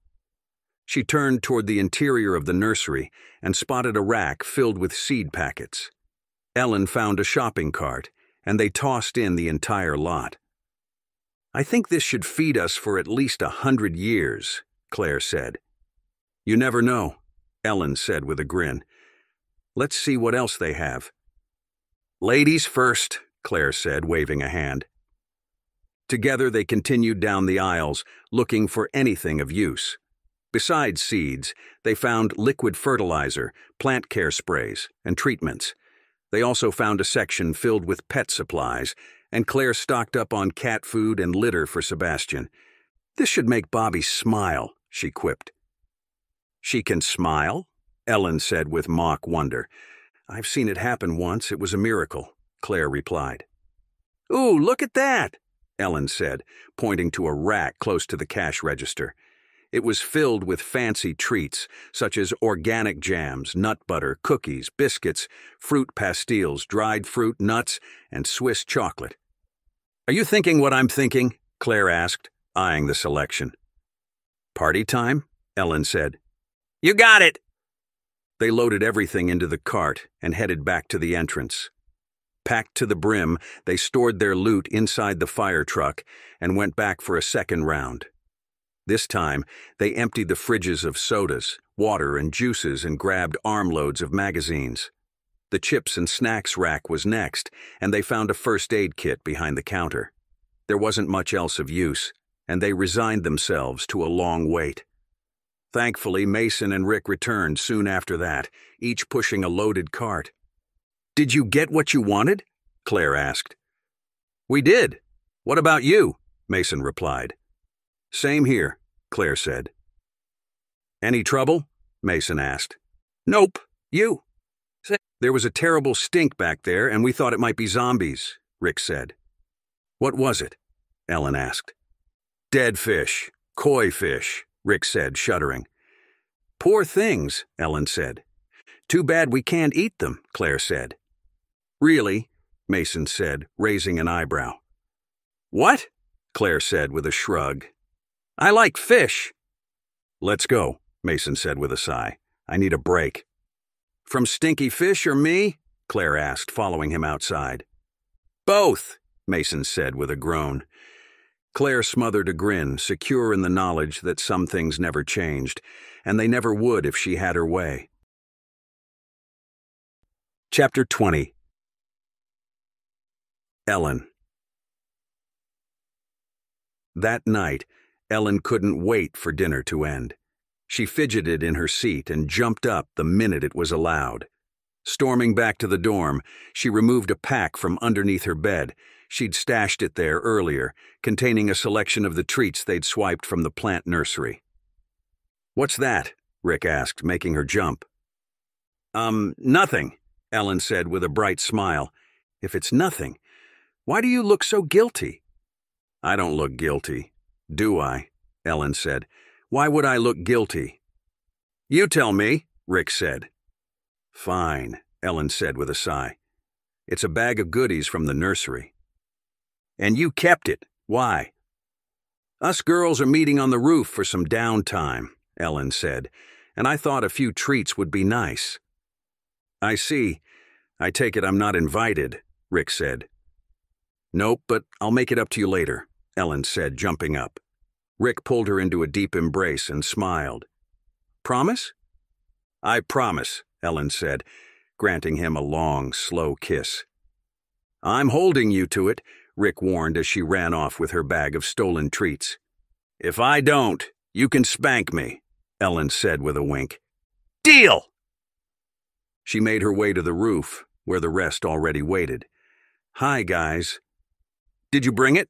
Claire asked with a stealthy look. Of course I did, Ellen said, producing the bag. Swiss chocolate, anyone? You're kidding, Sarah exclaimed. I am not, Ellen said, producing a bar of the fine chocolate. I also have honey nougat and caramelized nuts. Oh my God, you're a star! Amelia cried, grabbing a piece of nougat. I never thought I'd get to eat this again, ever. She unwrapped the candy, took a bite, and groaned with pleasure. Mmm, that's so good. Give me some of that good stuff, Claire said, taking a piece of fudge. What about you, Sandy? Ellen asked. Anything with caramel for me? Sandy replied. Dishing out the sweets, Ellen took a piece of chocolate for herself and settled on a nearby bench. The rest followed, and they formed a circle of camaraderie. Tell me how you met Robert, Claire said. How we met? Gosh, that's so long ago, Amelia said. Come on, dish the details, Claire prompted. Well, he asked me to the prom, screwed up the details, and arrived in a purple tux, Amelia said. Purple? Claire laughed. What color was your dress? Lime green, Amelia replied. We looked like two clowns who escaped from the circus. Despite that, he made the best of it, and I was hooked. That's a great story, Claire said. What about you? Amelia asked. No one special? Nope. My last date puked on my new shoes and left with another girl, Claire replied. Her loss, your gain, Amelia said. I haven't had time for romance, Sarah said. Not with the academy and training and stuff. Me neither. My kids are my life, Sandy said. Not Ellen, though, Claire said. She'd got it going on. Yup, I sure do, Ellen said with a grin and I am not complaining. I'm sure you're not, Claire said. Anyway, enough with the romance talk. Let's talk guns. Guns? Sandy said, wrinkling her nose. I'd rather not. Frank shoves it down my throat every single day. True, Claire said. How about a party trick? I can bend my thumb backward. Prove it, Ellen said. Claire complied, pulling her thumb back until it was level with the rest of her hand. That is so gross, Sarah said with a shudder. Claire shrugged. Maybe, but not many can do it. I can tell jokes, Sandy offered. Okay, go ahead then, Ellen said. What did the fish say when he swam into a wall? Sandy asked. What? Ellen prompted. Damn, Sandy said, chuckling like crazy. Damn, get it? Er, we get it, Ellen said. Sorry, I guess I'm not that funny, Sandy said. The kids like my jokes. Yeah, I can see that, Claire said. It doesn't matter, Amelia said. What matters is that we're here, alive, together, and laughing. Cheers to that, Sarah said, taking a big bite of chocolate. She grinned at them with chalk stained teeth, and everyone burst out laughing. Ellen leaned back in her chair, feeling at peace for the first time in days. While she loved Rick and enjoyed every second of their fresh new relationship, it was still the apocalypse. Good people were dead, and more were dying. Humanity teetered on the brink, but despite that, here they sat. A gaggle of women talking and having fun as if nothing had happened. For a brief period, they could set aside their differences and pain. They were able to be themselves, and that was enough. Chapter 21 Bobby Bobby dug her hands deep into the soil and rubbed the rich matter between her fingers. It was good earth, the kind made for growing things flowers, fruits, vegetables, and herbs. It reminded her of her garden and the bounty she used to grow there. With this, we can eat like kings. She dropped the handful of soil and formed a shallow trench with her hands. Selecting a packet of seeds, she tipped them into her hand and carefully planted a row of radishes. With the first row done, she planted a second and a third. Once the box was full, she searched for a watering can. She found one three pallets over and used it to water the freshly planted seeds. Smiling with satisfaction, she surveyed the rooftop of the fire station. In just a week, it had changed radically. After the meeting and the loss of the power grid, everyone jumped into action. Scavenging parties went out twice a day, returning with the items they needed to set themselves up for survival gardening equipment, building material, food, medicine, bottled water, and furniture. At home, teams worked to set up the generators, keep them fueled, and install water pumps, rain catchment systems, and tanks. They filled wooden containers with earth and planted winter crops on the fire station's roof. Frank taught the untrained how to use guns, Leo taught them how to fight, and they set up a guard roster. The barricades were improved, and not a single infected had intruded into their space in a long time. Even Sebastian had settled down, he was now allowed the run of the station, and he'd quickly become a favorite with everyone. Everyone except Robert. Bobby choked back a laugh. Poor Robert would never get used to the feline. He just wasn't a pet person, especially cats. To make it worse, Sebastian seemed to sense his aversion and found great pleasure in taunting the man. He'd jump on the kitchen table and walk past Robert, waving his tail in his face. After waving his butthole in Robert's face, Sebastian would sit down and proceed to groom himself while staring at the man with kingly disdain. It was pretty hilarious. To Bobby, at least. How's the gardening coming along? A voice asked behind her. She turned and spotted Amelia. Not bad. It'll be a few weeks before we can eat any of it, though. I thought as much, Amelia said, inspecting the rows of boxes on the roof. She carried a rifle, and Bobby guessed she'd volunteered for guard duty. How are the gun lessons going? Bobby asked. While Robert was not a cat person, Amelia at least tried to be nice to Sebastian, despite being allergic. For that reason, Bobby was willing to accept her, if not become best friends. Okay, Amelia said. After a pause, she added, It's a lot harder than I thought it'd be, but I'm learning. Just keep at it. Practice makes perfect, even though it gets tedious, Bobby said. I got my first headshot the other day, Amelia said with a mixture of hope and pride. That's great, Bobby said, striving to look impressed. Being a good shot herself, she didn't bother with the lessons and didn't think a headshot at a stationary target was that impressive, especially with a scoped rifle while sitting in a supported position. But Amelia looked so happy that Bobby couldn't bear to burst her bubble. Thanks, I can only get better, right? Amelia added. Exactly. Do you feel ready for guard duty? Bobby asked. Not really. I probably wouldn't be able to hit the broad side of a barn with this thing, but I'm sure I can run and scream if I see something coming, Amelia said with a shrug. I think that's why Frank gave me the afternoon shift. Bobby laughed. Works for me, You'll be the first one I run to, Amelia said. Deal, Bobby said. Seriously, though, keep at it. You'll get the hang of things, Bobby said. I'll keep practicing, but right now I'd better go do my job, Amelia said with a wave. Have fun, Bobby said, returning to her garden work. Throughout the afternoon, she planted, watered, and weeded. The work was therapeutic, and it calmed the rough edges of her being. She'd always enjoyed gardening and had a real knack for it. Everything she touched flourished. It was just one of her talents. While she moved, she hummed beneath her breath, and it wasn't long before Sebastian found her.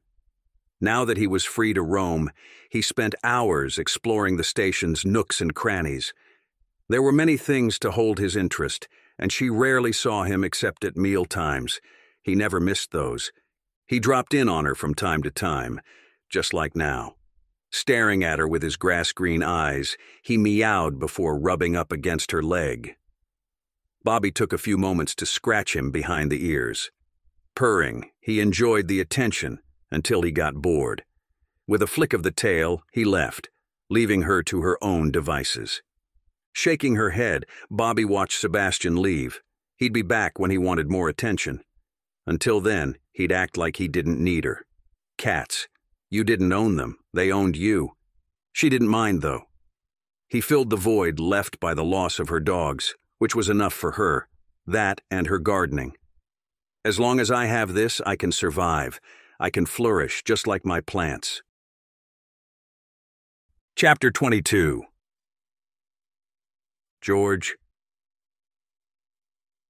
George drifted in and out of consciousness, unable to control his thoughts. He viewed everything through a drug-induced haze, and the world shifted around him constantly, switching between the reality of Teresa's office and the nightmares that plagued his sleep. The pain in his arm was always there, an ache that no amount of painkillers could treat. They only dulled the sharp edges until it became bearable. It was worse when he was awake, but at least Teresa was there, or Susan. They were always ready with a sip of water, a cool cloth, and a kind word.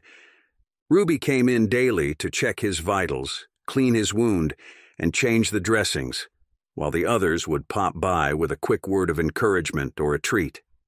They were good friends, and he was fortunate to be in such fine hands. But they weren't her. Nicky. With the memory of their last encounter fresh in his mind, it was impossible to forget. Like his mom used to say, once you let the genie out of the bottle, you can't put it back. And neither could he get rid of his guilt. It tortured him day and night, mocking him with visions of her face, voice, and laughter. It played reruns of their happiest moments together, only to torture him with horrific nightmares when he fell asleep. It became so bad that he refused to sleep, forcing himself to stay awake until he was bleary eyed with exhaustion.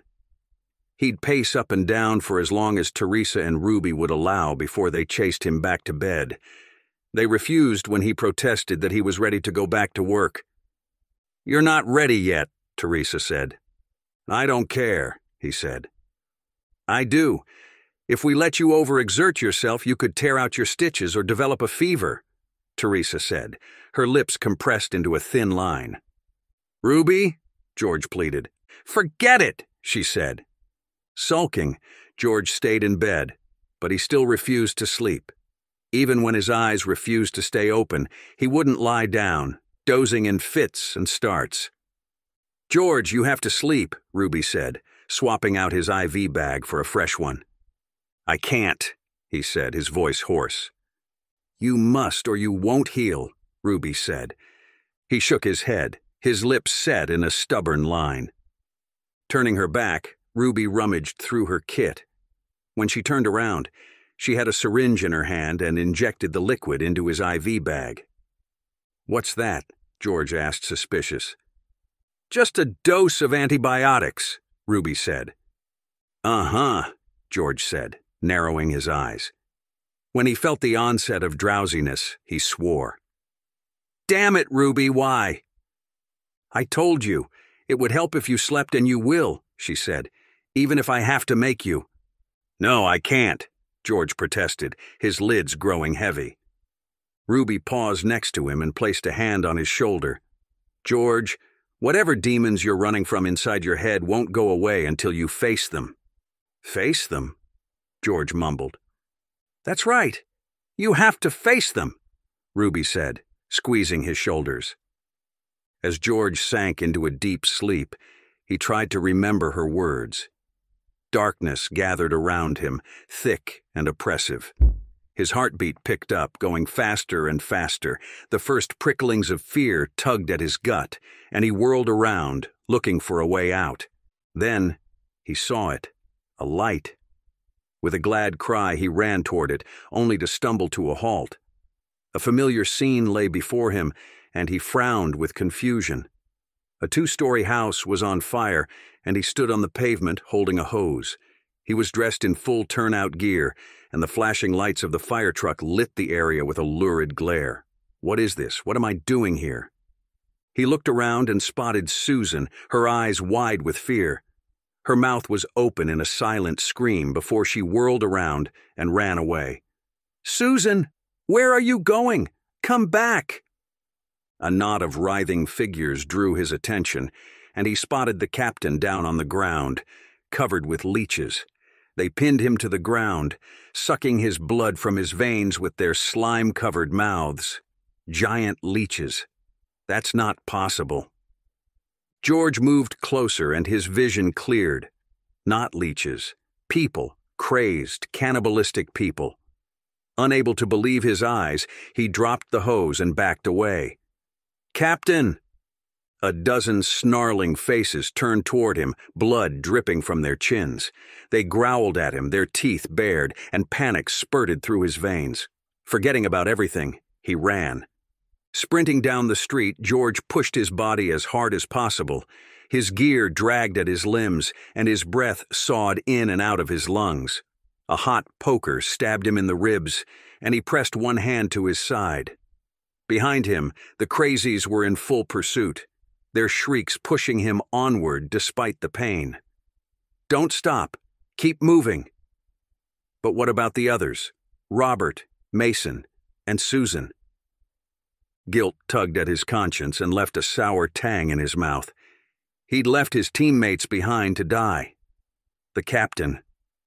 Oh, God, the captain. These thoughts and many more swirled through George's mind.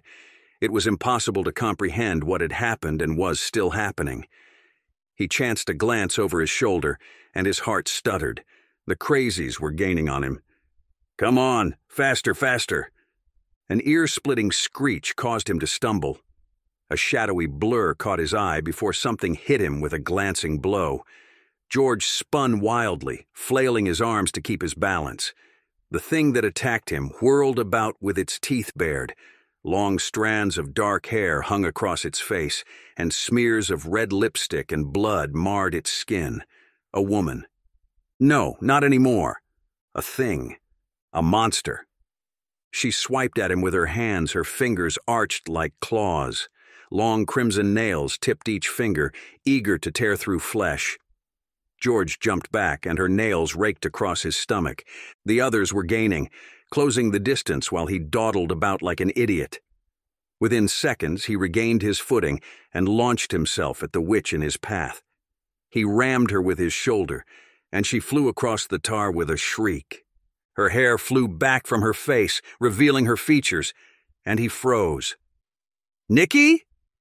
She grinned, her teeth pointed and razor sharp like a shark. Remember me, brother? No, it can't be, he whispered, looking around. She scuttled toward him on all fours, and he broke. Pelting down the street with a fresh burst of speed, he ran to get away from her monstrous figure.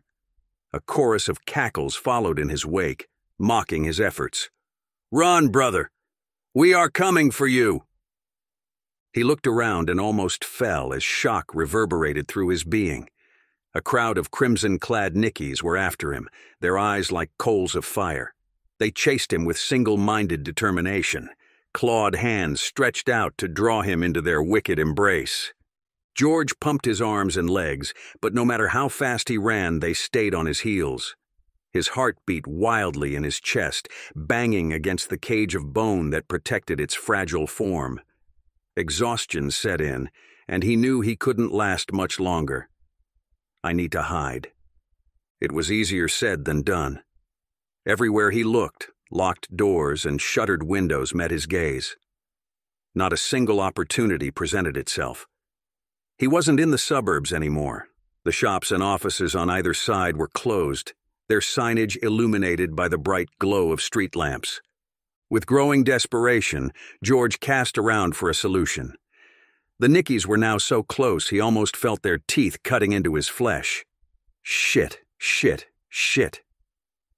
A car drove past, its wheels screeching as it sped around the corner.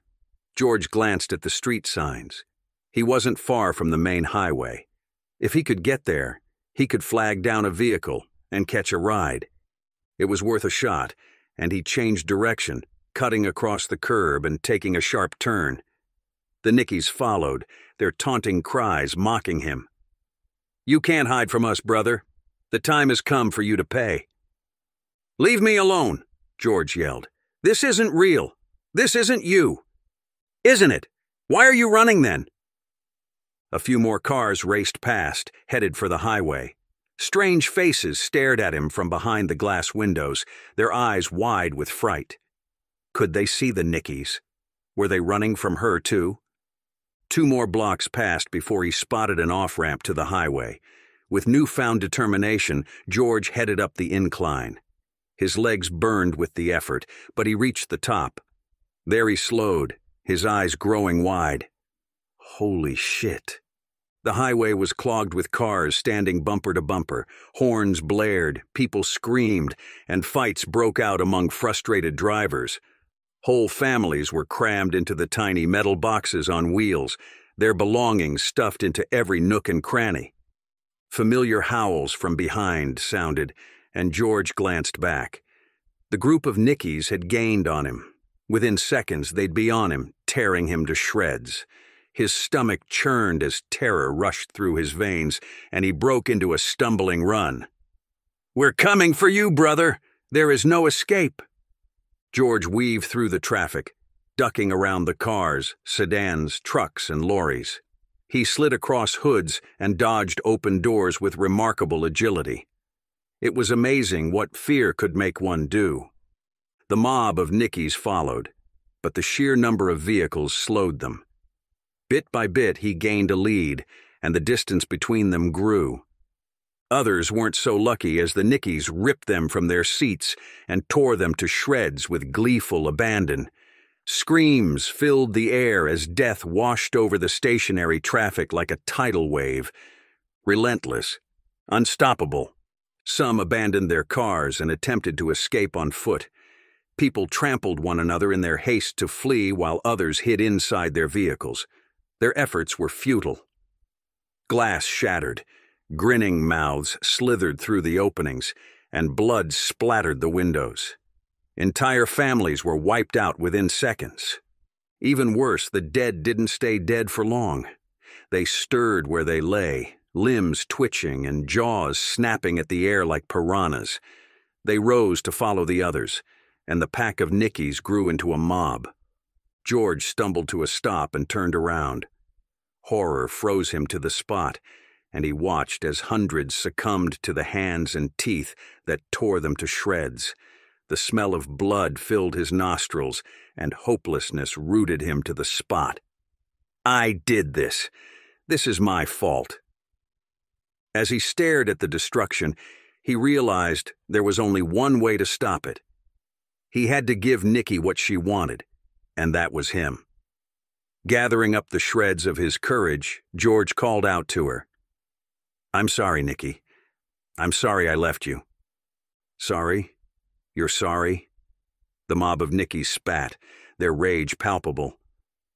Sorry isn't good enough. You must suffer. Then take me. Make me suffer. But leave these people alone. They are innocent, George said. Stepping forward, he spread his arms wide. Here I am. Take me. I deserve to die. The mob of Nickeys paused mid-destruction, their eyes calculating. Finally, the lead Nicky bared her teeth in a wicked grin and said, We accept your offer. Abandoning the other people trapped on the highway, the Nickies moved toward him. They surrounded him until she was all he could see. Everywhere he looked, it was her face he saw, her eyes, her pain. Resigned, George waited for Nicky to kill him. He didn't want to run anymore, didn't want to live with the guilt of what he'd done. It would be better if he died right there, a fitting punishment for his crime. George tilted his head back and looked up at the stars. The sky was clear, and the stars shone like diamonds against the velvety black background. With his hands hanging by his sides, he waited, ready to accept his fate. The howls and snarls grew closer, and he braced himself for the worst. It would hurt, he knew that, but he deserved no less. I love you, Nicky. I've always loved you. Silence fell around him, and a mild breeze tugged at his shirt. Cool fingers intertwined with his, and he looked down to find his sister gazing up at him with soft gray eyes. She smiled. I love you too, brother, and I forgive you. The scene faded away, replaced with snippets from their childhood, stolen moments when they were happy, when all that mattered was that they had each other. The memories filled his heart with warmth, and he knew everything would be okay. One day he'd see her again and ask her forgiveness. They'd be a family again, one day. Psst. If you're enjoying this audiobook, can you do us a favor and share it with a friend? The more you share, the more free audiobooks we can publish for you. Now, back to the story. Chapter 23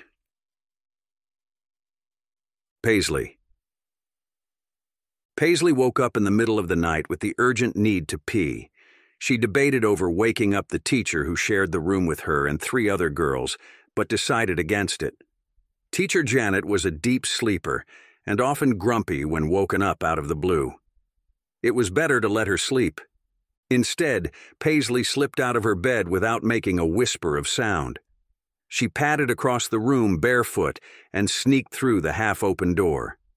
A lamp burned in the hallway, its light there to guide people like her when it was too dark to see.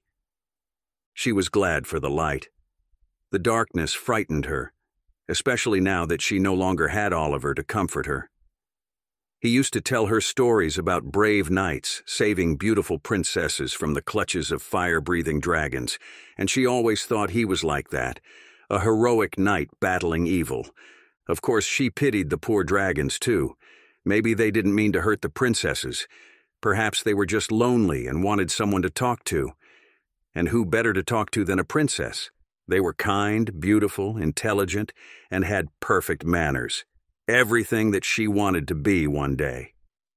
Paisley knew what it felt like to be lonely. Her whole family was lost to the evil that lived inside the darkness.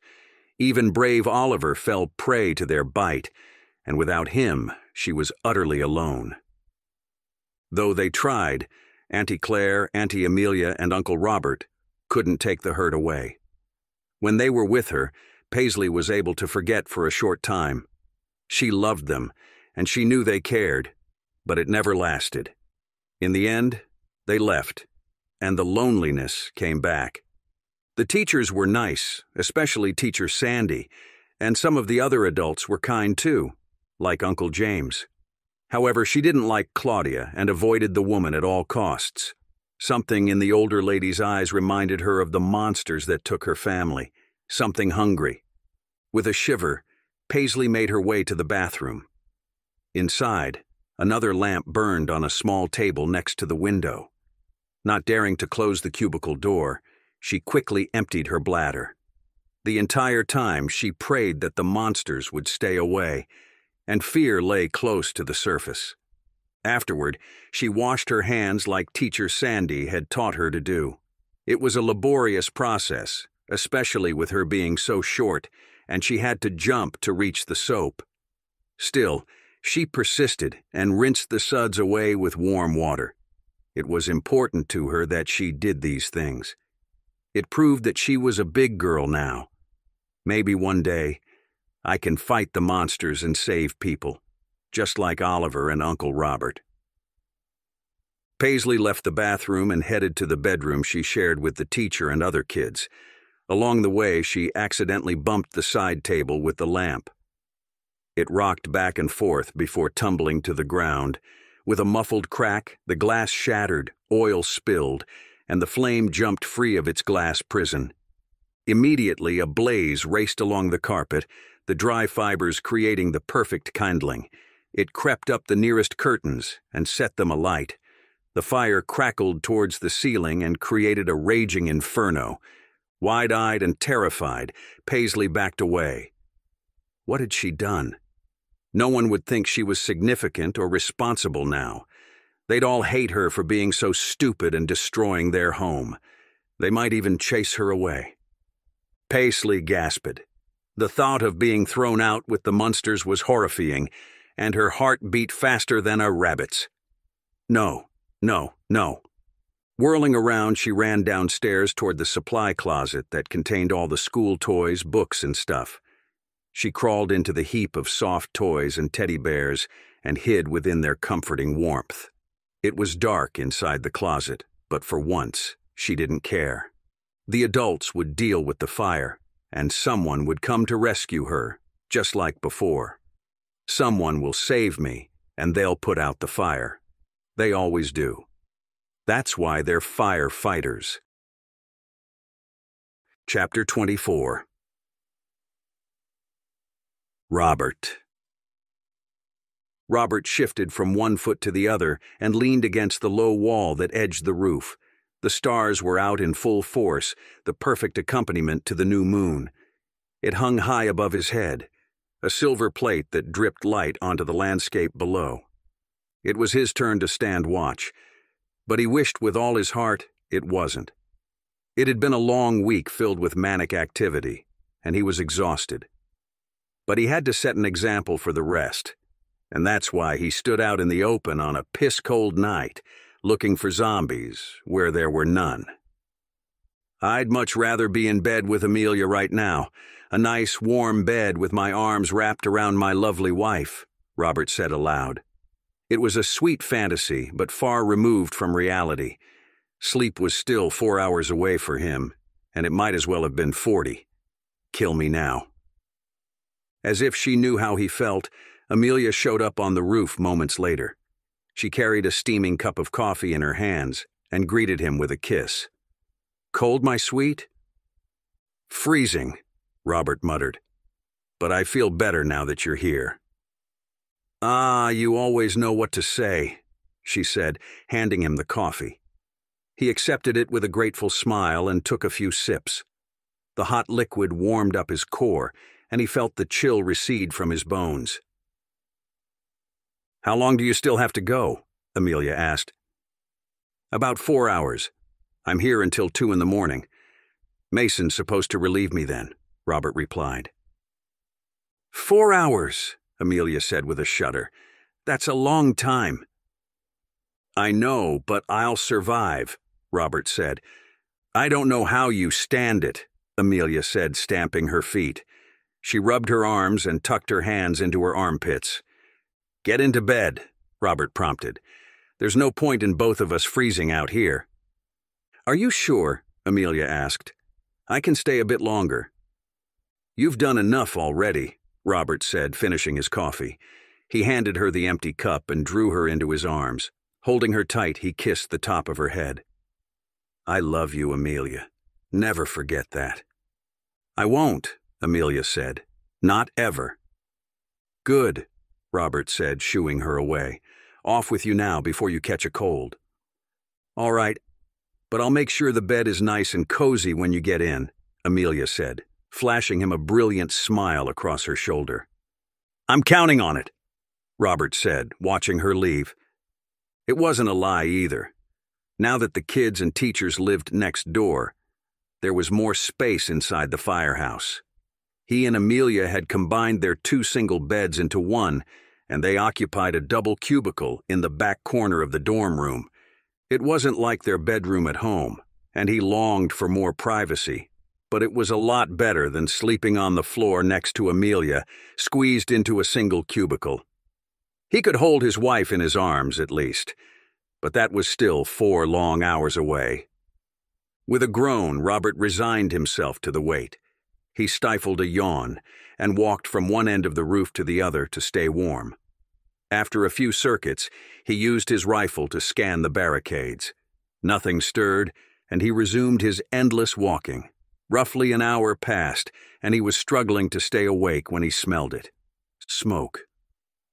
With a frown, Robert did a quick circuit of the roof, looking for the source of the smell. At first, he couldn't find it and ran toward the roof access. Abandoning his post, he went downstairs and burst into the kitchen. Despite the late hour, Susan sat at the table and looked up in alarm. Robert, what's wrong? I smelled smoke, and I can't figure out where it's coming from, Robert said.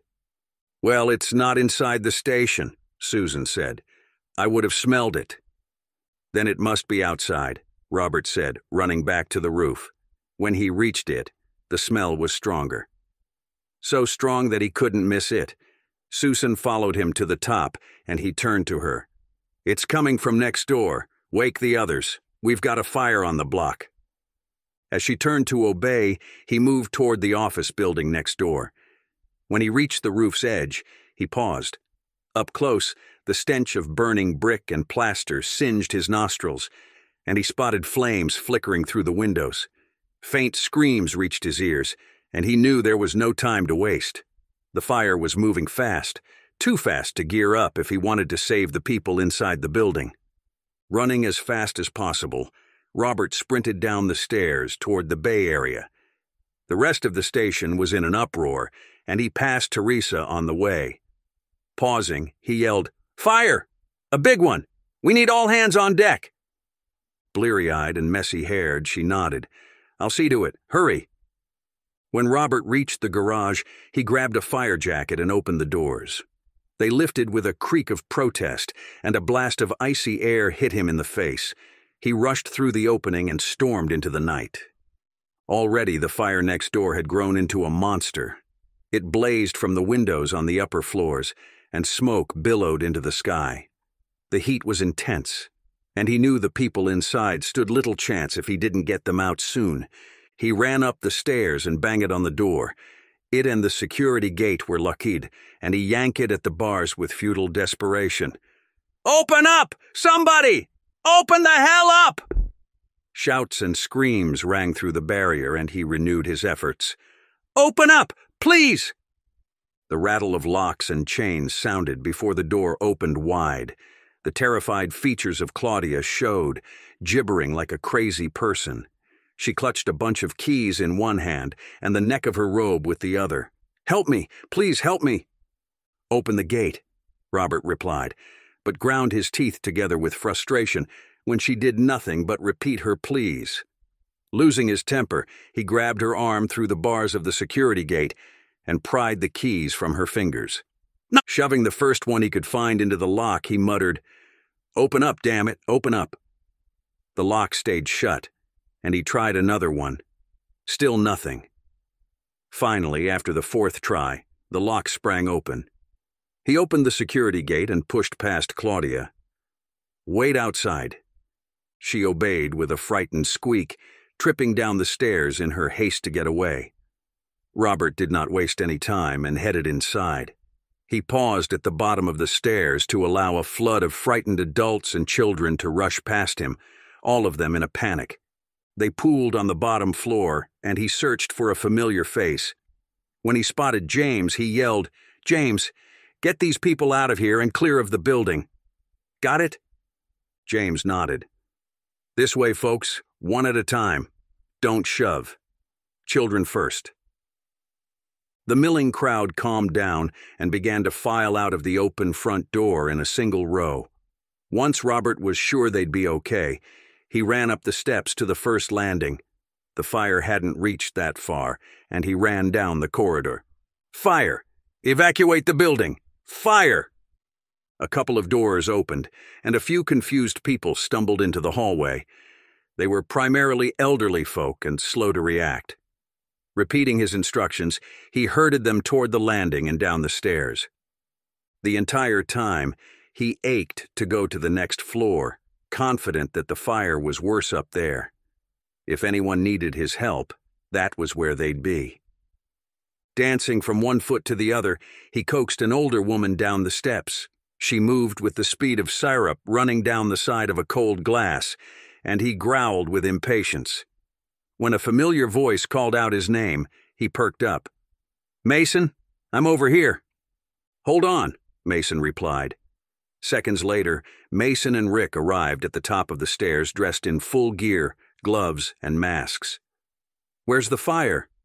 Top floor, Robert replied. Okay, I'm going up, Mason replied.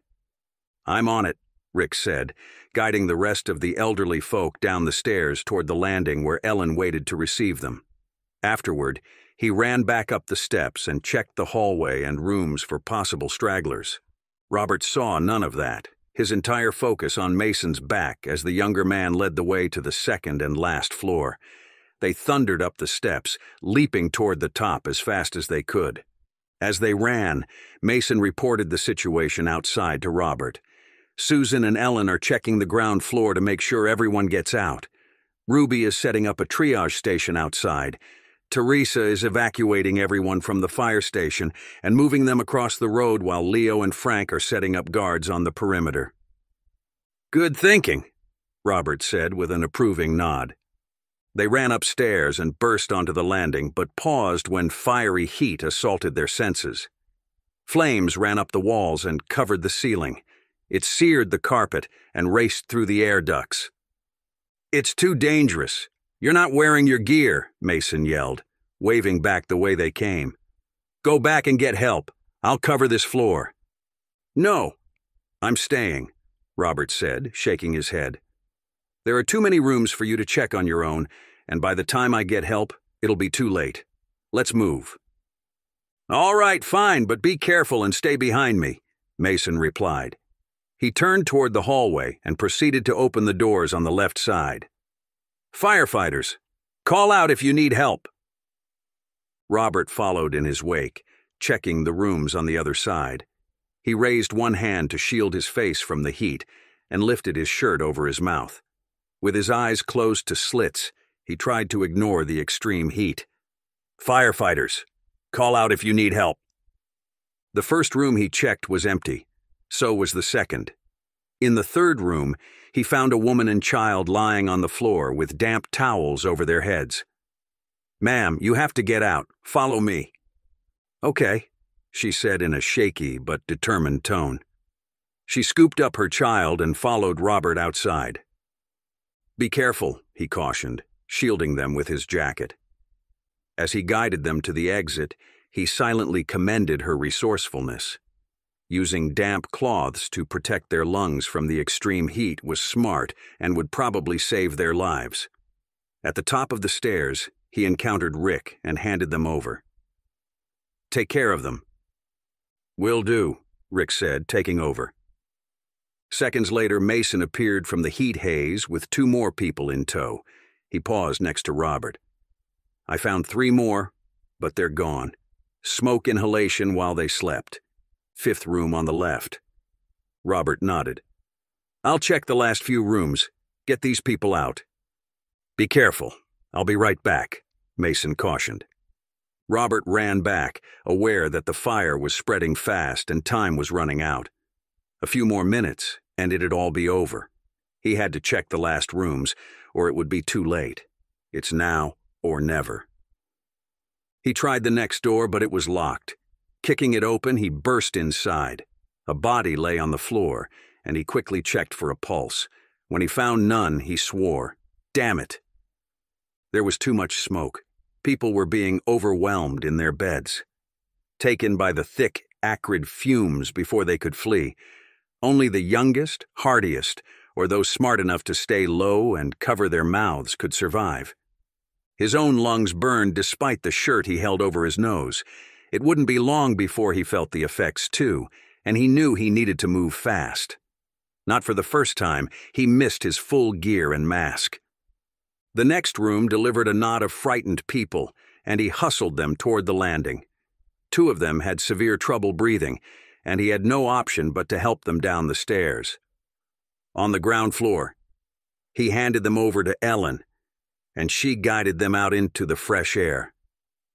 Susan was there too, and Rick emerged from the first floor, herding a few more people ahead of him. As they ran outside, Rick said, We'd better get out of here. She's coming down. No, I have to go back. I didn't get a chance to search all the rooms upstairs, Robert said. There's no time. This building is about to collapse, Susan yelled, grabbing his arm. Come on. There could still be people up there, Robert protested. If there are, they're dead already, Susan said. Robert shook his head, but he knew it was the truth. The few survivors he and Mason had evacuated were lucky. Anyone else still left up there would be dead by now, killed by the extreme heat and smoke. We have to go, Susan repeated. The place is going to go any minute now. As if to prove the truth of her words, the structure groaned. The timbers creaked, and flames raced along the walls of the stairwell. The entire place was one giant tinderbox, waiting to go up in smoke. Forced to leave, Robert ran out into the night. There he stopped, sucking in lungfuls of fresh air. It relieved the burn in his chest and cleared the fog in his brain. Spotting Teresa, he hurried toward her. Is everyone out? Is everyone safe? I'm not sure. I think so, she said. We'd better damn well make sure, Robert said, looking around. Where's Amelia? She's safe, and so is everyone else from the firehouse. I'm not sure about them, Teresa said, pointing a hand at the teachers, parents, and children from the building next door. But we're taking a head count now. Good, Robert said, relieved to know his wife was safe. We've got bigger problems, she said, her eyes fixed on something behind him. He turned to look, and his stomach dropped into his boots. The firehouse. Flames licked at the fire station's roof and raced down the walls. Within seconds, the building would be engulfed. The fire jumped, and without water, Teresa shot a meaningful look at the empty fire hydrant on the pavement. With no electricity, there was no water and no way to kill the blaze. I can't, Robert began at a loss for words. That's our home. I know, Teresa said with a stricken expression. Robert! a voice called. Robert turned to look and spotted Claire running toward him. What's wrong? Paisley's missing. What? Robert said, his blood turning to ice. Where was she last seen? Where's her room? On the top floor, the sixth door on the right, Claire said. She shares the room with Janet and three other girls. They're all accounted for except Paisley. How's that possible? Didn't they take her with them when they left? Robert asked, angered at the sheer negligence. How could they leave her behind? They said she wasn't in the room. Bathroom, maybe? Claire suggested, wringing her hands. Maybe, Robert said, staring at the burning building. Without thinking, he bolted toward it. She's just a kid. We can't lose her. Not like this. Robert, no! Teresa cried, but he ignored her. Robert! He ran through the foyer and up the stairs, bursting onto the top landing only to hit a wall of heat ten times as bad as before. The heat threatened to cook him from the inside out, and it was impossible to breathe. Smoke swirled around his form, forcing him back onto the stairs. Staring at the raging inferno, he shook his head. Poor Paisley. That was the least of his problems, however. Beneath his feet, the floor shifted and groaned, a sure sign that the structural integrity was failing. He hesitated, loath to leave Paisley to a fate worse than death, but deep down, he knew she was already dead. Nothing could survive up there for longer than a few seconds. It was simply too hot. Still, he didn't want to give up when an innocent child's life was at stake and tried to nerve himself to go back. Come on, Robert. You can do it. Robert, are you there? A voice called. Mason. Robert went down a few steps and peered down to the lower landing. Mason? Is that you? Mason waved at him from below, his visor tilted back. We found her. We found Paisley. You did? She was hiding on the first floor. We found her when we did a final sweep, Mason replied. She's okay. Oh, thank God, Robert said, clutching the rail. Stop dawdling and get your ass down here, Mason said with an urgent wave. On my way, Robert said, relieved beyond measure. Hurry. This place isn't going to last much longer, Mason urged, disappearing down the steps. Casting one last look over his shoulder, Robert turned to leave. As he set foot on the first step, the stairwell gave an ominous groan. The wood shifted, and the railing wobbled. Frozen to the spot, he prepared to run, but deep down, he knew it was already too late. The structure collapsed along with the ceiling above his head. A pit opened beneath him, and he plummeted into a deep hole amid an avalanche of rubble. Falling into oblivion, his last thought was of Amelia and how he'd never gotten to say goodbye. Chapter 25 Mason Mason heard the ominous groan of the stairs and turned back in time to see the entire top section collapse. He watched with horror as his friend and mentor disappeared into a cavern filled with fire and smoke. Robert, no. A wave of hot air blasted Mason off his feet, and he fell against the wall behind him. Clinging to his mask, he struggled to regain his feet. Robert, Robert, answer me! Scrambling to the hole's edge, he searched for his friend, but there was nothing but a pile of burning rubble. Slabs of wood, brick, and mortar smoldered in a heap, and flames licked up the sides. It looked like the living embodiment of hell, and Robert was lost to the clutches of demonic forces. Unable to accept the reality before him, Mason remained frozen, one hand stretched out in a futile gesture. It couldn't be. It wasn't possible. Robert had to be alive, miraculously trapped in a pocket of cool air, not crushed beneath a ton of fiery bricks. But the situation was real and the shifting floor beneath him was a testament to that fact. Flames exploded outward, and the heat seared his flesh even through the thick material of his suit. Forced to retreat, he climbed to his feet and ran down the last few stairs. When he reached the bottom, Rick, Ellen, and Susan crowded around him. Where's Robert? What happened? Are you okay? Mason shook his head, unable to reply, and their voices fell silent. Finally, Susan asked, Is he gone? He's gone, Mason confirmed. Behind him, the fire roared, and the building began its final collapse. Rick dragged him into the night with Ellen and Susan close on his heels. Outside, they were met by a hopeful Amelia, dressed in pajamas with a smear of soot on her cheek.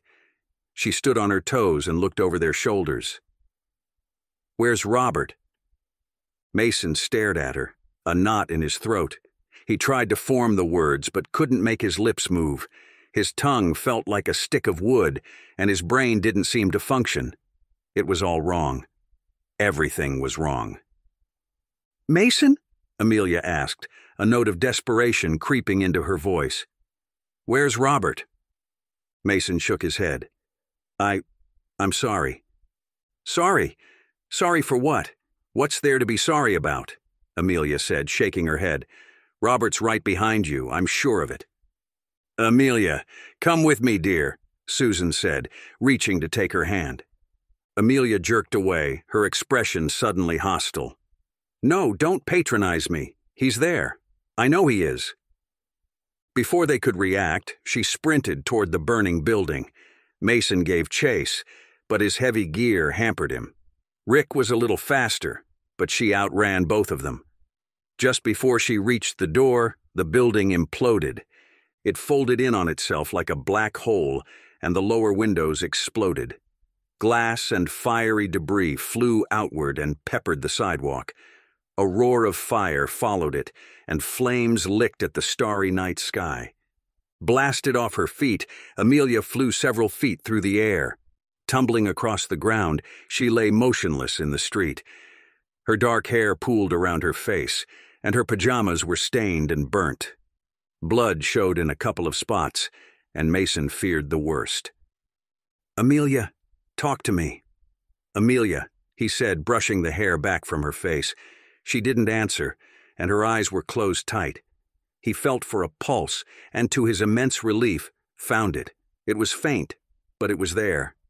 She's still alive. Let me, Rick offered. He scooped her into his arms and carried her to the temporary medical station Ruby had rigged on the sidewalk. He lay her down on a stretcher and stepped back. I'll take it from here, Ruby said, wheeling her away. Mason looked around with a feeling of stunned disbelief. The office block was gone, taking Robert and several other victims with it. The station burned hot and bright against the dark backdrop of the sky. Their home was going up in flames. He looked around, taking stock of the situation. The firefighters had rushed to the office block's assistance when the fire first broke out. When the fire jumped, they evacuated the station and pulled the vehicles out of the Bay Area. They grabbed what equipment they could and saved what supplies they could find. The stuff lay piled in a heap on the sidewalk, a pitiful amount compared to what they'd lost. It's all gone. Just gone. Not that it mattered when weighed against the loss of Robert. Grief formed inside his chest and hardened into a ball of stone. It shoved out all other emotions, and he could focus on nothing but the pain. That and anger at himself. Why didn't I stop him? Why did I let him go back? I should have stopped him. Weighed down by guilt, he allowed Susan to lead him to a secluded spot. She shoved a bottle of Coke into his hands. Drink this. It will help with the shock.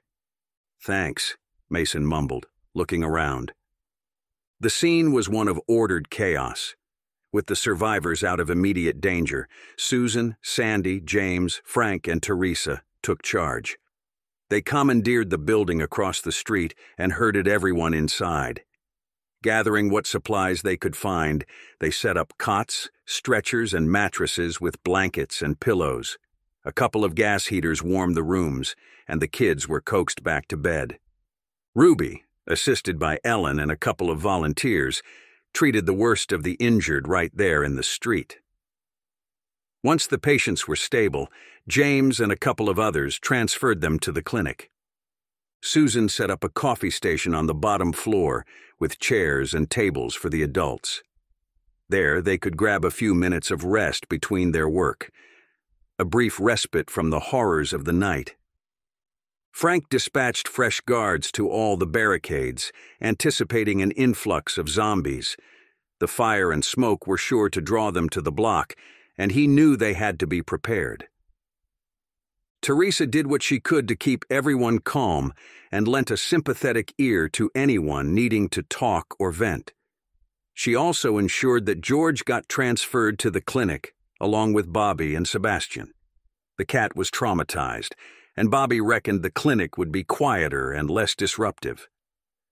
I'll keep an eye on George, too, she said, leading him away with one hand while carrying Sebastian's carrier in the other.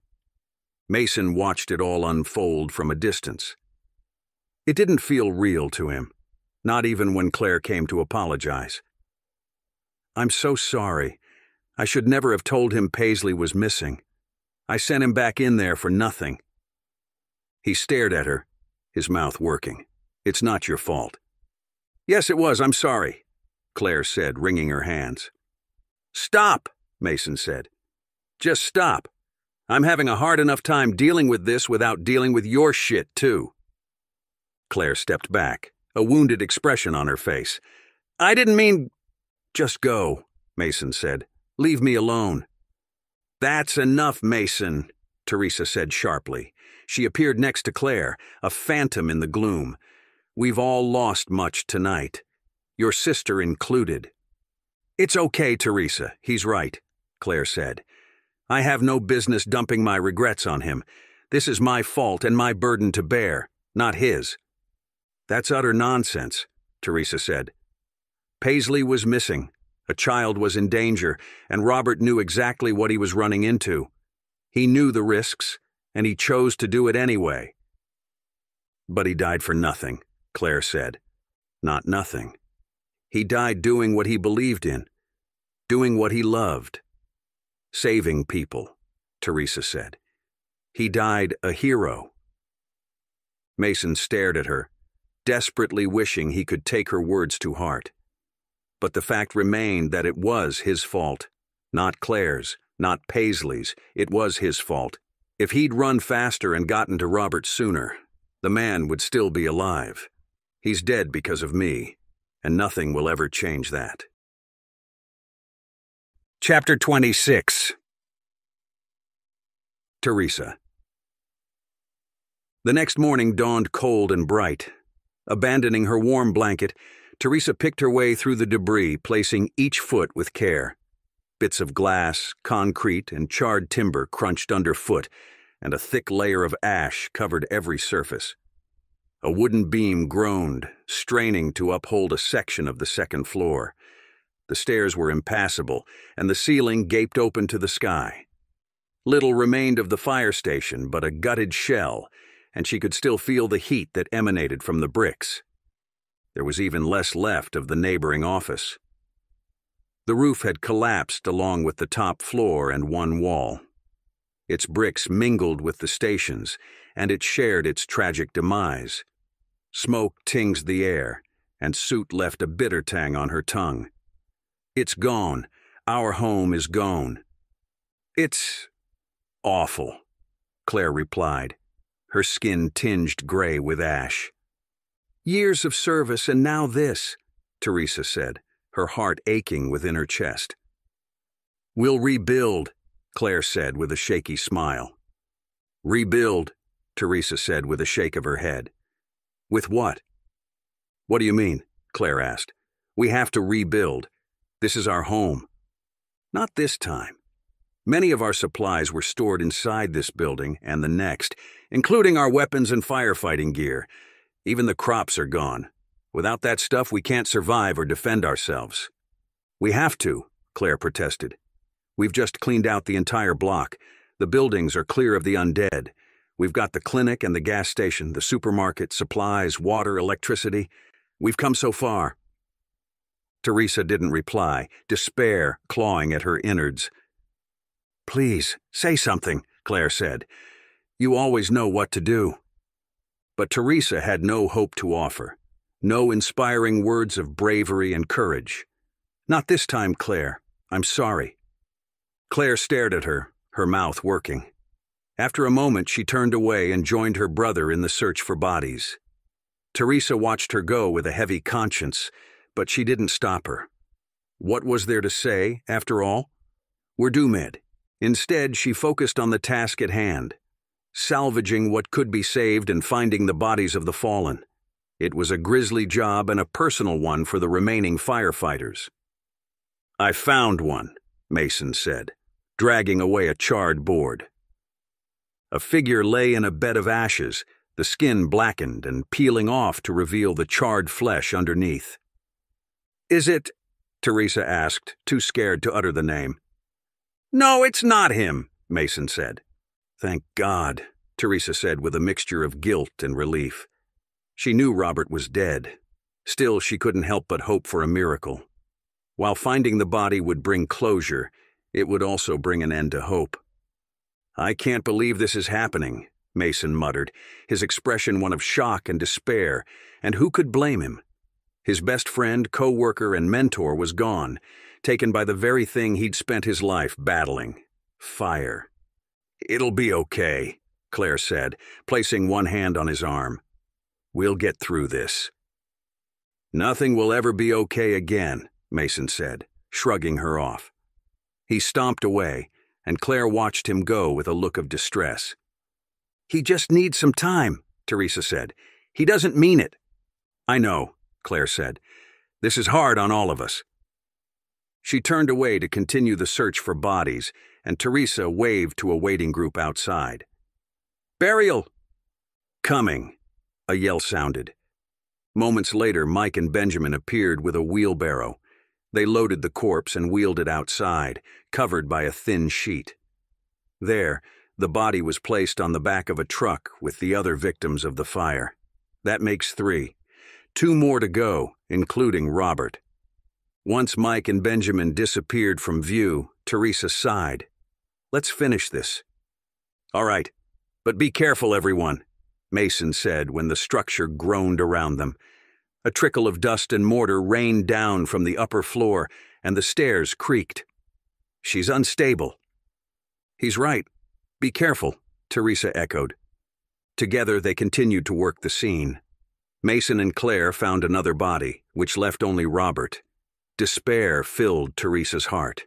They had to find him. He deserved a decent burial. It was the least they could do for him after everything. Robert! Has anyone found Robert?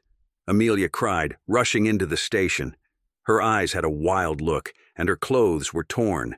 Her long dark hair tumbled down her back, streaked with ash. Amelia, please, calm down, Teresa pleaded. How can you ask me to calm down? Robert's missing, maybe hurt, and I need to find him, Amelia cried. She rushed forward and began clawing her way through the burnt remnants of the building. Her nails tore and her fingernails ripped free from their beds, but she hardly noticed. Amelia, your hands, Teresa said, grabbing her arm. Amelia shrugged her off with a snarl. Leave me be, I have to find my Robert. Helpless, Teresa stood back and watched as Amelia continued her frantic search. Mason, please, get her out of here before she hurts herself. Come on, Amelia. We will find Robert, I promise, Mason said. No, leave me alone, Amelia said, struggling against his hold. Get Ruby to sedate her. She needs to rest, Teresa said. Mason nodded. I'll see to it, but don't stop looking. He must be here. We'll find him. Teresa assured him. Once Mason and Amelia were gone, Teresa and Claire resumed the search. Mason rejoined them halfway through, his expression bleak. Amelia is resting. Ruby jabbed her, Mason said. Thank you, Teresa said. She going to need us after this. I know, Mason said. He tossed aside a slab of concrete and dug into a pile of rubble. After an hour, Susan arrived with bottled water and handed one to each of them. Here you go. Take a break, guys. Thanks, Teresa said, taking a sip. The cool liquid revived her, and she wiped her mouth with her sleeve. I can't believe this happened. How did this happen? I don't know. This is awful. Just awful, Susan said. It must have been an accident. A candle or something? Claire speculated. No one would do this on purpose. We'll find out, I'll make sure of that, Teresa said. Suddenly, Mason yelled out, I found something. Teresa, Claire, and Susan dropped everything and rushed over. They helped Mason clear away the bricks and chunks of concrete until the body was revealed. It was Robert, his body curled up into a fetal position. His eyes were open and clear, miraculously so, and Teresa almost expected them to blink at any moment. Soot stained his skin and lined his lips, a clear indication of smoke inhalation. He wasn't too badly burned. Only a few blisters marred his cheeks, and his suit was intact. She hoped he'd died quickly, starved of oxygen, before the searing heat could touch his skin. No! Mason cried, dropping to his knees. Frantically, he searched for a pulse and a heartbeat. When he found nothing, he tried to do CPR. Claire stopped him. Mason, no. It's too late. He's dead. Mason sank back on his heels, and his head dropped onto his chest. Robert. Teresa stared at the body until it felt like her eyes would bleed. All this time, she hadn't wanted to accept the truth. She hadn't wanted to believe that it could be true, that Robert was dead. But the truth lay at her feet, covered in dust and soot.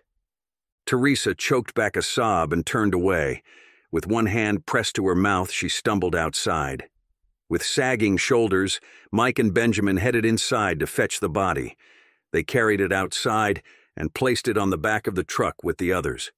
With all the bodies recovered, they turned their attention to salvaging whatever they could. It wasn't much. Teresa didn't hang around to watch.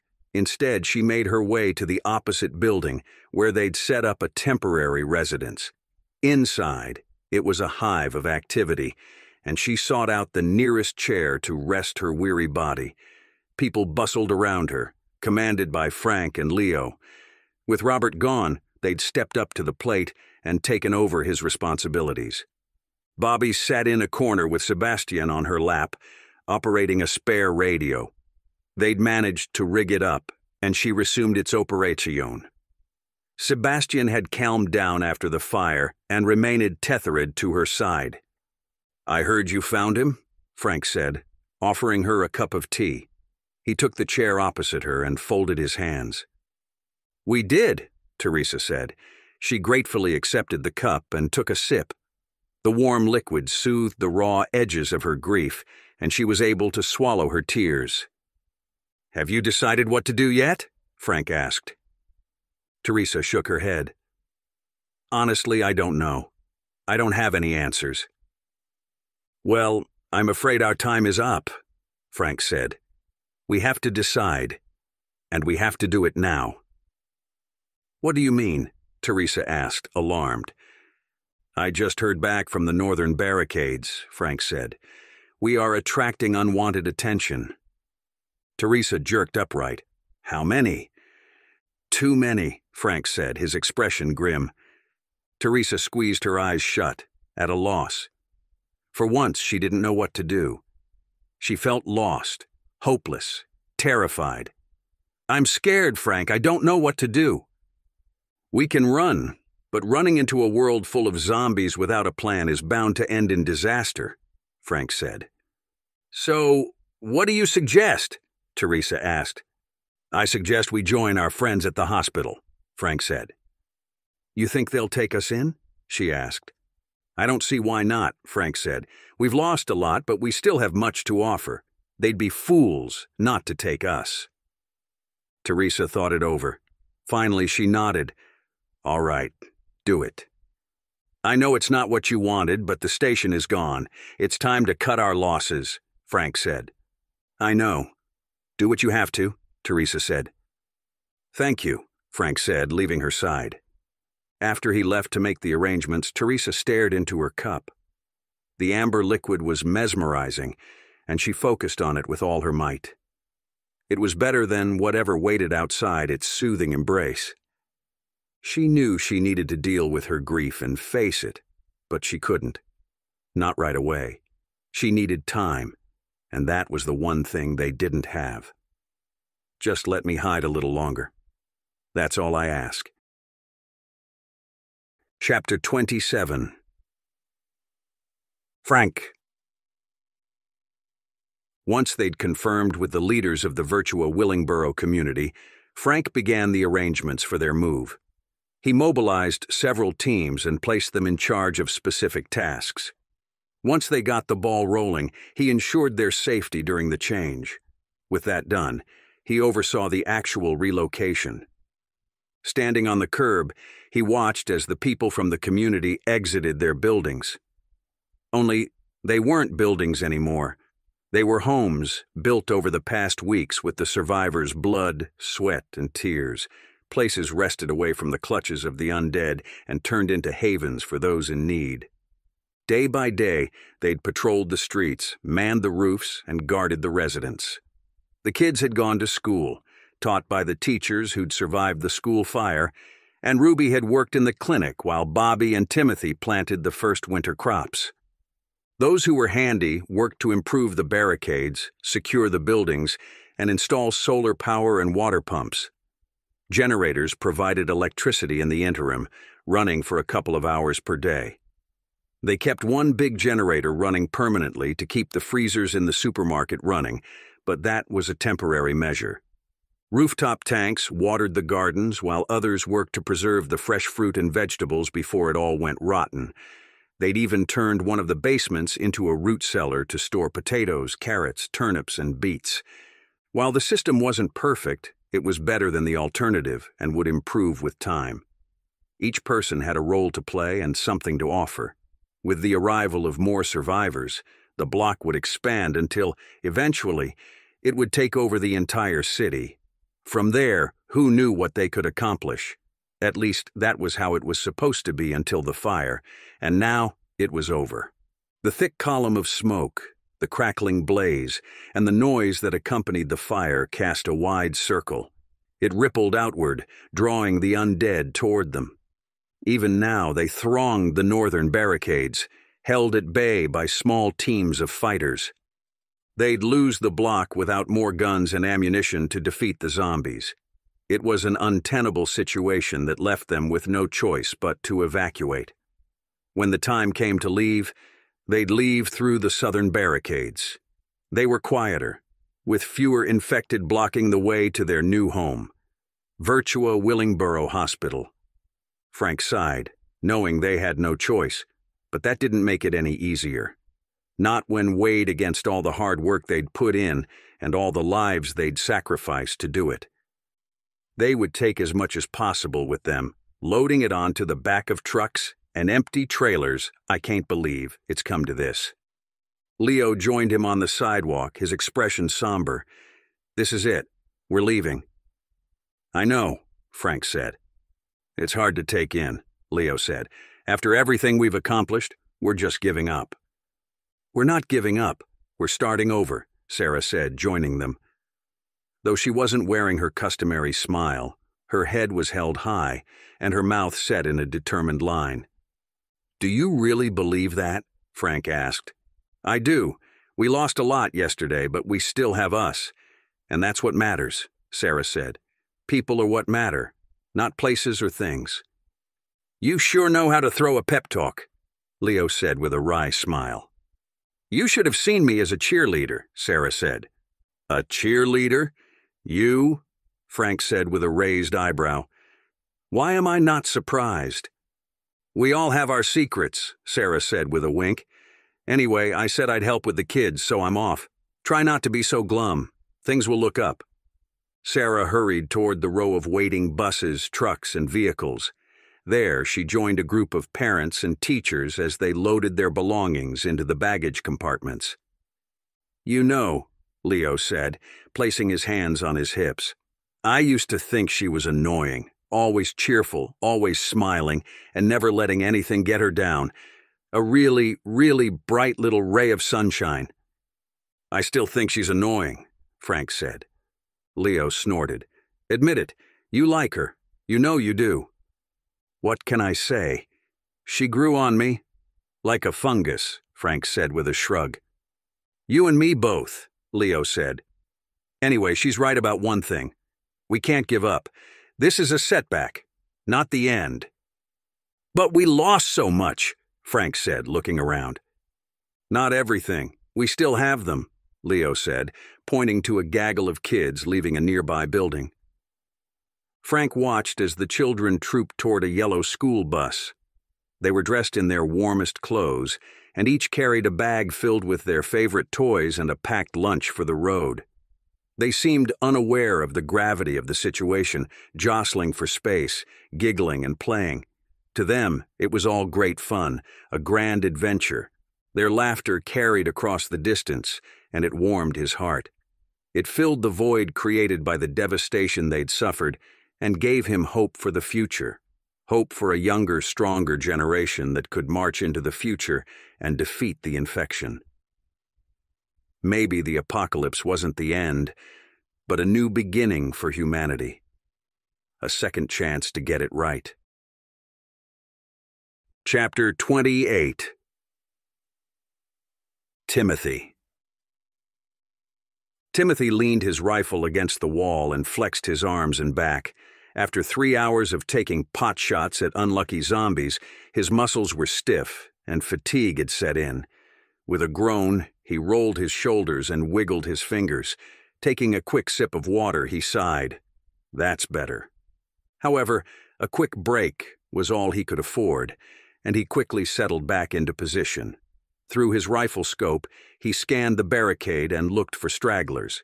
He spotted one flailing its arms and legs as it climbed over the barrier.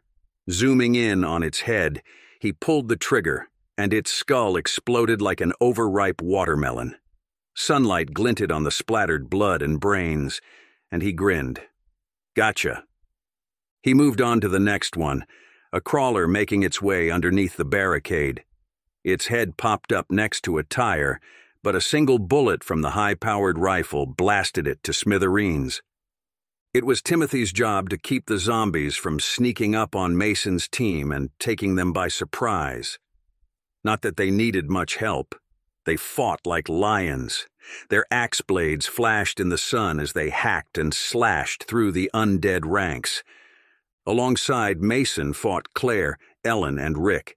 The four formed a formidable force. The constant scavenger runs had honed their instincts and fighting skills. They were a powerful unit and a dangerous one to zombies. Timothy took out a few more infected, clearing the area around the northeast barricade before checking to the northwest. It was farther away and technically not his problem. James from next door covered it, a decent shot in his own right. Timothy was curious, however, and checked up on the ground team that fought to keep the infected at bay. That unit was led by Elijah. After the loss of Robert, he'd stepped up to the plate as a leader, and Benjamin and Mike formed part of his group. They were doing a good job of it, killing zombies by the dozen. The other two barricades were guarded by two person teams. They were much quieter, with only the occasional zombie intruder drawn to the movement and noise. For that reason, they'd serve as their escape routes, with the community splitting in two. One convoy would leave through the southeastern gate, and the other would use the southwestern. From there, they'd make their way to the hospital via circuitous routes so as not to draw the infected toward their new home. In the meantime, Timothy, James, and the two ground teams would keep the northern barricades from being overrun. Once the block was empty, they'd make a run for it. It was a simple plan, and he hoped it worked. Knowing their luck, though, he was prepared for the worst. After reassuring himself that the other barricades were holding, he turned his sights back to his job and took out a few more enterprising zombies. They never ceased to amaze him with their sheer stupidity, wandering straight into an ambush without a single thought. The sight of their fellow infected falling to the ground, their brains blown to bits, didn't deter them in the least. Shaking his head, he muttered, Dumbasses. At his waist, his radio crackled, the lines busy with chatter. He was glad, for it kept him in the loop on what was happening below. With his eyes on the ground and his ears perked for news, he waited. Frank, are you there? It's Teresa. Over, Teresa said. Go ahead, Teresa. I'm listening. Over. The children are all accounted for, loaded on the bus and ready to leave. Over. What about their things? Over. Loaded into the baggage compartment. Over. The driver, is she ready? Over. Claudia, she says she can handle the bus. Let's hope she's telling the truth. Over. You and me both. What about the rest of them? Over. Two teachers are on the bus to keep order, and Sarah will act as their armed guard. The rest are in the truck behind the bus with their stuff, and one of the men is driving. Jones, I think. Over. Good. Leo will escort them in his squad car when the time comes. Over, Frank said. What about you? How far are you? Over, Teresa said. We are almost done with the loading, most buildings have been stripped of anything valuable, including the clinic, and we filled up all the fuel tanks. We can come back for more later, but we took what we could for now. Over. How long before we can leave? Over, Teresa asked. Twenty minutes. Maybe thirty tops. Over, Frank replied. Thanks. Keep me posted, Teresa said. Out. Twenty minutes, Timothy thought. Things are moving fast. I'd better be ready to move soon. The last thing I need is to be left behind. The mere thought made his stomach churn, and he quickly retraced his steps in his mind. Once everyone left, the two groups at the northern barricade would fall back. James and Timothy would wait as long as possible, giving them a head start. Then we'll make a run for it and join them below.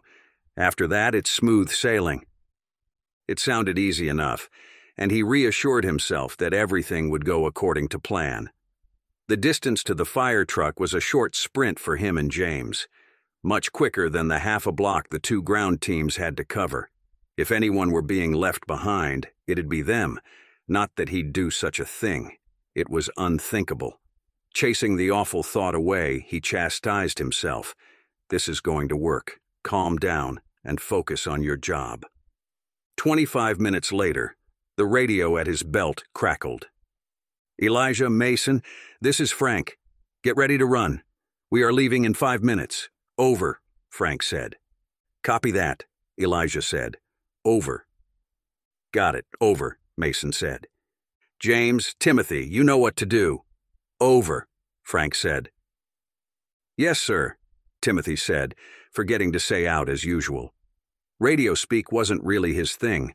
While they'd used it on the farm where he grew up, it was without the formalities.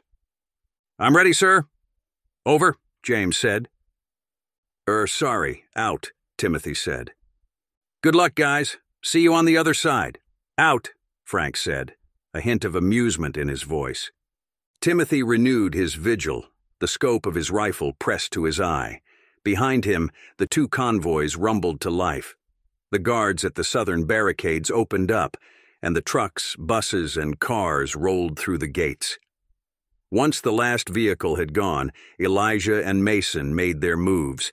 Abandoning their spots, they ran back to a single waiting truck, fueled and ready to go.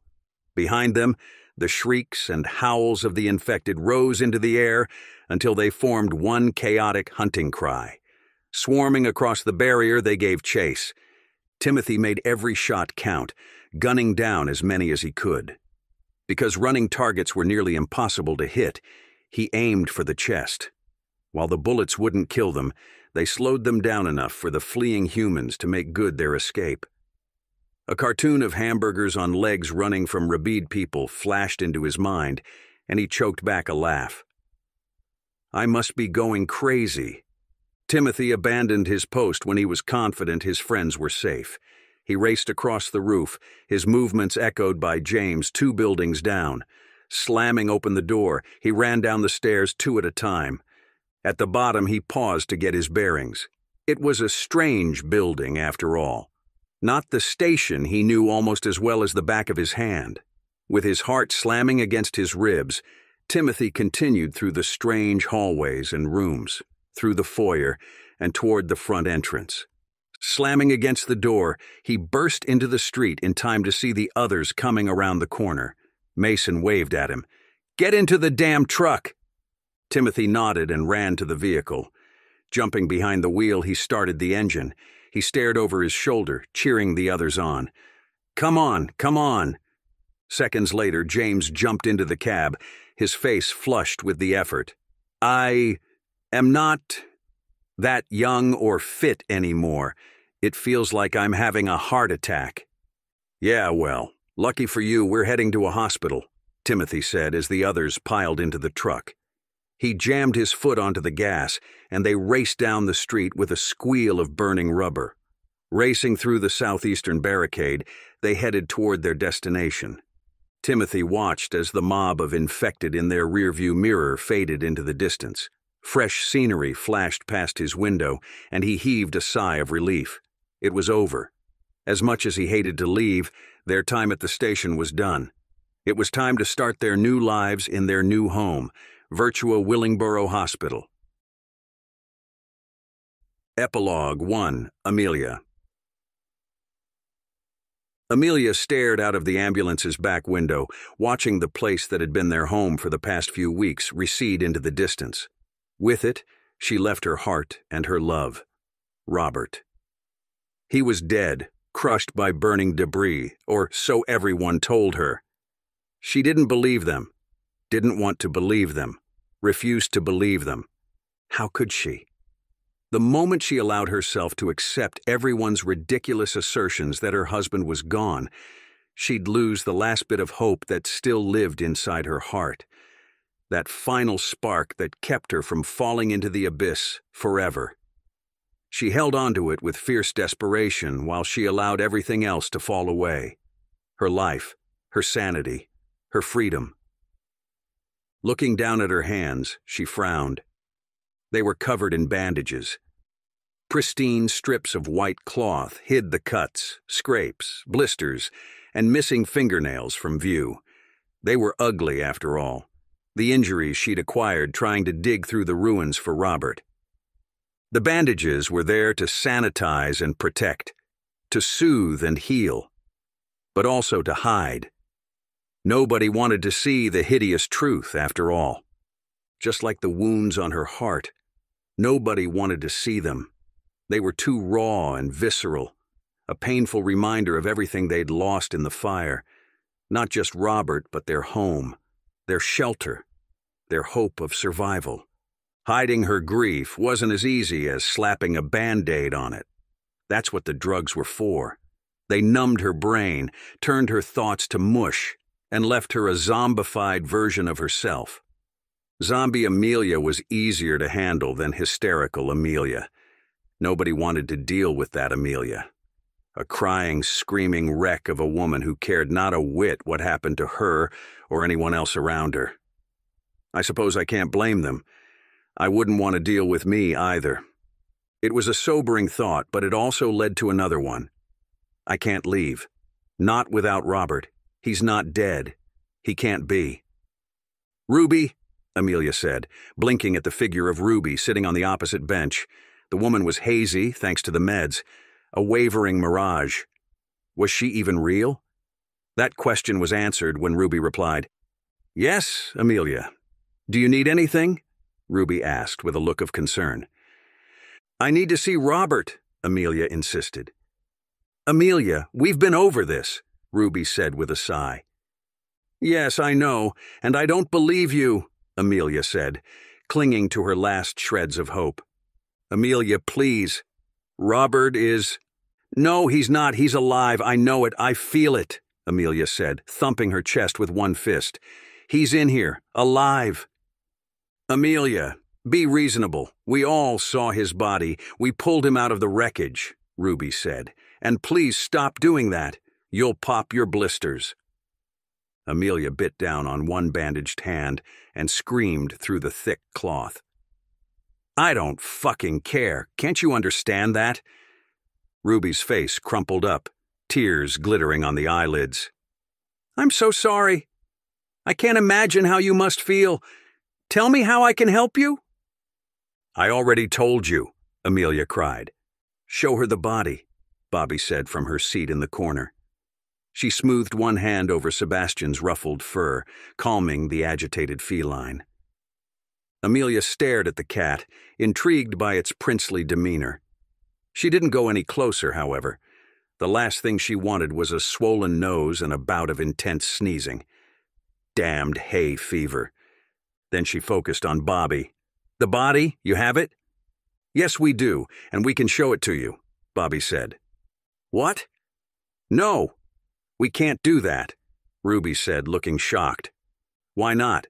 If she sees it, she might finally believe it, Bobby asserted. Besides, she's upsetting Sebastian, and he's been through enough already. But they've been buried already, Ruby said. Cremated. You burned him? Amelia said, momentarily stunned. But the moment passed, and she shook her head. It doesn't matter. It wasn't him. Robert is still back there. Injured, maybe, but alive. Not yet, Bobby said. They're on their way to the burial site now. We can still make it. Do you think so? Ruby asked. I know so, Bobby said. It's the only way she'll let go. Hey, I'm right here, you know, Amelia protested, but shrugged when neither Ruby nor Bobby responded. Whatever. All right, let's do this, Ruby said, calling to her husband Elijah behind the wheel. Darling, listen up. We're making a brief detour. What? Why? Elijah asked. To say goodbye, Ruby said, flashing Amelia a sympathetic look. At Elijah's quizzical gaze, she explained the situation, and he agreed. Fine, I'll take us there. Hold on. Picking up the radio, Elijah spoke to Frank at the head of the convoy. After some back and forth, he received confirmation and glanced over his shoulder. Okay, we've been given the go ahead. Thanks, babe, Ruby said. Finally. You should have done this the moment you found him, Bobby said, flashing Ruby a look. I thought it would make things worse, Ruby protested. Worse than this? Bobby asked, waving a hand at Amelia. Yes, worse. Ugh, don't be stupid, Bobby said, tucking Sebastian back into his carrier. The cat went willingly, eager to escape the bickering. Amelia ignored them, watching as Elijah turned off the road to follow another truck with a tarpaulin covered load. She stared at the plastic cover, wondering at its contents. She surmised it was the bodies of the fallen, but still refused to believe that Robert was one of them. It was all a terrible misunderstanding. A few minutes later, they reached their destination. It wasn't much, just a rough, empty square of concrete surrounded by abandoned buildings. A few infected shuffled around in the distance, but they were too far away to be much of a threat. Nonetheless, Mike jumped out the minute the truck stopped and stood guard with a rifle. Elijah parked next to them, and Ruby jumped out the back, followed by Bobby. Amelia followed slowly, her legs wobbly from all the drugs in her veins. Nonetheless, she was eager to prove them all wrong and stumbled toward the tarp. Amelia, wait! Ruby cried. Amelia ignored her and latched onto the edge of the plastic covering. She yanked it aside, and the tarp whipped to the ground, exposing five bodies. They lay in the back, their flesh burnt, charred, and blistered. The smell of cooked flesh made her gag, but she fought the sensation and focused on the corpses. Her eyes flashed from one to the next, noticing each one's features with minute intensity. None of them looked familiar, and one was so severely burned that the face was mostly unrecognizable. Hope rose with each person she studied, and she almost wanted to laugh. See? He's not here.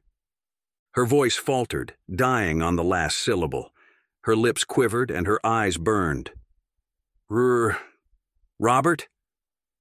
Shaking her head, Amelia backed away. No, it can't be. You're not dead, you're. Soot marred his skin, and blisters covered his right hand. But other than that, he looked like he always had. Like Robert. Her Robert. But it wasn't real. He was dead. Nothing remained behind the once familiar gray eyes that stared at her, unblinking. The life that previously animated them was gone. He was nothing but an empty shell, a body without a soul. Amelia's hands dropped to her sides and her knees wavered. This time, it wasn't the drugs that made her feel weak. It was her heart. An empty void opened inside her chest, and darkness sucked her into its hungry maw. She welcomed it, her consciousness fading. As she fell to the ground, two words fell from her lips. A final whisper. Goodbye, Robert. Epilogue 2 Banks Banks watched as the convoy from the fire station drove through the gates. Two fire trucks, an ambulance, and several other vehicles made up the group, a sizable chunk of machinery and people. They entered the hospital grounds one by one, filled with strange faces. Faces he didn't know. Faces he didn't trust. Lieutenant Kingsley operated the 50 caliber while his team patrolled the street outside. Ambo 22 was fueled and ready to draw away any zombies who might arrive to spoil the party. Another group of armed men greeted the new arrivals, waving them to an empty lot while volunteers waited to show them to their quarters. Inside the hospital, chaos ruled. The arrival of the refugees had sent everyone into a tizzy and frantic preparations were underway. Delicious smells wafted from the kitchens where a feast was underway, and a children's ward filled with toys and activities had been prepared for the kids. Rooms were readied, stores emptied, and beds set aside in the trauma ward for the injured. It was unnecessary, in his opinion, a waste of time, resources, and energy. Once the strangers moved in, everything would change. Nothing would be the same again. Shaking his head, he said, I don't like this. I know, Zoe said. You don't like change. I don't like trouble either, Banks said. This doesn't necessarily mean trouble, Zoe said, placing a gentle hand on his arm. How do you know? I have faith, Zoe said. Faith?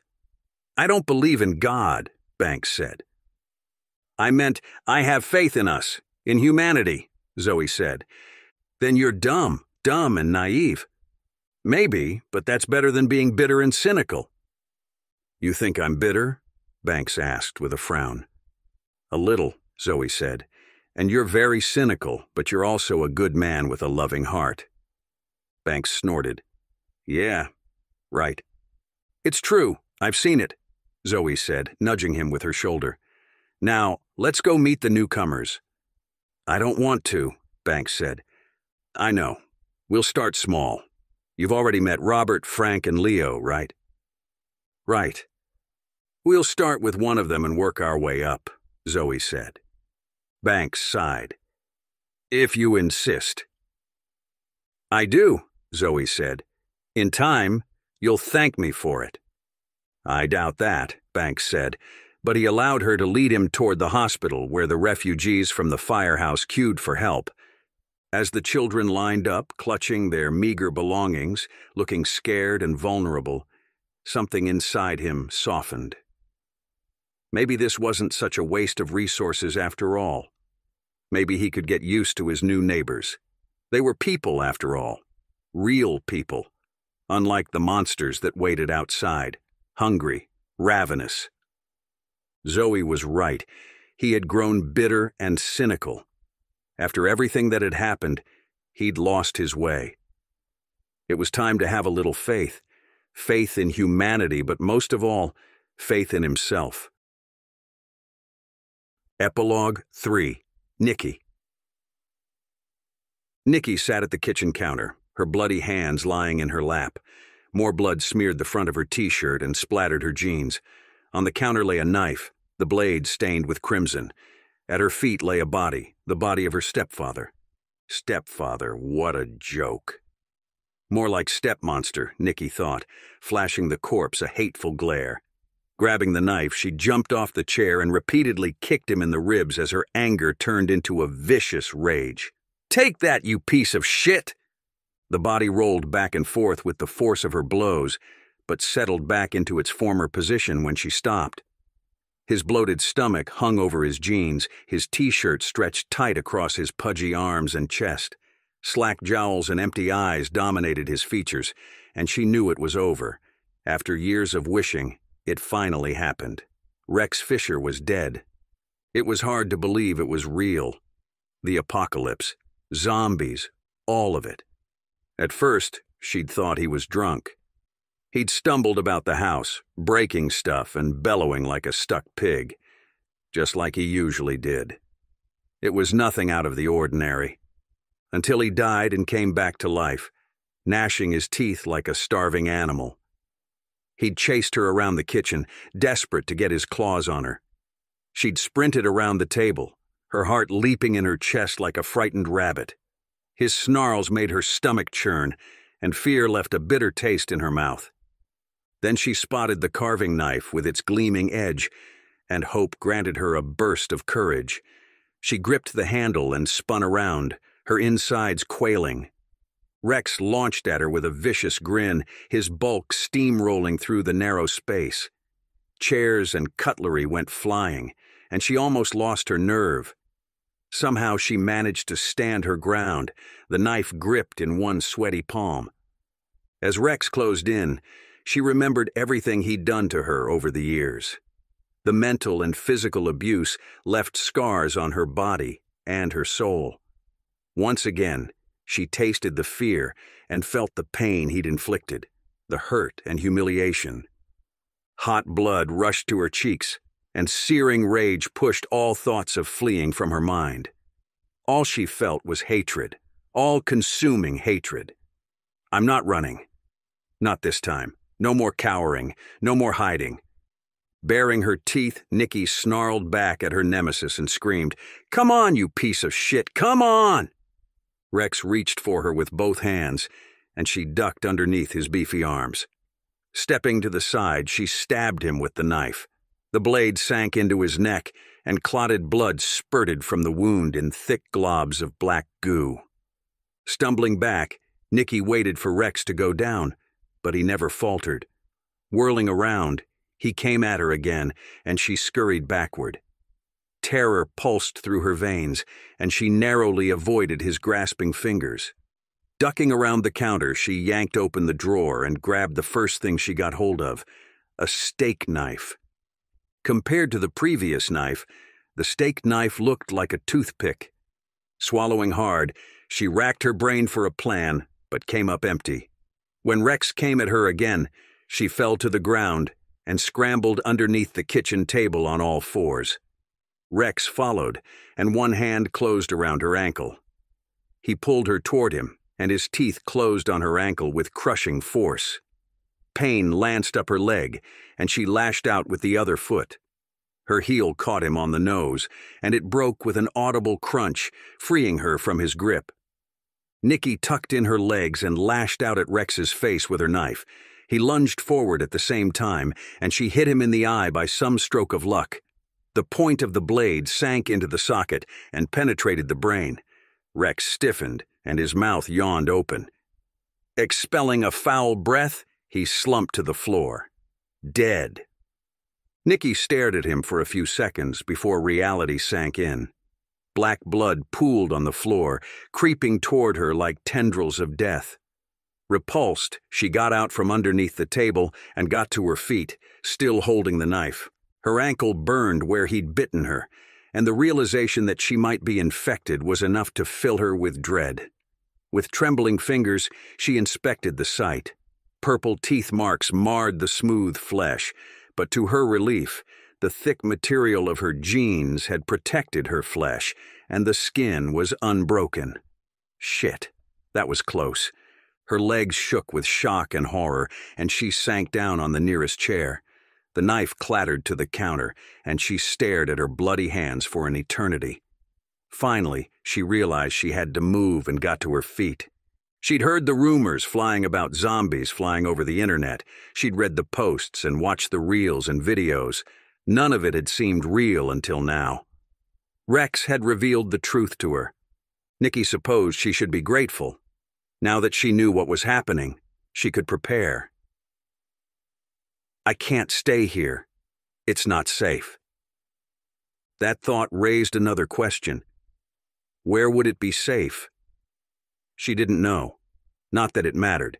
What mattered was that she was free from the clutches of Rex free to do what she wanted, and she wanted only one thing to find George and tell him how much she hated him. Now that she had a mission, Nicky set about making her preparations. Her stepfather's blood was making her nauseous, and she longed to scrub him from her skin until nothing remained. After making sure the doors were locked and the windows closed and shuttered, she made her way to the bathroom. There she stripped off her bloody clothes and climbed into the shower. The hot water flowed across her skin and washed away the day's filth. She tipped back her head, closed her eyes, and let the water drown out the world. It disappeared in a haze of liquid that muffled all thought and sound, warm, soothing, comforting, everything her life had never been. She stood like that for a long time before she could summon the will to move, only when the water heater began to run dry did she grab a bar of soap and wash the blood from her hands. Afterward, she shampooed and conditioned her hair before rinsing herself off in the lukewarm stream. With vigorous movements, Nicky dried her skin and wrapped her hair in a towel. She chose her clothes with care, picking an outfit that was comfortable, practical, and sturdy. Sports underwear, cotton socks, jeans, t-shirt, jersey, jacket, sneakers, scarf, and gloves. Her thick hair went into a ponytail, which she tucked underneath a woolen beanie. Into a backpack, she tossed extra underwear, socks, and t-shirts. She also threw in a toiletry bag with the basics, a towel, and a framed photo of her, George, and their mother.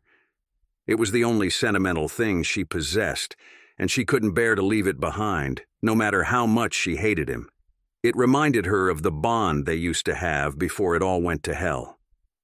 Story of my life.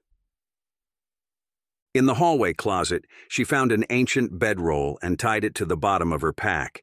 She also took a bottle of water, a can opener, a cup, a bowl, a teaspoon, a knife, a fork, and a few cans of peaches. There wasn't much else in the house to eat, and the only medicine was a couple of bandages and a bottle of painkillers. From her stepfather's safe, she took his gun, a Glock 17, and threaded the holster onto her belt. It was fully loaded, carried 17 shots, and had little recoil. She knew that because George had shown her how to use it a few times. He'd also told her where Rex hid the keys to the safe. He'd wanted her to have the means to defend herself should she need it, which she found ironic since he'd left her at the mercy of a monster. Grabbing the keys to Rex's truck, she emptied his wallet and stuffed the cash into her pocket. She didn't know if there would be any use for it, but took it anyway. In the garage, she found a hammer with a decent grip and added that to her belt. She tossed her backpack into the cab and checked the street outside. The neighborhood was eerily quiet, devoid of the usual characters that made up the scene. There were a few signs of life. A skinny dog ran past, its tail tucked between its legs. A car stood parked in a driveway, its trunk open and loaded with suitcases. A shopping cart filled with odds and ends stood in the middle of the road, abandoned by its owner, the friendly neighborhood bum. Deciding that she'd never get a better opportunity, Nicky opened the gate and climbed into the truck. She started the engine and reversed out of the driveway, ensuring her doors were locked and the windows closed. No zombies are getting the jump on me. With the heater on full blast, she headed down the highway. Though she'd never contacted George, she had listened to the voice messages he'd left her from time to time. They were always the same. He'd beg her forgiveness for leaving her and repeat his promise to fetch her when she was 18. What a bunch of crap. He doesn't deserve my forgiveness. But he did deserve to know what he'd done to her, what Rex had done to her and that was where his messages came in handy. While she didn't care for his useless pleas, he always told her where he was, and according to the last note, he was in Burlington, New Jersey. She wasn't sure what to do when she found him, but it didn't matter. All that mattered was seeing him. If the zombies hadn't gotten to him first, though, she knew that wasn't the case. He was still alive. She felt it in her gut. They were linked, after all, bonded by blood. As she drove, Nicky lifted her head and smiled. The freedom of the road was intoxicating, and she could feel the adrenaline pumping through her veins. She no longer had to cower under her stepfather's fist or suffer through his drunken rages. She was free, and no one could stop her. With the coming of the apocalypse, the government was gone. No more social services, caseworkers, or cops.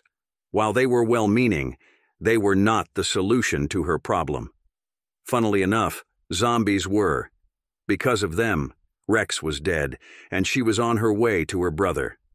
After six long years, she'd finally be able to confront him. I'm coming for you, brother, and nothing on earth, heaven, or hell can stop me. We hope you have enjoyed this story. If you have, please share this audiobook with a friend. Your friend will appreciate it, and the gigabizzle Bupenheimers of the algorithm will like it too.